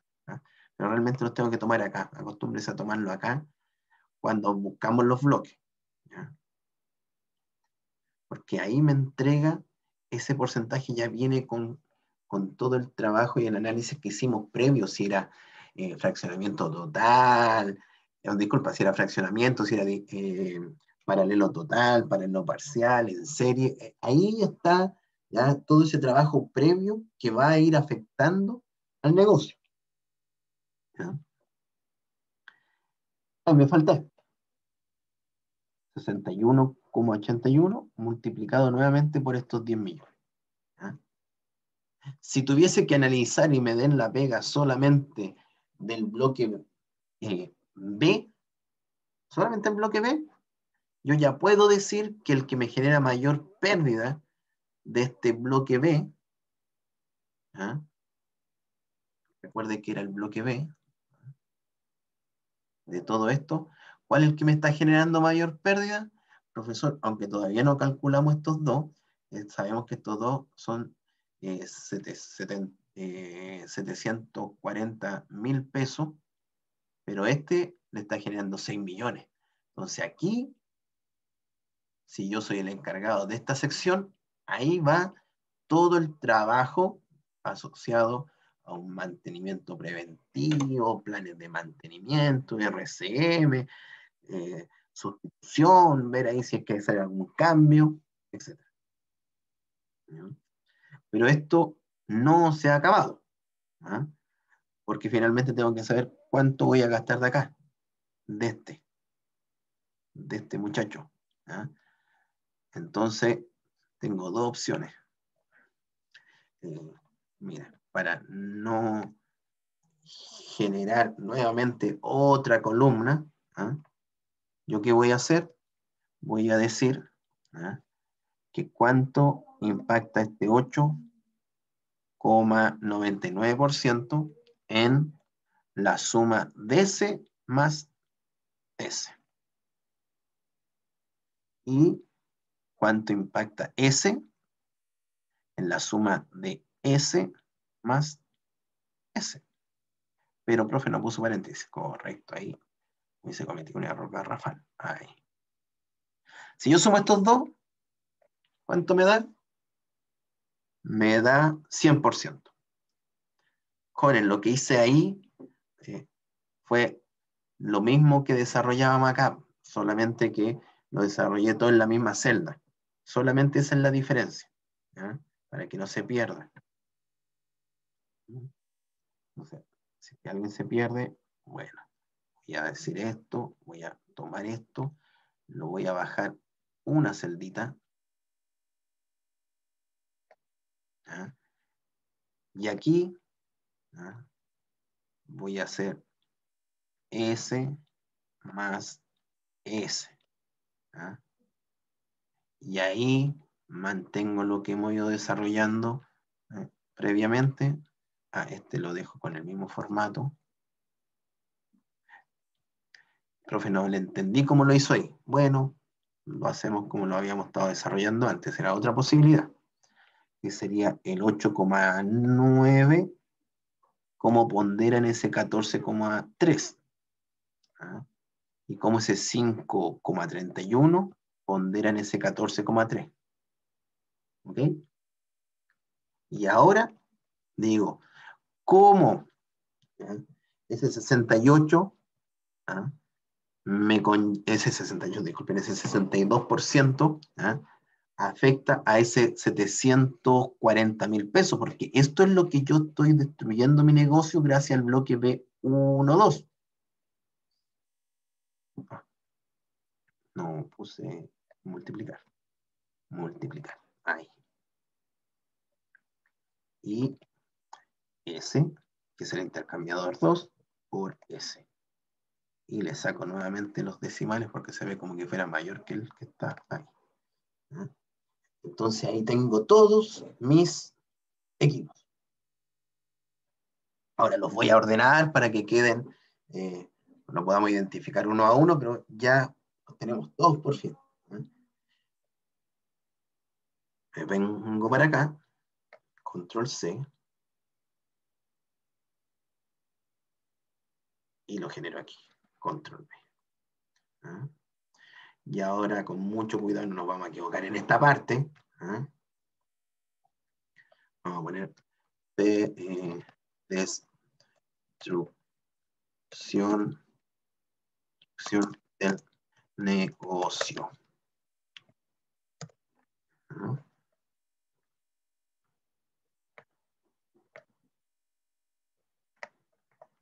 ¿Por qué no?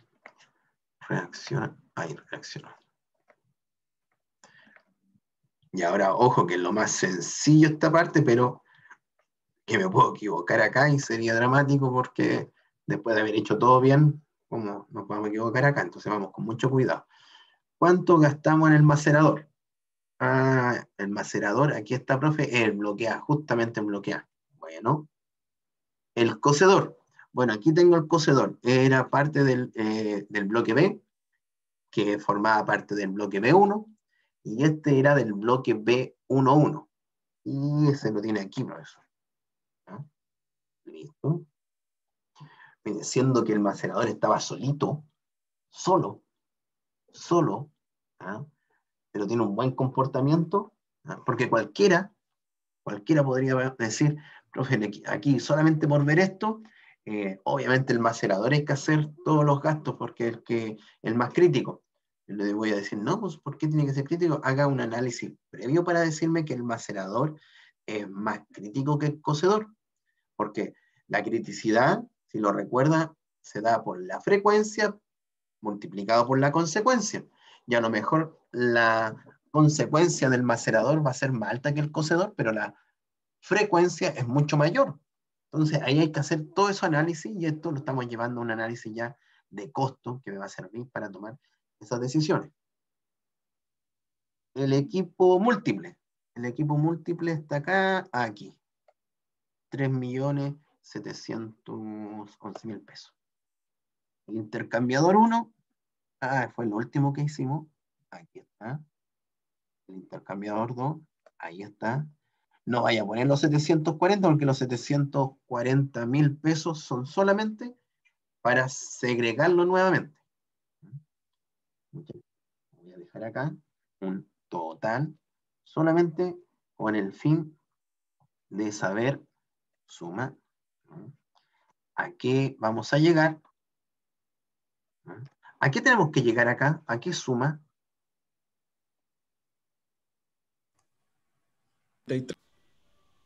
Ahí, alguien, alguien escuchó.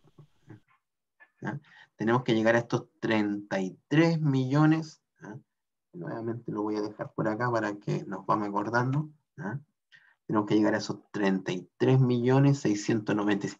No podemos llegar a más, no podemos llegar a menos. Si llegamos a más o llegamos a menos, eh, significa que en alguna parte nos equivocamos. ¿ya? Algo hicimos mal. El fermentador, el fermentador está aquí, es el equipo B, el bloque B1, 3, aquí, 6 millones. Ya, el fermentador gasta bastante. Luego viene el madurador.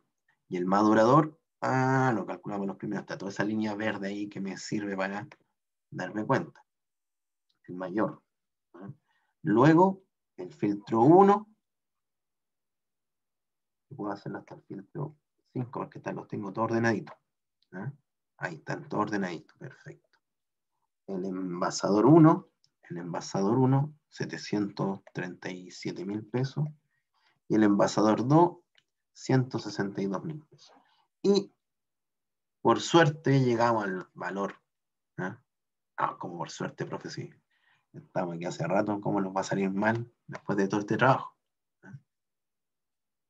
Entonces aquí podemos dar un formato condicional, a dar una escala de colores, solamente para que no creo que vaya degradando.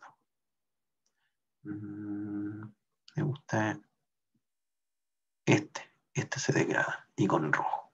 ¿Mm? Ahí. Esa es la destrucción del negocio. ¿Ah? Véalo ahí, dígame si,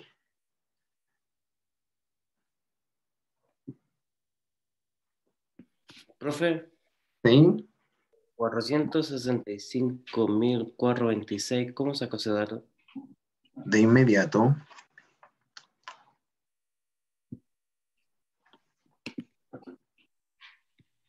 El del Inter 1, creo que. voy. Eh, el intercambiador 1. Sí, abajo. ¿Cuál? ¿Este? ¿465? Ujú. ¿Ese valor? Sí. Es el porcentaje de ponderado entre estos dos. Recuerde que si yo sumo estos dos me da 100 porque tengo eh, analizando el bloque B1, 2. Y si Ah, sumo ya. estos dos me da 100%. ¿De dónde salió ese 62%? De 8,99 sobre ese 14,3. ¿De dónde salió ese 37? De 5 dividido por ese 14,33. ¿De dónde salió ese 14,33? De la suma de estos dos. ¿ah? S es la suma de 8,99 y 5,31.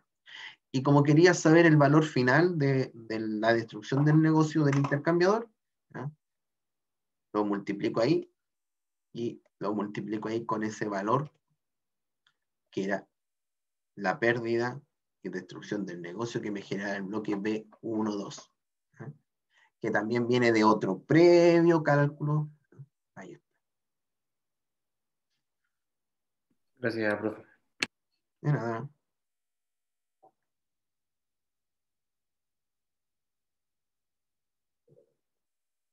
Ya, entonces ahora voy a calcular la cantidad de fallas anuales. Profe, por fin va a hablar de los costos de intervención, parece. Sí, pero todavía no, falta un poquito más. ¿Ah? Falta un poquito más. Primero, tengo que ver cómo, cuántas veces en el año, cuántas veces en el año promedio falla el macerador. ¿Ya? Entonces, como tengo un MTTR, un MTBF, yo lo que voy a hacer, voy a decir, mire, yo tengo una cantidad de horas en el año que va a funcionar, que debería funcionar, ese es mi ideal. Y eso lo voy a dividir por la suma del MTBF más mi MTTR. ¿Qué corresponde ese? La suma del MTBF, que es el, el tiempo promedio entre falla, y le voy a sumar el tiempo promedio entre reparación. Yo si sumo estos dos voy a tener el tiempo promedio para la falla. O sea, ocurre una falla cada 755, 755 más 8. Como promedio ocurre una falla cada 763 horas almacenador. ¿Ah?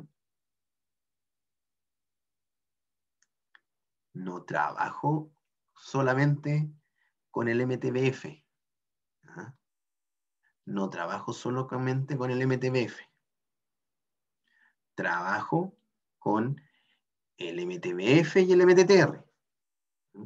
Porque si trabajo solamente con el MTBF estaría sacando los valores que hay que dura el equipo funcionando.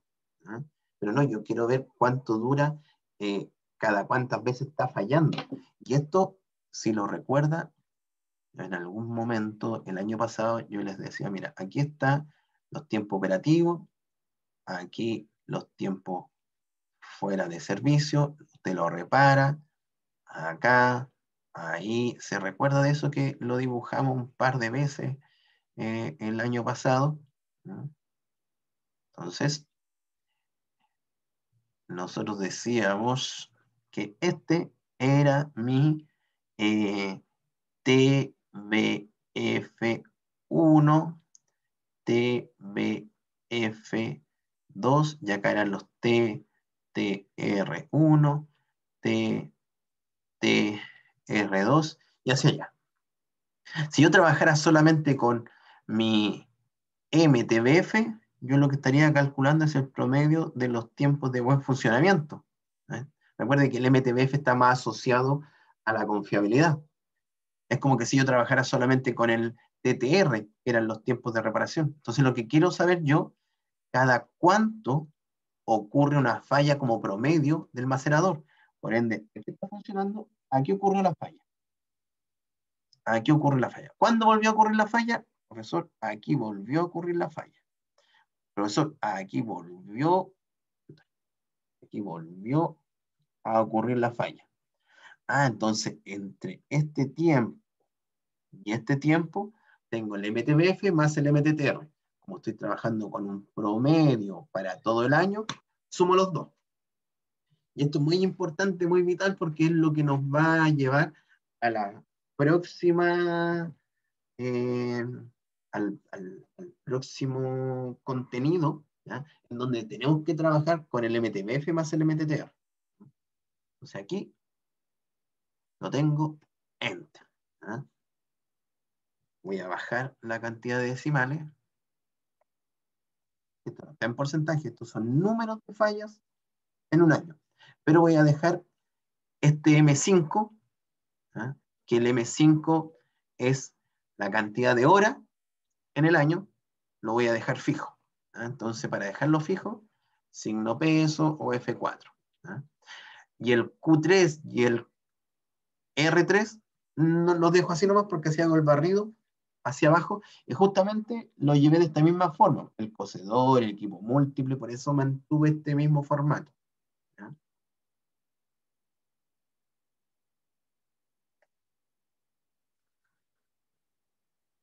Aquí puedo ver cuál es el equipo que me lleva más intervenciones en el año. ¿ah? El, el madurar, madurador tiene muchas intervenciones en el año, muchas fallas en el año. ¿ah? Creo que es el mayor. ¿ah? Sí, después lo sigue este envasador 1. Y finalmente, costos totales, totales de intervención.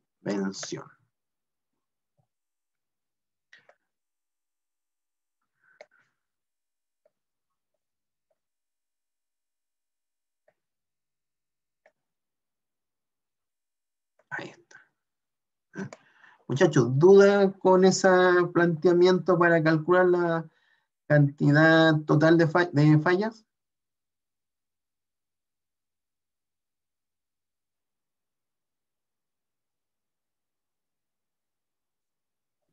No, profe, todo bien. Perfecto.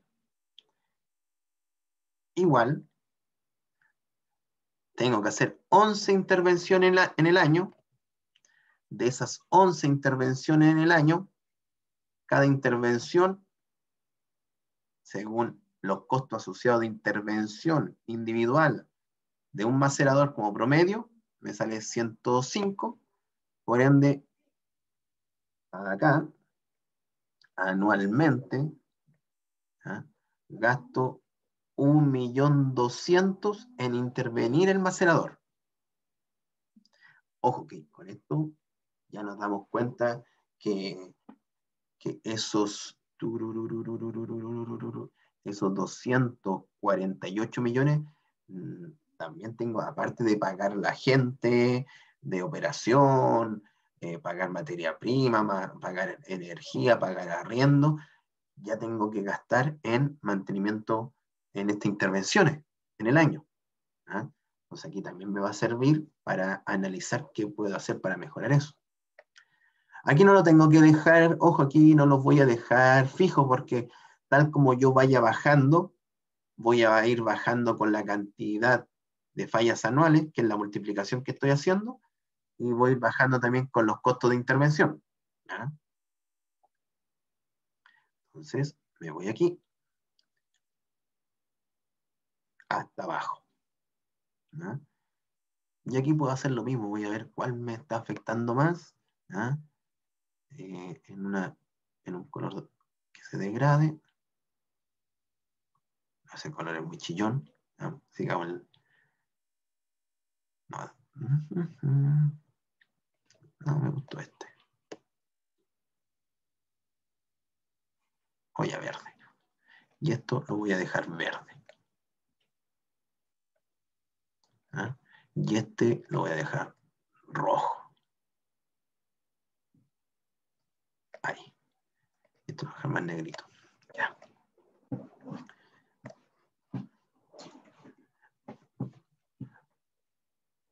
Determine el activo que genera mayor pérdida en el sistema y los costos de mantenimiento en el año de cada uno de los activos.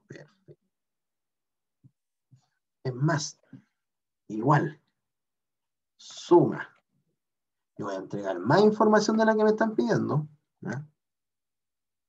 Mire, solamente por intervenciones, que la estoy haciendo durante este año, las intervenciones que hice, en el 2020, por ejemplo, ¿ya? gasté 29 millones. O sea, ya, aquí ojo, o sea, eso, eso va a ser más que la ganancia real, insisto, va a ser la, venta, la, venta real. Pero no van a ser ganancias porque tengo que pagar otras cosas.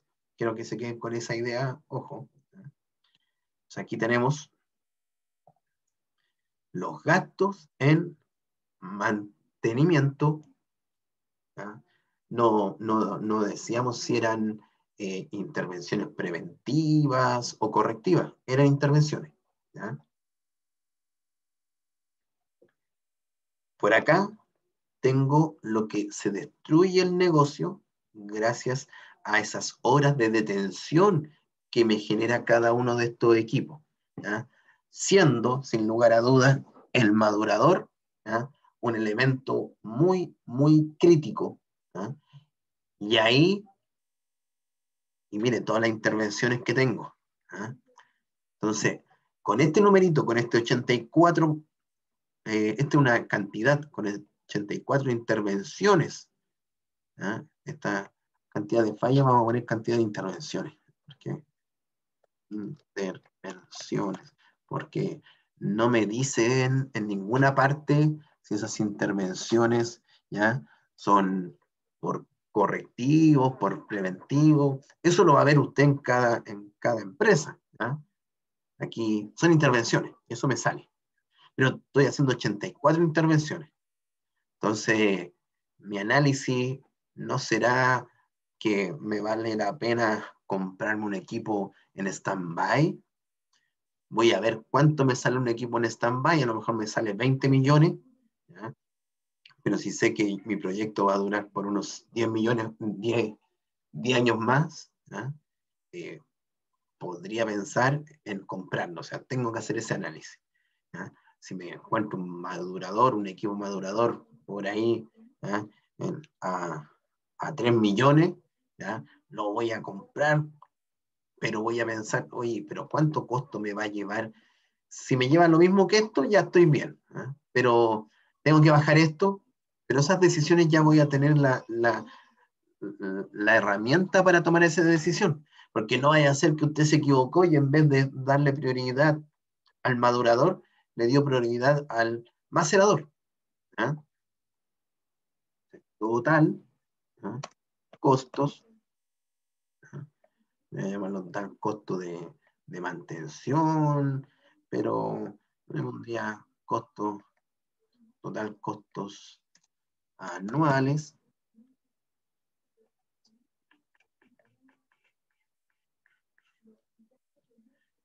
y lo vamos a dejar acá en amarillito.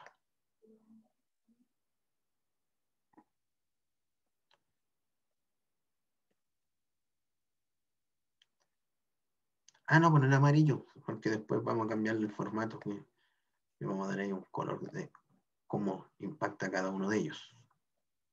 Es como, como se arregla la condición.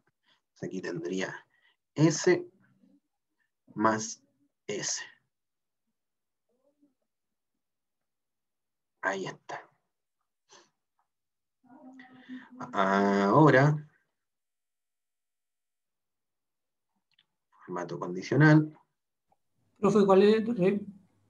¿Era más cuál?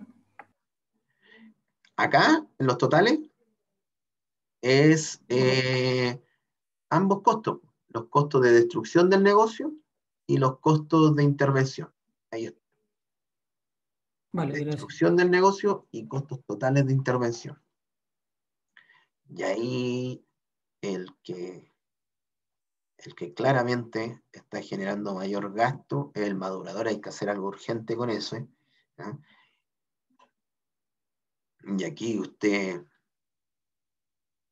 podría llevar hasta un, un gráfico, presentarlo. Eh, aquí ya tiene un gráfico bonito para presentar y para eh, decirle a los profesores por qué va a elegir el madurador ¿ya? como equipo que usted va a hacer el análisis en su trabajo de título. ¿ya?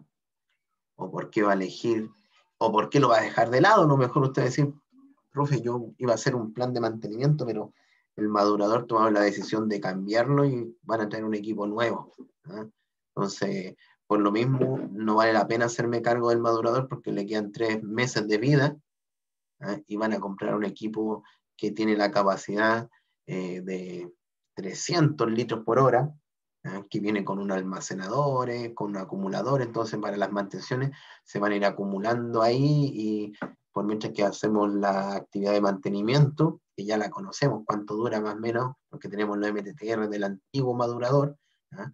vamos a tener guardadito ahí en este estanque para estar inyectando al proceso y así yo lo detengo, lo que se hace con un stockpile ¿no? en la minería, así puedo intervenir el equipo y no se ve afectado mi proceso.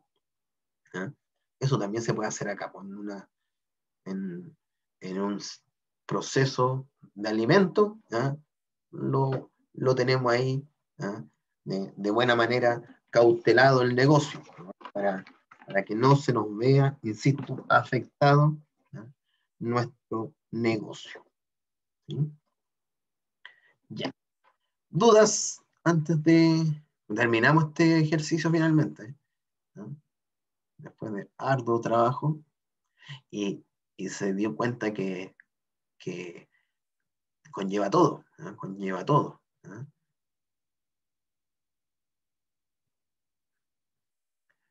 Ahora, también podríamos hacer algo parecido para ver cómo afecta el rendimiento de cada uno de ellos. Por ende, yo acá tendría que tener un, una columna del rendimiento de cada uno de ellos. ¿ah? Entonces, con eso yo puedo decir, ya, si realmente me está produciendo tanto, ¿realmente produce esto? ¿O será que, ¿ah? o la tasa de calidad, etcétera? ¿no? A lo mejor otro ejercicio me va a decir, mira, además hay que pagar arriendo, tanto, tanto, hay que pagar sueldo, hay que pagar esto otro. ¿ah? ¿Con cuánto se queda ¿ah? el, el, dueño? ¿Cuánto es su utilidad después de un año de, de trabajo de este proceso? Porque tenemos claro que los 2.802.000, no, disculpen, los 282 millones no se los va a llevar al bolsillo tenemos claro que tampoco se va a llevar al bolsillo los 248. Eh, hay que quitarle ya eh, recursos humanos y vemos ahí finalmente cuánto está quedando como utilidad.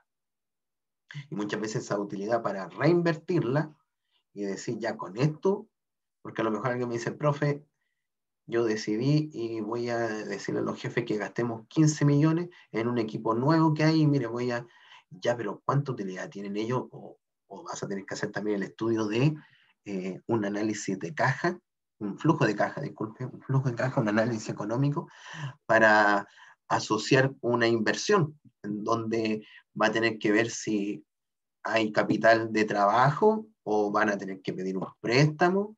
Ese préstamo también lo van a tener que segregar en cuántas cuotas, ¿eh? a cuántos años, cuál va a ser el valor de la amortización, de la depreciación de los mismos equipos. ¿no? Y eso ustedes lo vieron en gestión de proyectos. Asociado ahí, eh, obviamente va a ir dependiendo cada trabajo de título, cómo ustedes ¿ya? van a, a, a, llevar el trabajo para ver la necesidad de aplicar ¿ya? temáticas de costo. Un, un, plan de mantenimiento, por ejemplo, sí o sí ¿ya? tiene que llevarme los costos por lo menos de su plan de mantenimiento y cuáles van a ser los beneficios ¿ya? al proceso. Y si va más allá, también debería agregar un tema cómo se va a impactar de esta manera. ¿ya? Y si haces esto, clarito, no, no vas a tener ningún problema con la comisión. Ya. Ah, bueno, el ejercicio de la cerveza. Ya sé con qué acompañar el almuerzo el día de hoy.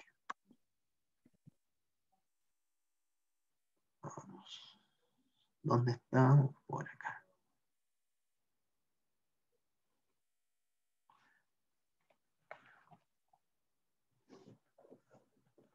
Ah. Al tiro otro ejercicio. ¿Ah? Ah, ya, pero tomemos un break. Tomemos un break. Este ejercicio no es tan largo, ¿ya? Así que terminamos las clases a las 1.25 el break para el almuerzo. Entonces, este ejercicio, lo demás que lo desarrollamos en unos 50, 40 minutos, así que tomemos un break de, eh, de 10 minutitos o de 12, y así volvemos a las 12.40. Voy a escribirle acá, voy a pausar la grabación en primer lugar.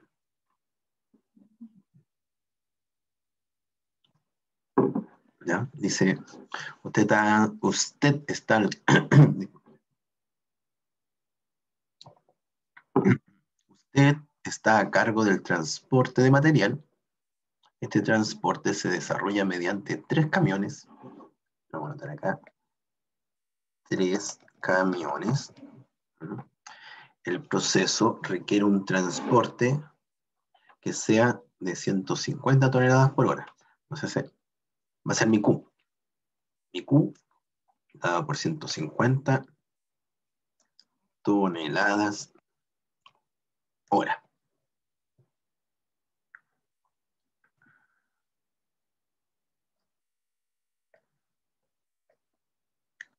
Lo vamos a dejar acá. Los equipos tienen diferente capacidad cada uno. Y,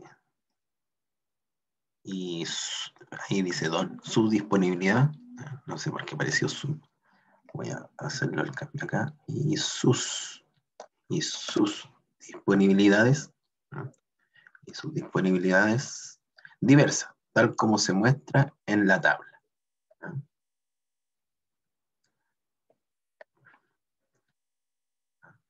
Entonces, eh, esa tabla que se muestra es la siguiente. Vamos a anotarla aquí también. Y así la tenemos desde ya lista. Equipo, equipo, capacidad en toneladas hora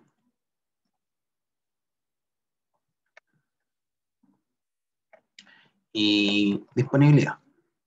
Obviamente, sabemos que está en porcentaje. Esta la dejamos en porcentaje. Acá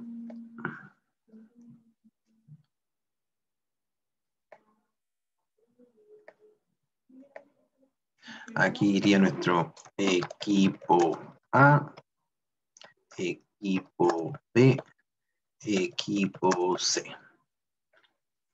58 toneladas, 65, 42.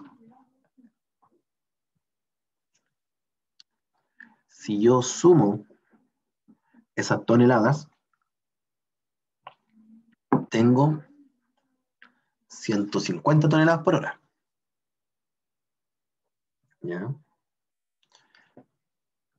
Tengo 166 toneladas por hora. O sea que los tres equipos me generan más de lo necesario. Pero eso es bueno por una parte porque puedo dejar con menos carga uno de los equipos y voy cumpliendo esta, este proceso, estas toneladas por hora. El equipo C es 42 toneladas hora. Muchas gracias. Estamos dando una, tonelada de más. Pero debido a que no tenemos un, un 100% de disponibilidad de cada equipo, dicen, nos preguntan lo siguiente. Dada la baja disponibilidad que de este sistema, ¿ya? Se desea analizar la opción de agregar un cuarto equipo, el cual, eh, dada su nueva tecnología, tiene una disponibilidad, ¿ah? entonces un equipo D, y nos dicen que su disponibilidad esperada es un 85%. ¿Ah? Esa es la disponibilidad esperada por estos equipos.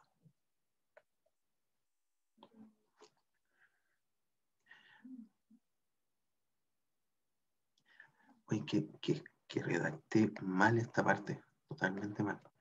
¿Qué capacidad debe tener el equipo para que la disponibilidad del sistema de transporte sea del 90%?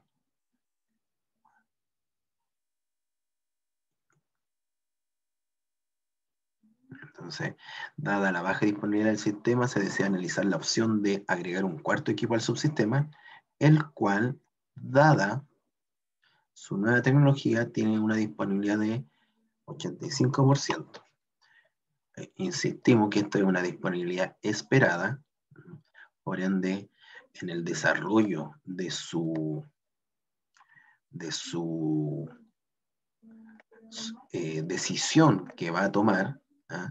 también tiene que ponerse en un escenario optimista, en un escenario pesimista, neutral.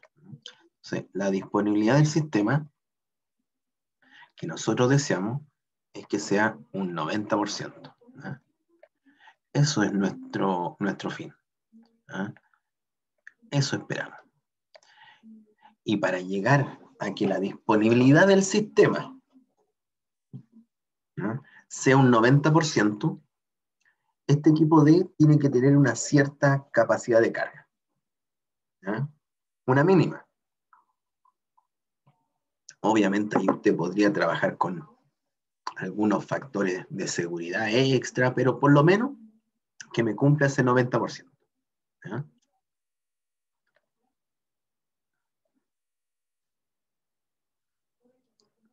Entonces, ya que tengo toda esta información acá, voy a tomarme de esta, control C, para empezar el desarrollo, voy a llevarlo acá, voy a tomar esta, control C, lo voy a llevar acá,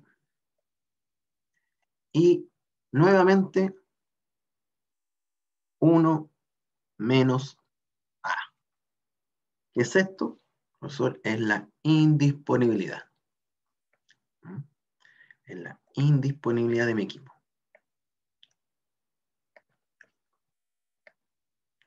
Teniendo claro que todavía no conozco, todavía no conozco el Q del equipo D. Conozco el Q que requiero y la disponibilidad de mi sistema que necesito. Entonces,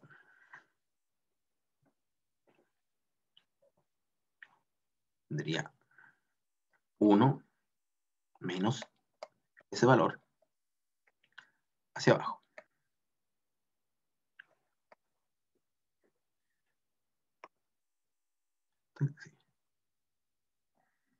Entonces, tengo que ver qué escenarios, qué escenarios se podrían dar.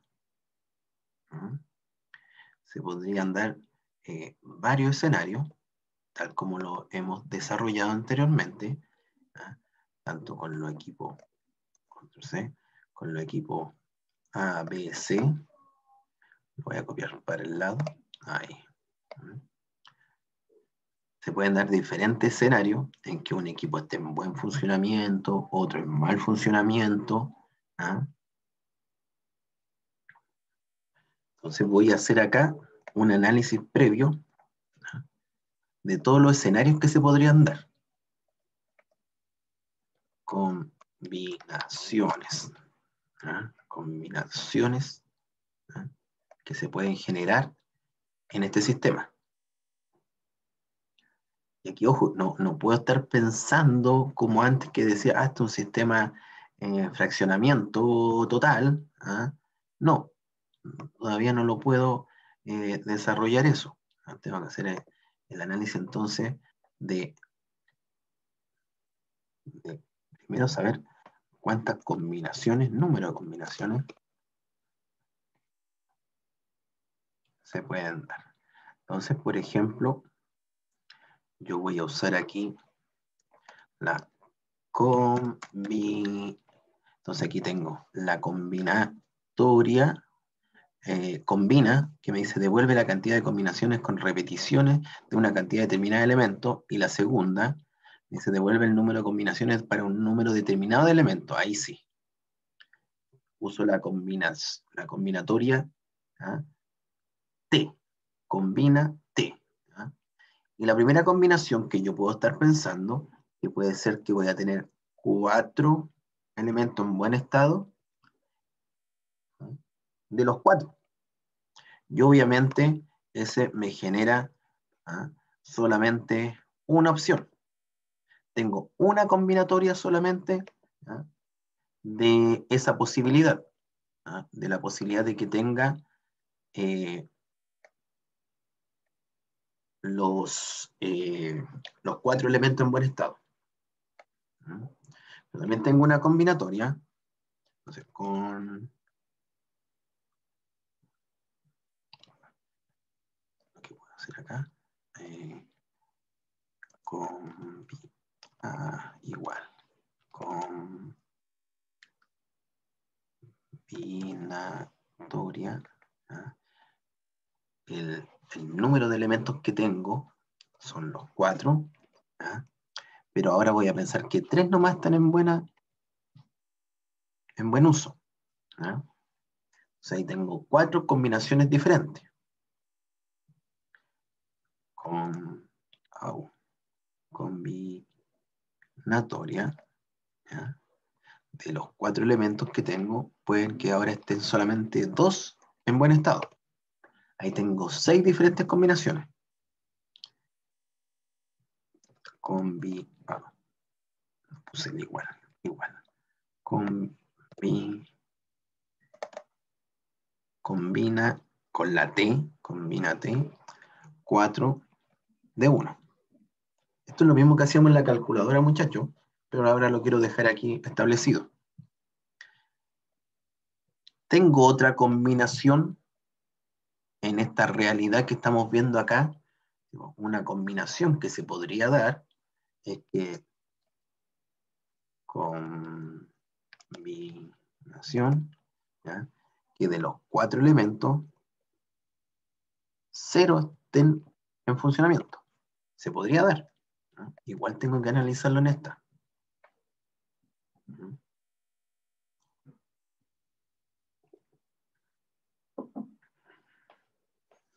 Ya. Entonces aquí voy a poner... Ah, eh, voy a poner acá todos. No, aquí total. Total suma. Tengo 16 combinaciones entonces que analizar.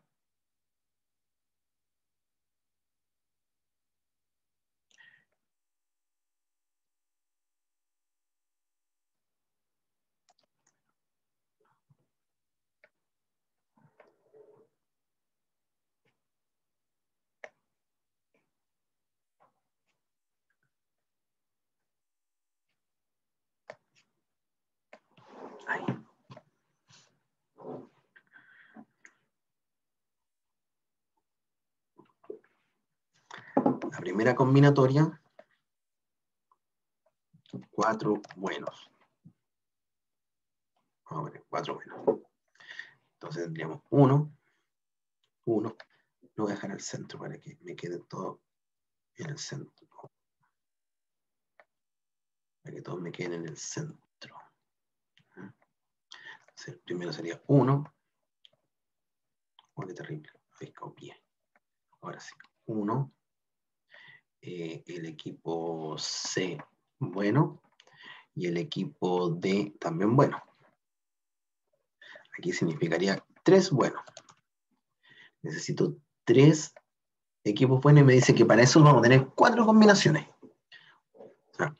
bueno, bueno, bueno y malo. Bueno, bueno, malo y bueno.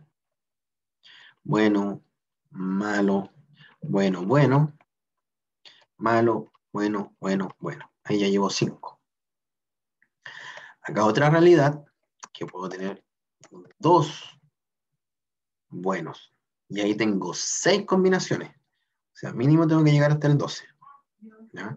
Voy a dejar con un color para no olvidarme que tengo que llegar hasta ahí. Dos buenos. Y o sea, dos malos. 1, 1, 0, 0.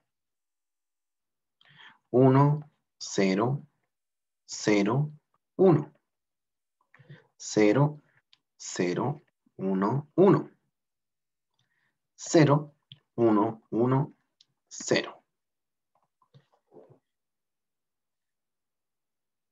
Después 0, 0, 1, 0, 1, 0, no, no tengo eso. 1, 0.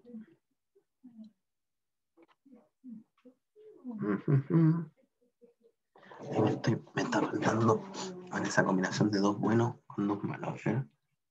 Eh,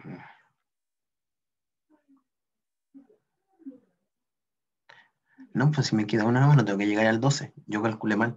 Discúlpeme ahí. Ahí sí. Porque aquí tengo los 6. 1, 2, 3, 4, 5, 6. Me está faltando una pura combinación. Por eso decía, ¿dónde voy a sacar la otra combinación? Entonces, me está faltando la última combinación. Que a ver, dejé verla. Tururún, hicimos 1, 1, 0, 0, 1, 0, 0, 0. Este podría 1, 0, 1, 0, profe. 1, 0, 1, 0, 1, 0. Gracias. Ahí está. Que es lo contrario de este. Ahí, perfecto. Muchas gracias. Uno, bueno, para la siguiente combinatoria. Y la siguiente combinatoria me permite cuatro elementos. Uno, dos, tres, cuatro. Ahí sí. Me había asustado adelante porque sería, partamos, 0, 1, partí mal. Parto con este bueno, malo, malo, malo, malo, bueno, malo, malo, malo, malo, bueno, malo, malo, malo, malo y bueno. Y, en, y la última combinatoria es que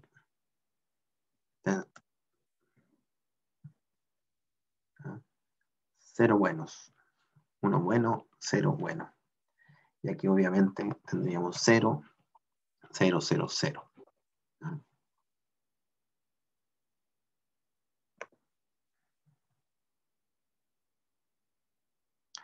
ahora hay que calcular cuál es la probabilidad, ¿ah? la probabilidad que tuviese de que esto, se, esto ocurra.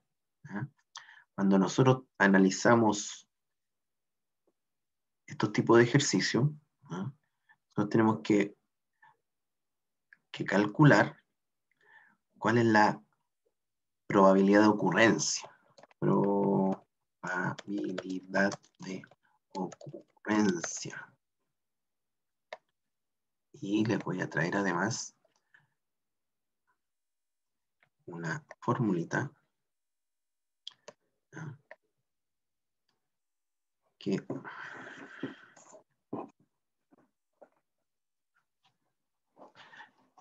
la vamos a tener que en la suma de producto, a ver dónde tengo esta.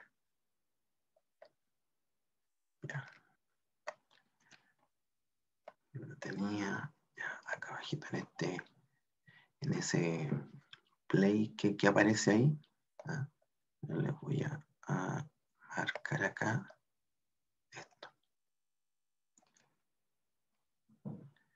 Voy a cerrarlo acá, lo voy a juntar y lo voy a dejar acá.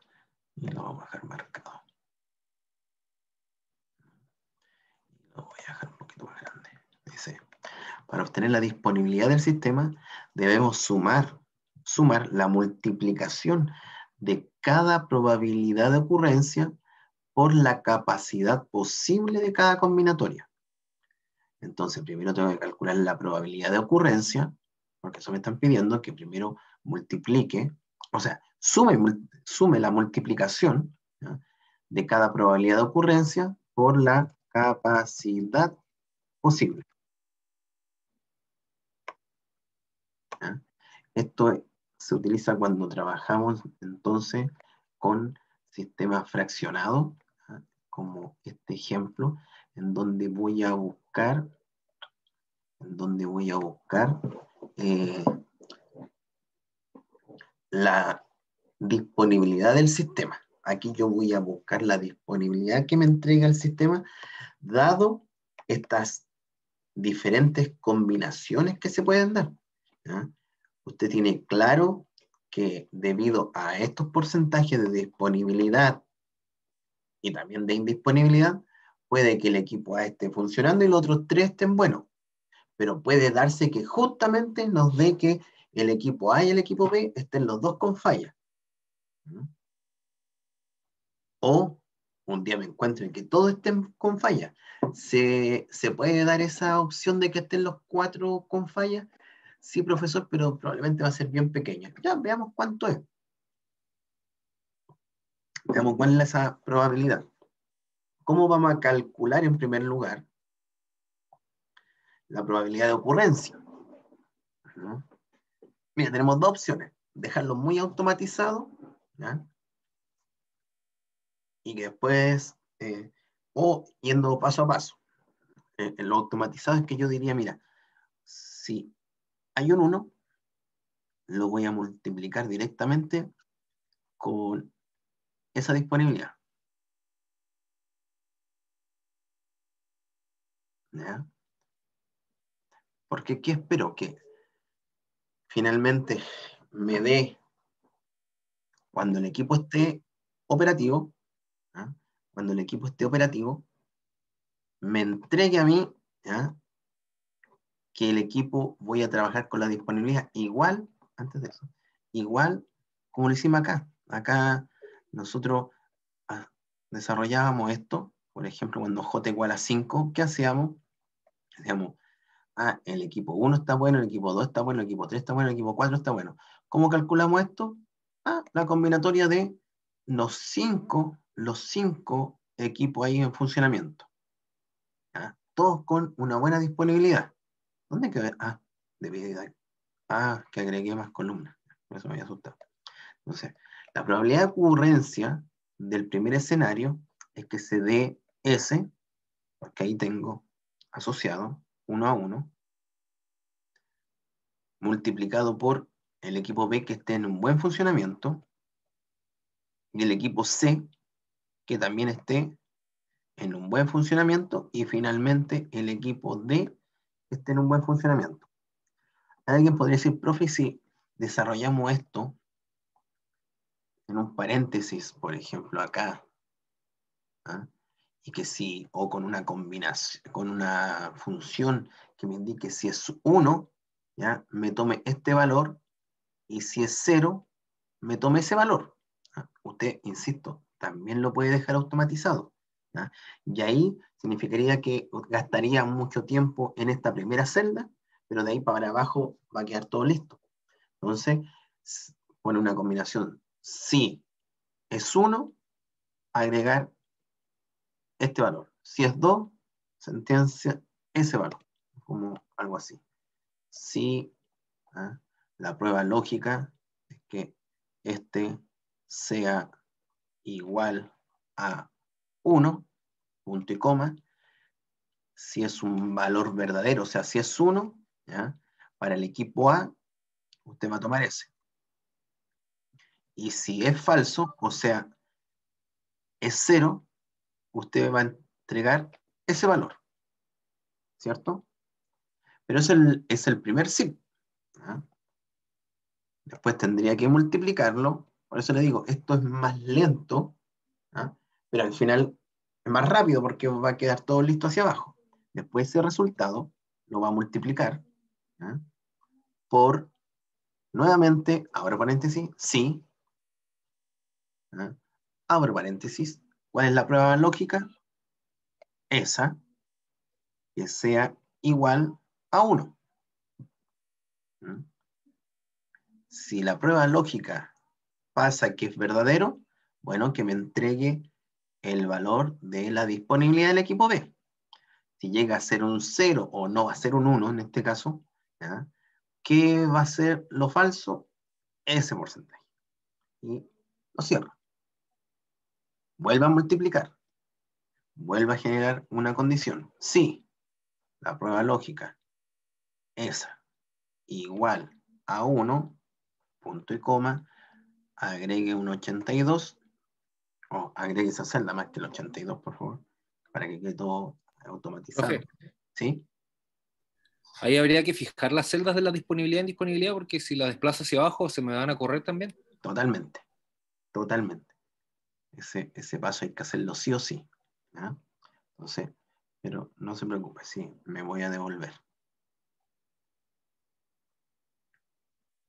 Entonces, sí, la, la última condición, la prueba lógica es que este sea igual a 1.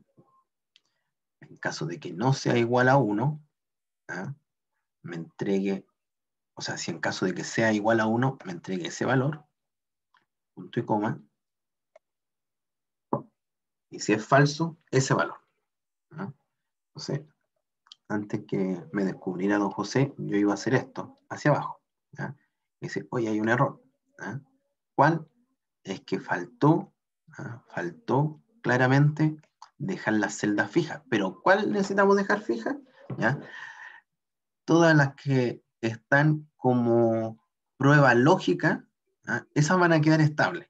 O sea, el L, el M, el N y el O quedan libres, no tienen que quedar fijas.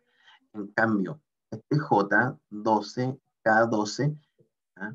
que van a ser los valores en caso de que sean verdaderos, vamos a dar ahí F4. Y le dejo el signo peso a cada una de ellas.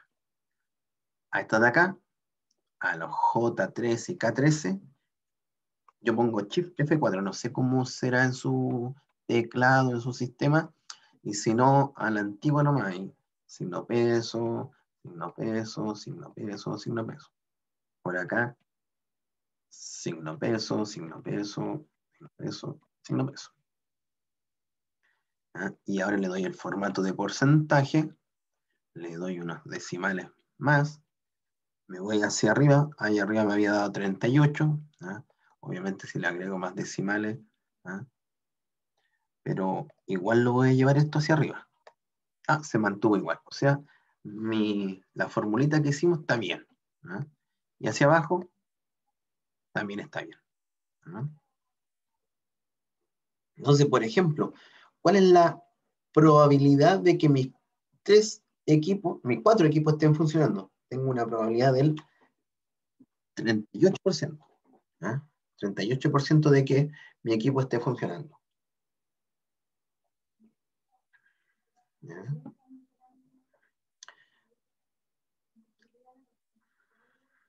¿Cuál la probabilidad de que ninguno de mis equipos esté funcionando? Un 0,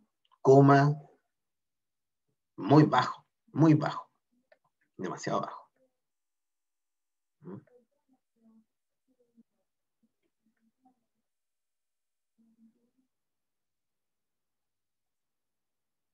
Entonces, ahora me voy a la capacidad posible.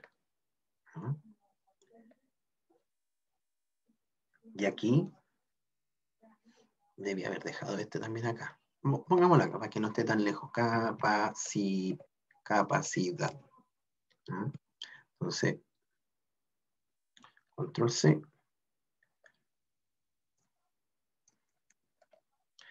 Mm. El problema, ya que si usted quiere hacer un cambio después, no va a poder hacer el cambio aquí, va a tener que hacer el cambio acá. Y eso no me gusta, a mí me, me colapsa, entonces, me gusta que quede demasiado automatizado todo, entonces, creo que nomás. ¿no? Esto, y acá, ese, con ese, hacia abajo. Y esta es nuestra estrella. ¿ah? Estamos ahí a la espera de aquel, ¿ah? que es mi incógnita. Entonces ahora voy por la capacidad posible.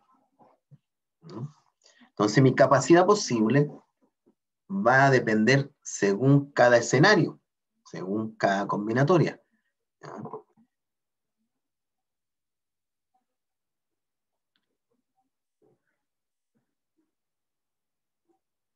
Que voy a tener. Que el equipo esté bueno, el equipo 1 esté bueno, y lo asocie a la capacidad del equipo 1, 58. Más que el equipo B esté bueno o esté malo, porque si está malo va a haber un cero y solito lo va a resolver el sistema. Pero lo voy a asociar entonces a la capacidad del equipo. Me faltó el por. Por el equipo B. ¿ya? Más el equipo C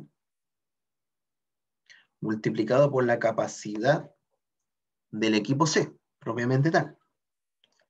Más, me he puesto por cuidado ahí, más el equipo D, que ahí lo tengo con otro color, que igual vale la pena mantenerlo, que es el equipo que estamos analizando, por ese espacio vacío que tenemos en este momento. No sabemos qué ir ahí. El profesor le dio 165 sin agregar uno más. O sea, si tengo los, cuatro, los tres, es más, este no tiene capacidad, si tengo los tres equipos en buen funcionamiento, ya no necesito el cuarto. ¿ah? Pero ojo, que eso se da con una ocurrencia del 38%, solamente ocurre eso. No ocurre muy seguido. El que más ocurre, obviamente, pero no es el que ocurre más seguido. Profe, ¿puede mostrar de nuevo cómo hizo el 165? Por favor. Ahí está, don Alexi. Multipliqué la condición de funcionamiento, no funcionamiento del equipo A, 1, 0, dependiendo cómo va a ser, vamos a hacer el barrido para abajo. Eh, en atención a lo que dijo delante don José, también me falta aquí algo importante, dejar fija alguna celda. ¿ah? Aquí tenemos que dejar fija la celda de capacidad. Por ejemplo, esa L11, ¿ah? L12, L12 es la primera. Sí, L12, esta L12 tengo que dejarla fija. ¿ah? Entonces, esta queda fija y esa queda fija. ¿Qué estoy multiplicando ahí? Estoy multiplicando ese 1 por el 58, pero después puede ser un 0 y lo voy a multiplicar por el 58 y el resultado me va a dar un 0 obviamente en esa parte. Entonces me dice M20, ah, el equipo B, si es 1, 0, es como mi prueba. ¿ah? Y aquí signo peso para dejar fijo la capacidad del equipo B. N20, N20. Aquí voy a tener entonces S y S. O 20, lo mismo, en la prueba 1 o 0, pero el L15 dejamos fijo.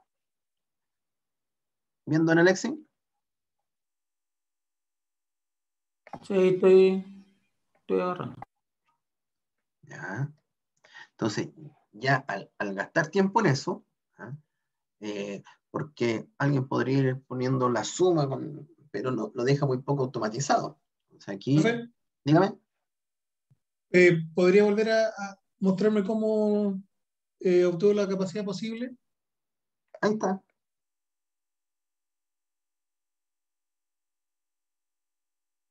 Lo voy a dejar ahí un ratito. Voy a dejar aquí un ratito, aquí, para que vean cómo es la ecuación. O sea, la fórmula. Igual dejé fijo, si se dieron cuenta, el equipo D.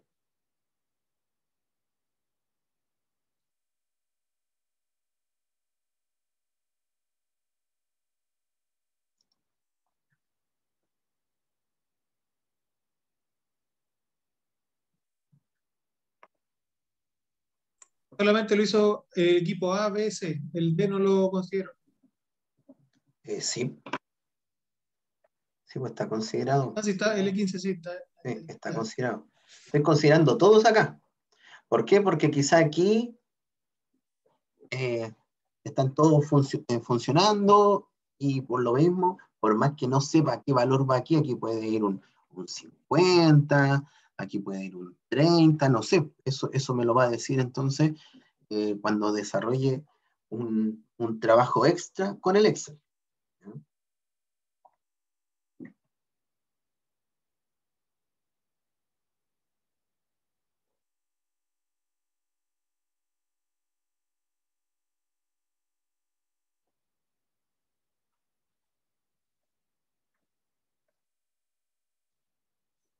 ¿Ya? Entonces, aquí voy a bajar.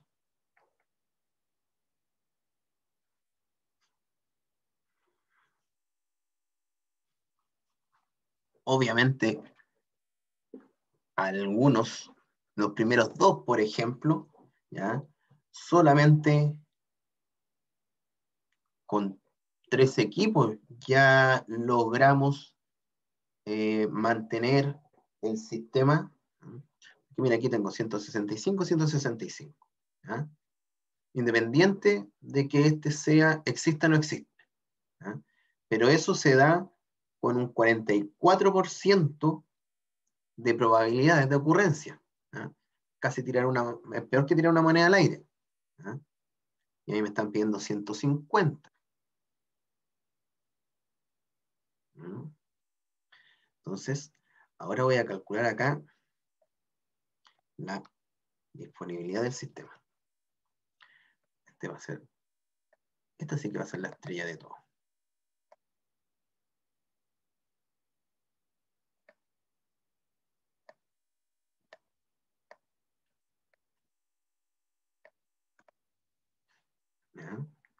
Entonces dice, para la disponibilidad del sistema, debemos sumar la multiplicación de cada probabilidad de ocurrencia por la capacidad posible de las combinatorias. Entonces aquí hay una formulita en Excel, que para no estar esa por esa, eh, más esa por esa, más esa por esa, hay una que se llama suma producto. Se devuelve la suma de los productos de los rangos de las matrices correspondientes. Perfecto. Esa es la que ando buscando. Suma producto. ¿Mm? Ahí la tiene usted en el Excel. Y me dice, deme la matriz. ¿Mm? Deme la matriz que vamos a operar. Es más, si se va aquí, dice, entrégueme la matriz número uno, devuelve la matriz. Entonces, yo lo que voy a hacer, oh, ¿qué hice? Eh, suma producto. Esta es la primera matriz. Punto y coma con la segunda matriz.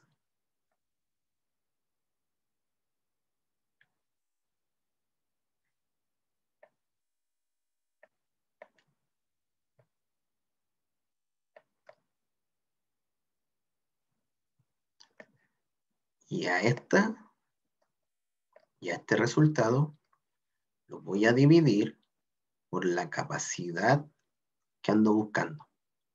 Y esa la voy a dejar fija por si acaso no se me vaya a mover. F4. Y lo dejo en porcentaje.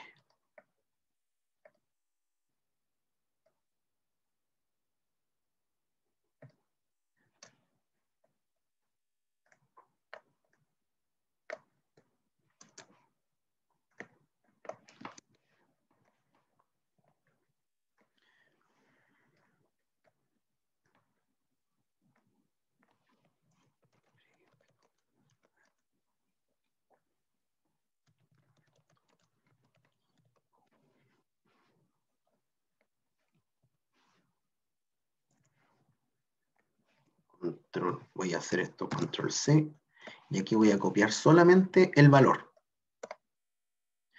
Muchachos, este es el que está bajo este proceso. De, automatización con, todos los, los, cálculos que realizamos. Pero acá yo copié la disponibilidad previa a agregarle un valor aquí a ese, a este elemento. Yo podría hacer a la antigua, y a partir de acá, yo puedo empezar a poner valores, por ejemplo, 50. ¿Cuánto me da? Ah, me da mucho, no me sirve, estoy exagerando, y acuérdense que tengo que llegar a los 90.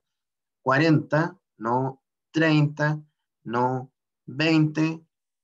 Ah, me estoy pasando, pero ya estoy cercano. Y un 10, 80, ah, entonces un 11, ah, un 12, ya entre el 11 y el 12 ya lo puedo.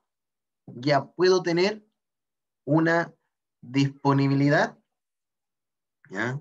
Una disponibilidad del 90%. Pero ahí usted me va a decir, profe, si acá el Excel tiene un solver, entonces usemos el solver. Bueno, usemos el solver.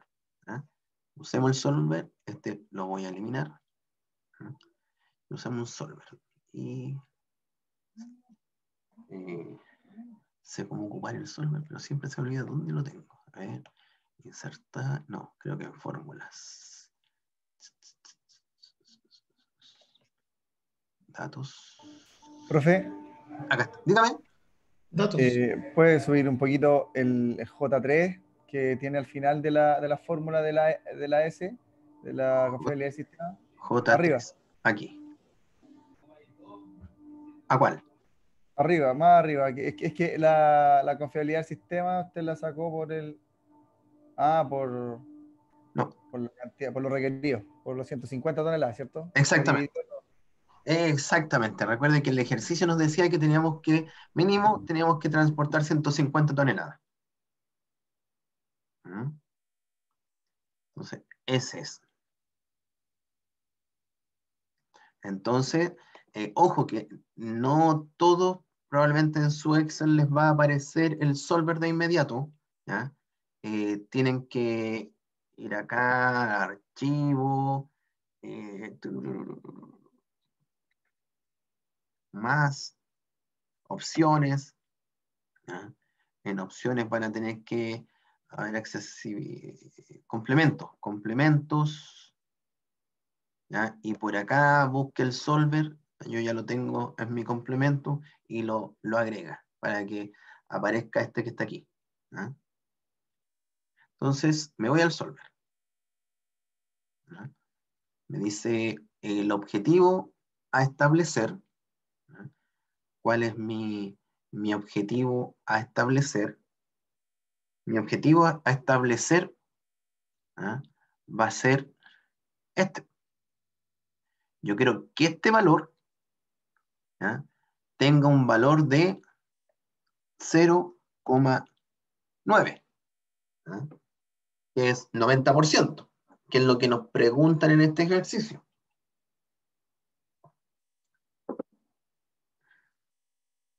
¿ah?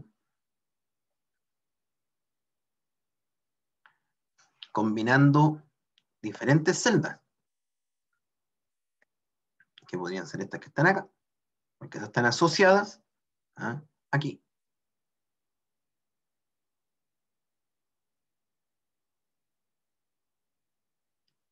Ah, disculpe, cambiando la celda variable, que es esta. Esa. Y ahí podríamos agregar algunas restricciones, como por ejemplo, no, no, no nos sirve, podríamos poner que sean mayor de 100 que, de, la capacidad, pero ya con esto debería entregarte el valor, porque lo que tú ¿ah? eh, aceptamos, mira, me dio 11,05. Y ahí, chan, tengo mi 90%. ¿ah? ¿Qué teníamos antes? Previo al cuarto equipo, un 83%. Con mi nuevo equipo, con mi nuevo equipo, que voy a comprar, que voy a pedir un equipo que tenga una capacidad de 11,05. No, profe, en el mercado hay uno de 15. Bueno, compremos el de 15. ¿no? Pero por lo menos voy a cumplir con esa capacidad que necesito, eh, esa capacidad de 150 y con una disponibilidad del 90%. Ojo que esta, mientras mayor porcentaje yo pida, obviamente la capacidad aquí se va a ver. Imaginémonos que yo cambio, en vez de 90%, pido un 95% de disponibilidad del sistema. Nuevamente ponga resolver. Y ahora 19,82%, o sea, disculpen, esta es capacidad. Eh, 19,88 toneladas. Esa era la capacidad, toneladas por hora. Esa es la, capacidad que tiene su equipo que requiere para este proceso. puede hacerla la antigua, como yo, yo le dije. Estimado, ustedes tienen que llegar aquí al 90%, a ver, 50, muy alejado, 5, mm, 10, a 11, profesor. Mire, me está faltando un poco, a ver, 12. Ya me pasé, pero 12 es bueno, pero si a lo mejor usted quiere el dato exacto de 11,5, ah, me estoy pasando, 11, 11,2, me vuelvo a pasar un poquito, 11,1, otra vez me estoy pasando, y este, eh, el, le llamábamos antiguamente el método del, tanteo, ¿ah? ¿Ah? que obviamente se llama iteraciones, pero ah, suena más bonito y más coloquial tanteo hasta llegar a, lo que estoy buscando. Ahora, lo bueno que el Excel tiene este solver y me, me soluciona toda esa falta de tecnología y, y estar achuntando ahí a cuál, cuál va a ser. Pero ese, que se maneje con los mínimos conceptos de, de solver, va, a tener el éxito. ¿ah? Ya muchachos, voy a detener, eh, antes, alguna consulta, voy a dejarla con el, con el solver listo porque se vea más bonito. Aquí. Después de la clase va a eh, subir este, ¿cierto? Sí, sí, sí, sí. Vamos al almuerzo ¿ah? y volvemos por unos, por, los otros minutitos que nos faltan. ¿ya? Entonces, como me pasé cinco minutos más y la salida era a las 13.25, nos volvemos a encontrar a las 14.35. Y yo les subo esto. Pero ojo que el, el Excel el, no va a salir cómo se hizo el solver, pero ahí ya, ya ve esa parte del video y, ah, esta Excel la usó el profe para hacer el solver. Ahí vaya mezclando eso. Si alguien no maneja muy bien el solver. ¿ah? Se deja escribir acá. Volvemos a las 14 con 37 minutos. Por estos otros dos minutos que me quede acá. Provecho. Provecho en su almuerzo muchachos. Estamos bien. Hola, profe. Descanse. Eh, voy a detener la eh, resúmenes. Obviamente, algunos no, no, alcanzaron a enviar los resúmenes porque están recién todavía planteando una idea, la quieren madurar un poco más, pero tal como se los mandé por correo, mensaje aula y también como he hablado con algunos, la idea es que en este periodo no se estresen con este tema. Es más, yo yo les tiré este tema para que ese, eh, ese estrés pueda ser eh, eh, digregado en unos dos meses. Si realmente ustedes tienen todo este año para, para terminar con un proyecto de titulación, sé que el tiempo pasa muy rápido y por lo mismo, sobre todo ustedes que trabajan estos turnos 7x7, van a tener que estar enfocados tanto en, en el día a día de la pega, la familia, más el tema de, de las clases. Y, si dejamos todo para el próximo semestre, eh, probablemente vamos a tener ahí más de algún caído y que no va a poder titularse de manera oportuna. Entonces, por lo mismo, le estoy pidiendo esta información de, trabajo de título y, con eso vamos con los profesores. primero estamos desarrollando un, reglamento interno de quiénes pueden ser profesores eh, guías, porque también queremos que los que los van a guiar a ustedes tengan un nivel académico correspondiente, asociado a que mínimo sea civil o que tenga un magíster ahí, eh, vamos a generar este tema. Entonces, ellos van a poder ser en el listado de, de profesores guías que ustedes van a, vamos a poder elegirles. ustedes me mandarán unas opciones, pero ahí voy a hacer el análisis con los profesores. Yo les se los voy informando ahí mediante correo y, y se van sumando los que no enviaron nada, se van sumando de a poco también. ¿Ah? Eh, lo que vamos a ver ahora en este cortito tiempo, en 20 minutos, no vamos a alcanzar a, desarrollar ejercicios de esto, pero sí quiero que lo entiendan y así la próxima semana eh, desarrollamos un ejercicio que normalmente estos ejercicios son más cortos, no son como el que vimos recién, y ya partiríamos con todo el trabajo de, de Weibull. Entonces, eh, existe un- una configuración para lo que es confiabilidad de sistemas complejos, es cuando el sistema tiene muchas conexiones. Entonces, por ejemplo, su proceso se puede ir por aquí, ¿ah? pero también se puede ir por acá, se puede ir por acá, se puede ir por aquí. ¿ah?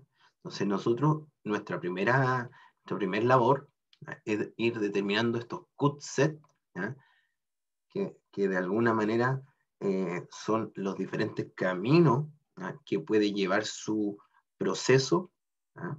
y tengo que analizar cómo sería el impacto. En primer lugar, tengo que entender que todos tienen la misma capacidad. Todos tienen la misma capacidad Q. Q. 100 toneladas por hora, 2 litros por segundo, ¿ya? Lo que fuese. ¿no? Y otra cosa, que no hay un elemento que le dé la señal para que comience él. ¿Ah? Eh, comienza nomás en caso de que falle, este toma el camino de inmediato, toma el camino más fácil. ¿ah?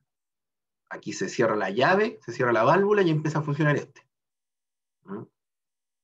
Entonces, existen técnicas para determinar los índices de confiabilidad del sistema complejo. Y estos son los QSET. ¿no? Los QSET identifican los distintos modos en los cuales el sistema puede fallar. Yo me voy a ir dando cuenta cómo puede fallar mi sistema ¿ah? para que este camino no se cumpla, o que este camino no se cumpla, o que este camino no se cumpla, o que este camino no se cumpla. ¿ah? Es un poderoso método para evaluar la confiabilidad de un sistema, por ejemplo, de un equipo o de un subsistema de un equipo, ¿ah? que pueden ser eh, sistemas electrónicos, por ejemplo, se utiliza bastante. Entonces, como habíamos indicado anteriormente, los QTSET ¿ah? son los modos que tendría que generarse en, este, en esta configuración para que el sistema podamos decir que falló. Yo aquí no voy a indicar el camino, yo aquí no voy a determinar el camino que va a tomar, yo aquí no voy a decir, ah, mira, el camino que puede tomar va a ser A y C, ese es mi primer camino, ah, el siguiente camino es B, D, ese otro camino, ah, el otro camino es A, E, D. No, yo acá voy generando los cut set ¿ah? que me van a generar una falla a mi sistema. ¿ah? Entonces, un set de corte puede ser definido como un set de componentes del sistema, los cuales al fallar ¿ah? eh, causan la falla total del sistema. Un subset mínimo origina la falla del sistema, es conocido como un set de corte. ¿ah? Entonces yo voy a buscar estos sets de corte. Y voy a tener varias posibilidades, dependiendo de la configuración que tenga. ¿no? Esta primera configuración que ustedes aprecian acá eh, sería el primer camino, ¿ah? como le indiqué, este va a ser un camino, un recorrido que puede tener su proceso productivo. Entonces yo ahí voy a pensar cuáles podrían ser las trabas que yo voy a poner a este sistema. Si yo bloqueo acá, bloqueo acá, o sea, el equipo A falla y el equipo B falla, por más caminos que yo tenga hacia allá, no va a poder avanzar, porque yo lo bloqueé aquí. Entonces ese va a ser mi primer camino, ¿ah? mi primer camino que está bloqueado, por decirlo de alguna manera, mi primer modo, mi primer cut set de cómo puede fallar mi sistema. Ese es mi primer cut set. ¿ah? Segundo cut set, nos vamos normalmente de lo más pequeño hacia arriba, ¿ah? puede fallar C y puede fallar B a la vez. D, D, disculpe, D, puede fallar D a la vez. ¿ah? Entonces ahí tengo mi segundo cut set de corte. ¿ah? Tercer, ¿ah? Yo puedo decir, va a fallar este, imaginémonos que B no falla, que B está bien. Entonces podría decir, mira, va a fallar este, pero tu sistema va a tomar este camino. Entonces tú dices, ah, no, no, también voy a bloquear E. Entonces en este caso el tercer camino, o el tercer, disculpe, el tercer subset va a ser A, E, E y D. ese va a ser el bloqueo que voy a desarrollar. A, E y D. Y ahí tengo mi tercer set. Cuarto, cuarto, podríamos decir ahora voy a bloquear B y que el camino ¿ah? y que el sistema se vaya por A. Se va a ir por A y para A va a ser más fácil irse por C, pero nosotros vamos a decir que C está con falla. Entonces va a decir, ah, entonces me voy por E ¿ah? y yo voy a bloquear E. Entonces ahí tengo mi otro camino bloqueado, B, E, C. Ahí está. B, E, C. Pero ojo, porque alguien podría pensar, profe, si el sistema se bloqueó así. B, C y D. ¿ah? Ese no va a ser un cut set, porque usted ya al generar esta falla y esta falla, independiente si B, E o A, independientemente que ellos estén con falla, usted ya bloquea acá.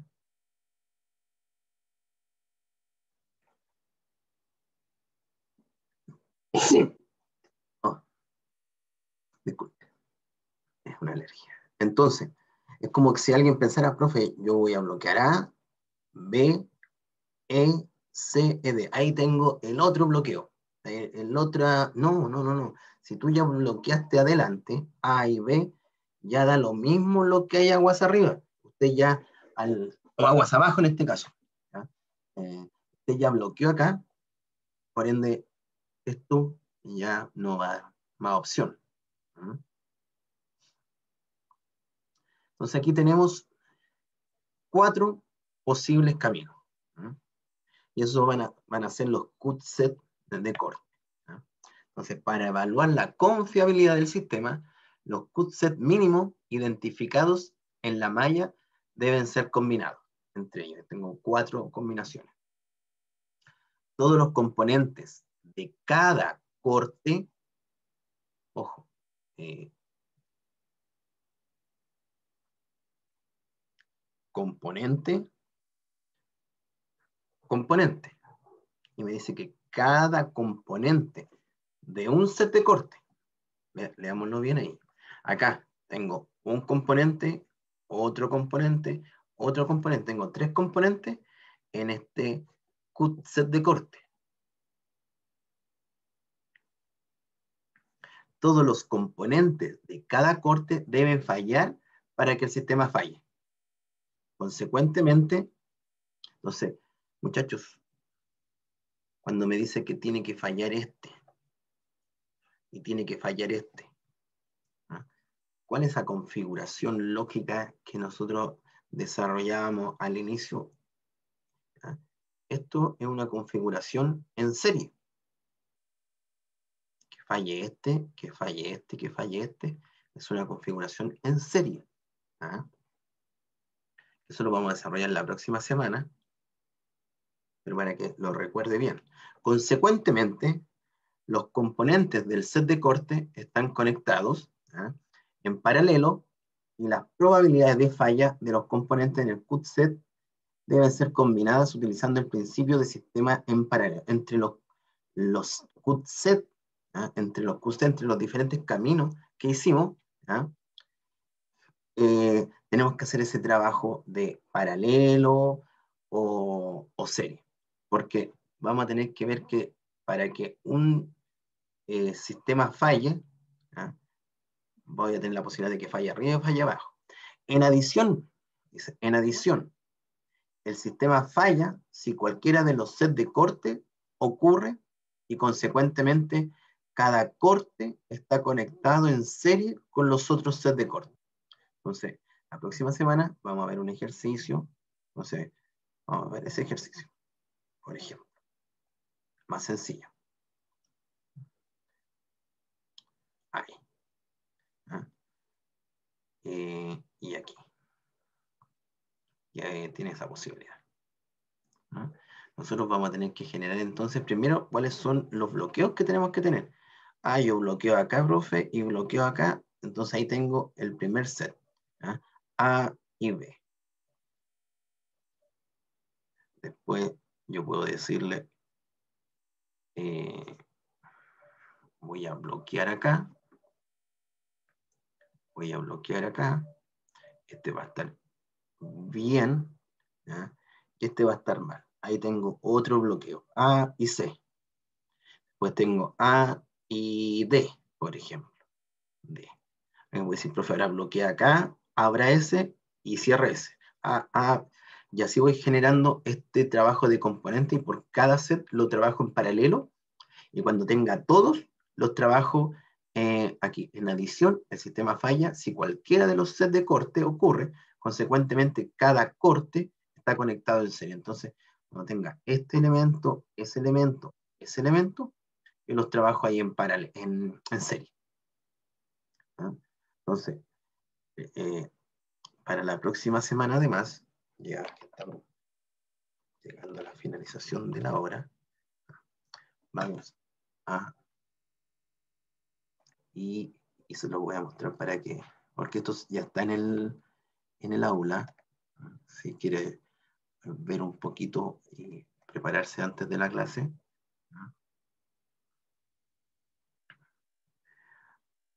Vamos a empezar el trabajo. Vamos a empezar el trabajo de, del ciclo de vida de un activo físico, pero asociándolo entonces con la obtención de este beta y reconociendo que son estas probabilidades de falla instantánea que yo antiguamente les decía, no, la F mayúscula, F minúscula, ahora tenemos que poner atención a qué corresponde cada una y cuándo lo vamos a utilizar. Y vamos a utilizar la distribución de Weibull, vamos a tener un planteamiento de un ejercicio, qué pasa si es que uno de estos, estos trabajos no son correctivos, son preventivos, cómo afecta, cómo lo vamos a poder desarrollar. Vamos a utilizar eh, opciones que nos entrega el Excel, vamos a poder graficar esto, vamos a hacer el gráfico del logaritmo eh, contra logaritmo menos logaritmo natural de la confiabilidad para obtener el beta, el alfa, el MTBF, ¿ah? actividades que hemos eh, usado en, su momento, pero ahora ya lo vamos a llevar a cabo, porque antiguamente, el semestre pasado y hasta el momento, nosotros solamente decíamos que RT era Euler elevado a menos lambda por T. Ahora no, ahora vamos a usar lo como corresponde la ecuación. Como corresponde la ecuación, se utiliza alfa, beta y gamma. Acá, en caso de que hayan preventivos, ¿cómo hago esa limpieza de los preventivos en mi data? Para volver a obtener una nueva eh, una nueva eh, gráfico de confiabilidad usando la misma ecuación ¿ah? y también vamos a hablar de la mantenibilidad y cómo obtenemos esa mantenibilidad, cómo llegamos a este gráfico. ¿ah? Eso vamos a lograr durante la próxima semana. ¿ah? harta pega, porque eh, tanto o sea, el, desarrollo lo va a hacer un Excel ¿ah? o, en su, o en su quehacer lo va a hacer un software. ¿ah? Hay software que te generan estos, estos gráficos, pero tal como le he comentado hoy día con el ejercicio largo que tuvimos, ¿ah? eh, yo se los voy a subir como fue mi compromiso, le voy a subir ese Excel, y y se va a dar cuenta que si usted no llegó al mismo resultado fue porque se equivocó con un numerito más, un numerito menos, pero en sí lo importante es que con eso ¿ya? usted ya pueda tomar decisiones. Entonces, por ejemplo, las preguntas que yo voy a hacer en un certamen, más que de, de, que usted tenga que mostrarme cómo desarrolló ese, ese trabajo de obtener esos valores, les voy a pedir que me den soluciones, pero con información que les sirva para tomar esa decisión. ¿Ah? va a estar respaldada esa información. ¿ah? Usted me va a decir, mira, si se calcula eh, y para este, de, este sistema yo voy a generar una política de mantenimiento preventivo, para esto predictivo, porque tengo los costos de esto, etc. Y lo bueno, que teniendo la confiabilidad, muchachos, nosotros ya, después de este próximo fin de, de dos fines de semana más, obviamente, al otro fin de semana, ya vamos a poder desarrollar, vamos a poder desarrollar eh, los presupuestos teniendo en cuenta cómo se ve afectado la confiabilidad de cada equipo y la cantidad de intervenciones que tenemos que hacer a cada equipo. Es una diapositiva cortita de 27 slides, pero eh, tiene mucho trabajo, mucha información, y, y, por lo mismo vengan ahí con todas las ganas de, aprender esa parte. Bueno, como les digo, el, en sí desarrollar eso eh, es más Excel, vamos a tener que tener más claro el Excel, pero el análisis es, es, lo importante acá, que ustedes actúen como, como ingeniero, ¿ya? que es finalmente lo que se les va a pedir en su proceso de trabajo de título. Entonces, por lo mismo traté de dejar estos últimos cinco minutitos eh, enfocados en que, eh, tal como le había informado con las jefaturas ¿ya? Eh, de carrera de la IBT, tanto de San Joaquín, de Vespertino y el residencial, eh, generamos la estructura de quiénes son los profesores que cumplen para ser profesores guía. Eh, la idea que, no, que los profesores no se sobrecarguen. me encantaría guiar a todos, pero por más que quisiera, eh, finalmente le perjudicaría a usted, porque yo voy a tener que atender a 50 viejos, y usted se va a tener que poner ahí en la fila, y, no es la idea. La idea es que eh, los profesores nos podamos dividir más o menos los trabajos. Obviamente, si es más de un área o de otra, los vamos a ir seleccionando. Eh, ahora, yo les decía que me tenían que dar tres nombres con la finalidad de, de saber si hay un profe que no está en esa lista, no le voy a dejar ese profe, ¿no? No, va a quedar ese profe a lo mejor usted tuvo un problema, etc. Obviamente, después yo voy a hablar con usted, le voy a decir, miren, estos son los profesores, y si me lo justifican con una, una buena razón, el por qué no, ¿ah? se aceptaría un cambio de profesor. ¿ah?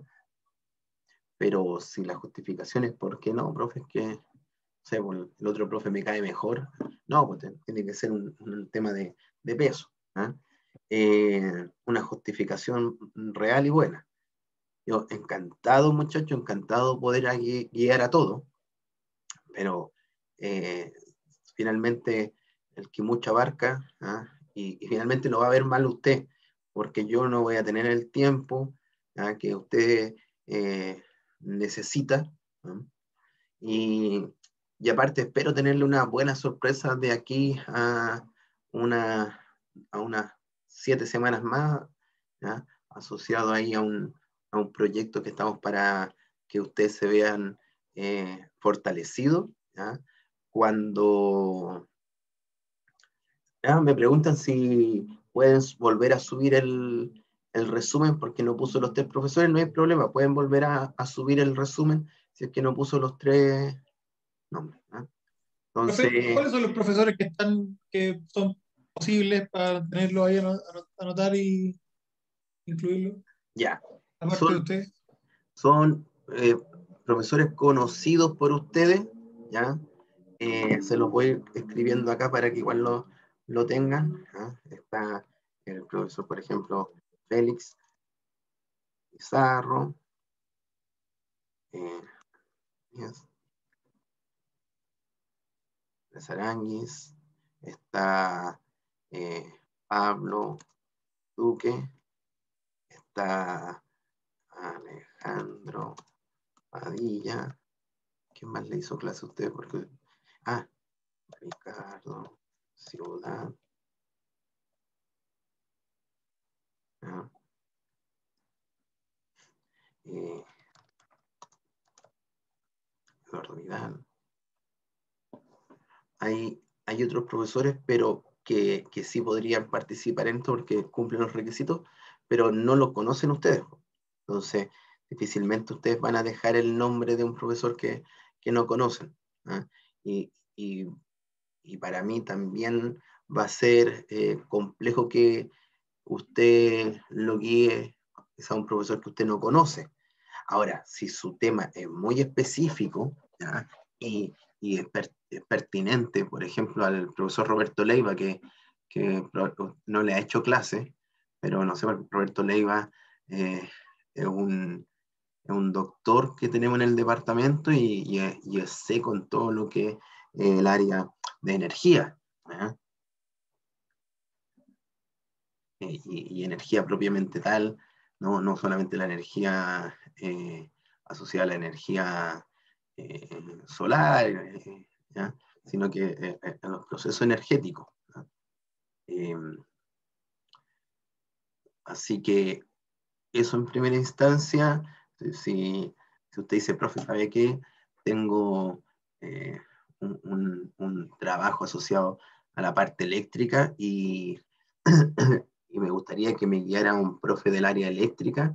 Usted me indica eso también en el, en el resumen y buscamos un profesor quizás de otro departamento. Yo no tengo problema en pedirle a otro colega, así, si desea participar como, el, eh, como profesores del staff de, de profesores que van a ser profesores guía. ¿ah?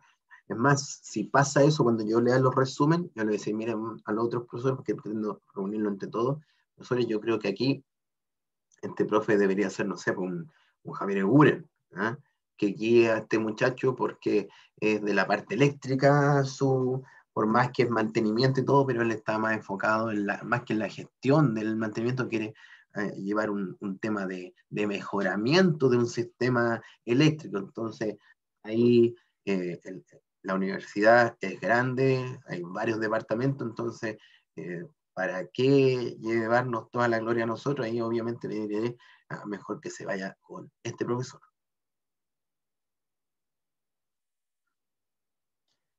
Ya muchachos, eh, justamente alcancé a grabar.